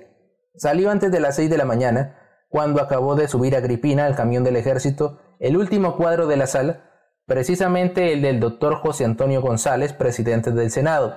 No miró atrás León María porque Agripina lloraba tanto que mientras terminaron de recorrer las calles de Tuluá, él solo trató de consolarla. Nadie hizo festival ni repitió el carnaval del día que lo envenenaron. Después de que Josefina Jaramillo dio la noticia, el peso levantado fue tanto que Tuluá quizá no lo sintió. Sin embargo, hoy, un año y medio exacto después de su salida, lo está sintiendo como nunca. La emisora de Efraín Gómez dio la noticia hace unos 20 minutos. Primero hizo sonar el pedazo de la marcha triunfal de Aida con que comienza el noticiero de mediodía y después él mismo, con su voz de lora mojada, repitió por tres veces, Extra, extra, extra, atención, atención, atención, esta es una información especial de su noticiero Nuevo Avance Nacional. Después dio la noticia y la repitió. Inmediatamente empezaron las ventas de Tuluá Inmediatamente empezaron las ventanas de Tuluá a cerrarse una a una. Las calles quedaron vacías y el comercio, que en el año y medio de paz recuperó otra vez el prestigio que tenía desde los días anteriores al 9 de abril, también fue bajando sus persianas metálicas y desocupando todo territorio. El Parque Boyacá, que era nuevamente el sitio de reunión después de las seis de la tarde, seguramente que esta noche no va a tener a nadie en sus bancas. Las calles están ya vacías y apenas pasan a la carrera los retrasados en conocer la noticia. Los radios siguen prendidos esperando más informes. Y aunque el alcalde ha dicho hace un momento que se brindarán todas las garantías necesarias durante la noche de hoy, la mañana de mañana, cuando se produzca ahora sí el término oficial de la violencia, los tulueños quizás están recordando que los días de muerte nadie, absolutamente nadie, creyó en el gobierno, y mucho menos en la policía. Y por eso han cerrado íntegramente el pueblo. No hay toque de queda, pero es peor que si lo hubiese. El que quiera salir a la calle sabe que lo hará bajo su responsabilidad. Esta noche deberán llegar de todos los rincones del valle los carros azules. Seguramente traerán placas oficiales porque casi todos los jefes de las bandas y los miembros de ellas han sido colocados en altos cargos dentro del nuevo régimen de entendimiento entre conservadores y liberales. Celine que finalmente terminó alquilando la casa de León María porque le dieron el cargo de recaudador de rentas departamentales, ha dicho que la casa está lista para el velorio. A León María lo mataron hoy al mediodía en su casa de Pereira y mañana lo van a enterrar. Desde cuando salió de Tuluá había llevado a vivir sus hijas nuevamente a la casa y gastaba el día entre salir al café Soratama a conversar con sus antiguos servidores de bandas y de tarde en dormir la siesta, para luego recibir al hijo de don Apolinar Cruz y la turca Cromfly, que decidió escribir sus memorias o algo parecido. No había vuelto a tener ataques de asma, y aun cuando una de las piernas se le había reventado ya por las varices, su salud seguía siendo tan perfecta como en los mejores días del Happy Bar. Empezó a leer el tiempo, y hasta compraba el espectador, porque el siglo no volvió a salir y el país que lo reemplazó no alcanzaba a llegar a Pereira.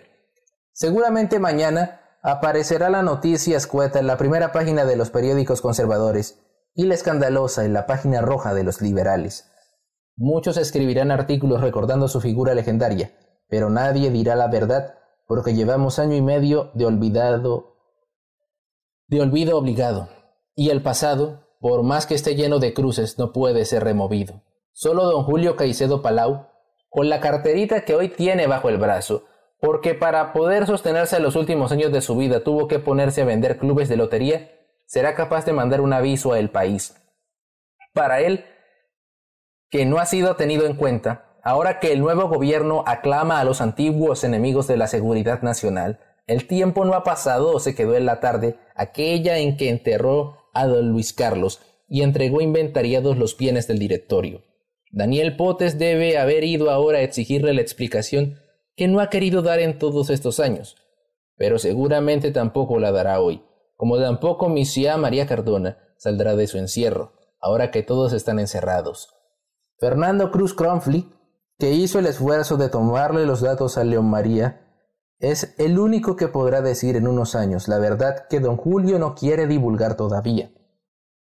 Mañana, cuando el reloj de San Bartolomé de las diez y el padre Zúñiga, que además de reemplazar al padre Ocampo, mandó quitarle el parlante de la torre y suprimir el disco rayado de las campanas de San Pedro en Roma, recibe en la puerta del atrio el cadáver de León María Lozano, Agripina, que vendrá detrás, acompañada en el negro por sus hijas, recordará los momentos finales de su marido cuando, enloquecido extrañamente por el asma, llegó a su casa a buscar el fuelle de cuero que, de instrumento necesario, había quedado convertido en adorno de sala.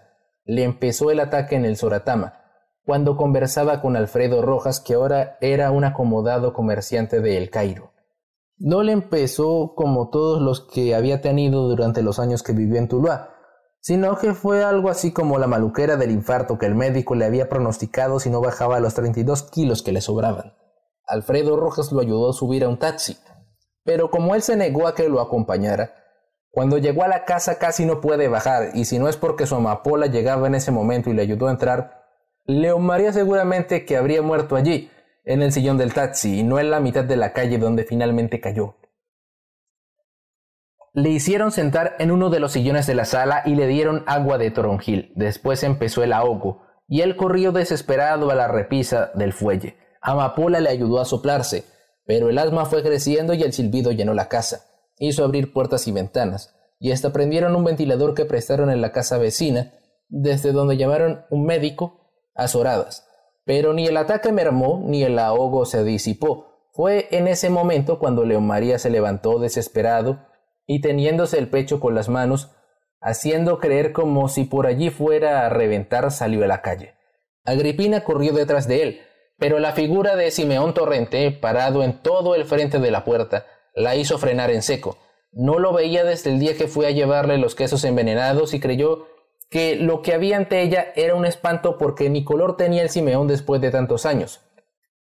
León María quizás no lo distinguió porque cuando iba camino de él, Agripina oyó los disparos y vio retroceder trastabillando a su marido hasta que cayó finalmente en la mitad de la calle, cumpliéndose así lo que el lego de Palmira le había dicho el día que don Benito lo llevó por primera vez para tratar de curarle los ataques de asma. Amapola lo recogió, pero ya ni León María tenía vida ni Simeón Torrente estaba por allí, aumentándole a Agripina la creencia de que había sido un espanto, y no el hijo del torrente que mataron en Barragán en los primeros días de la violencia, el que había disparado sobre su marido.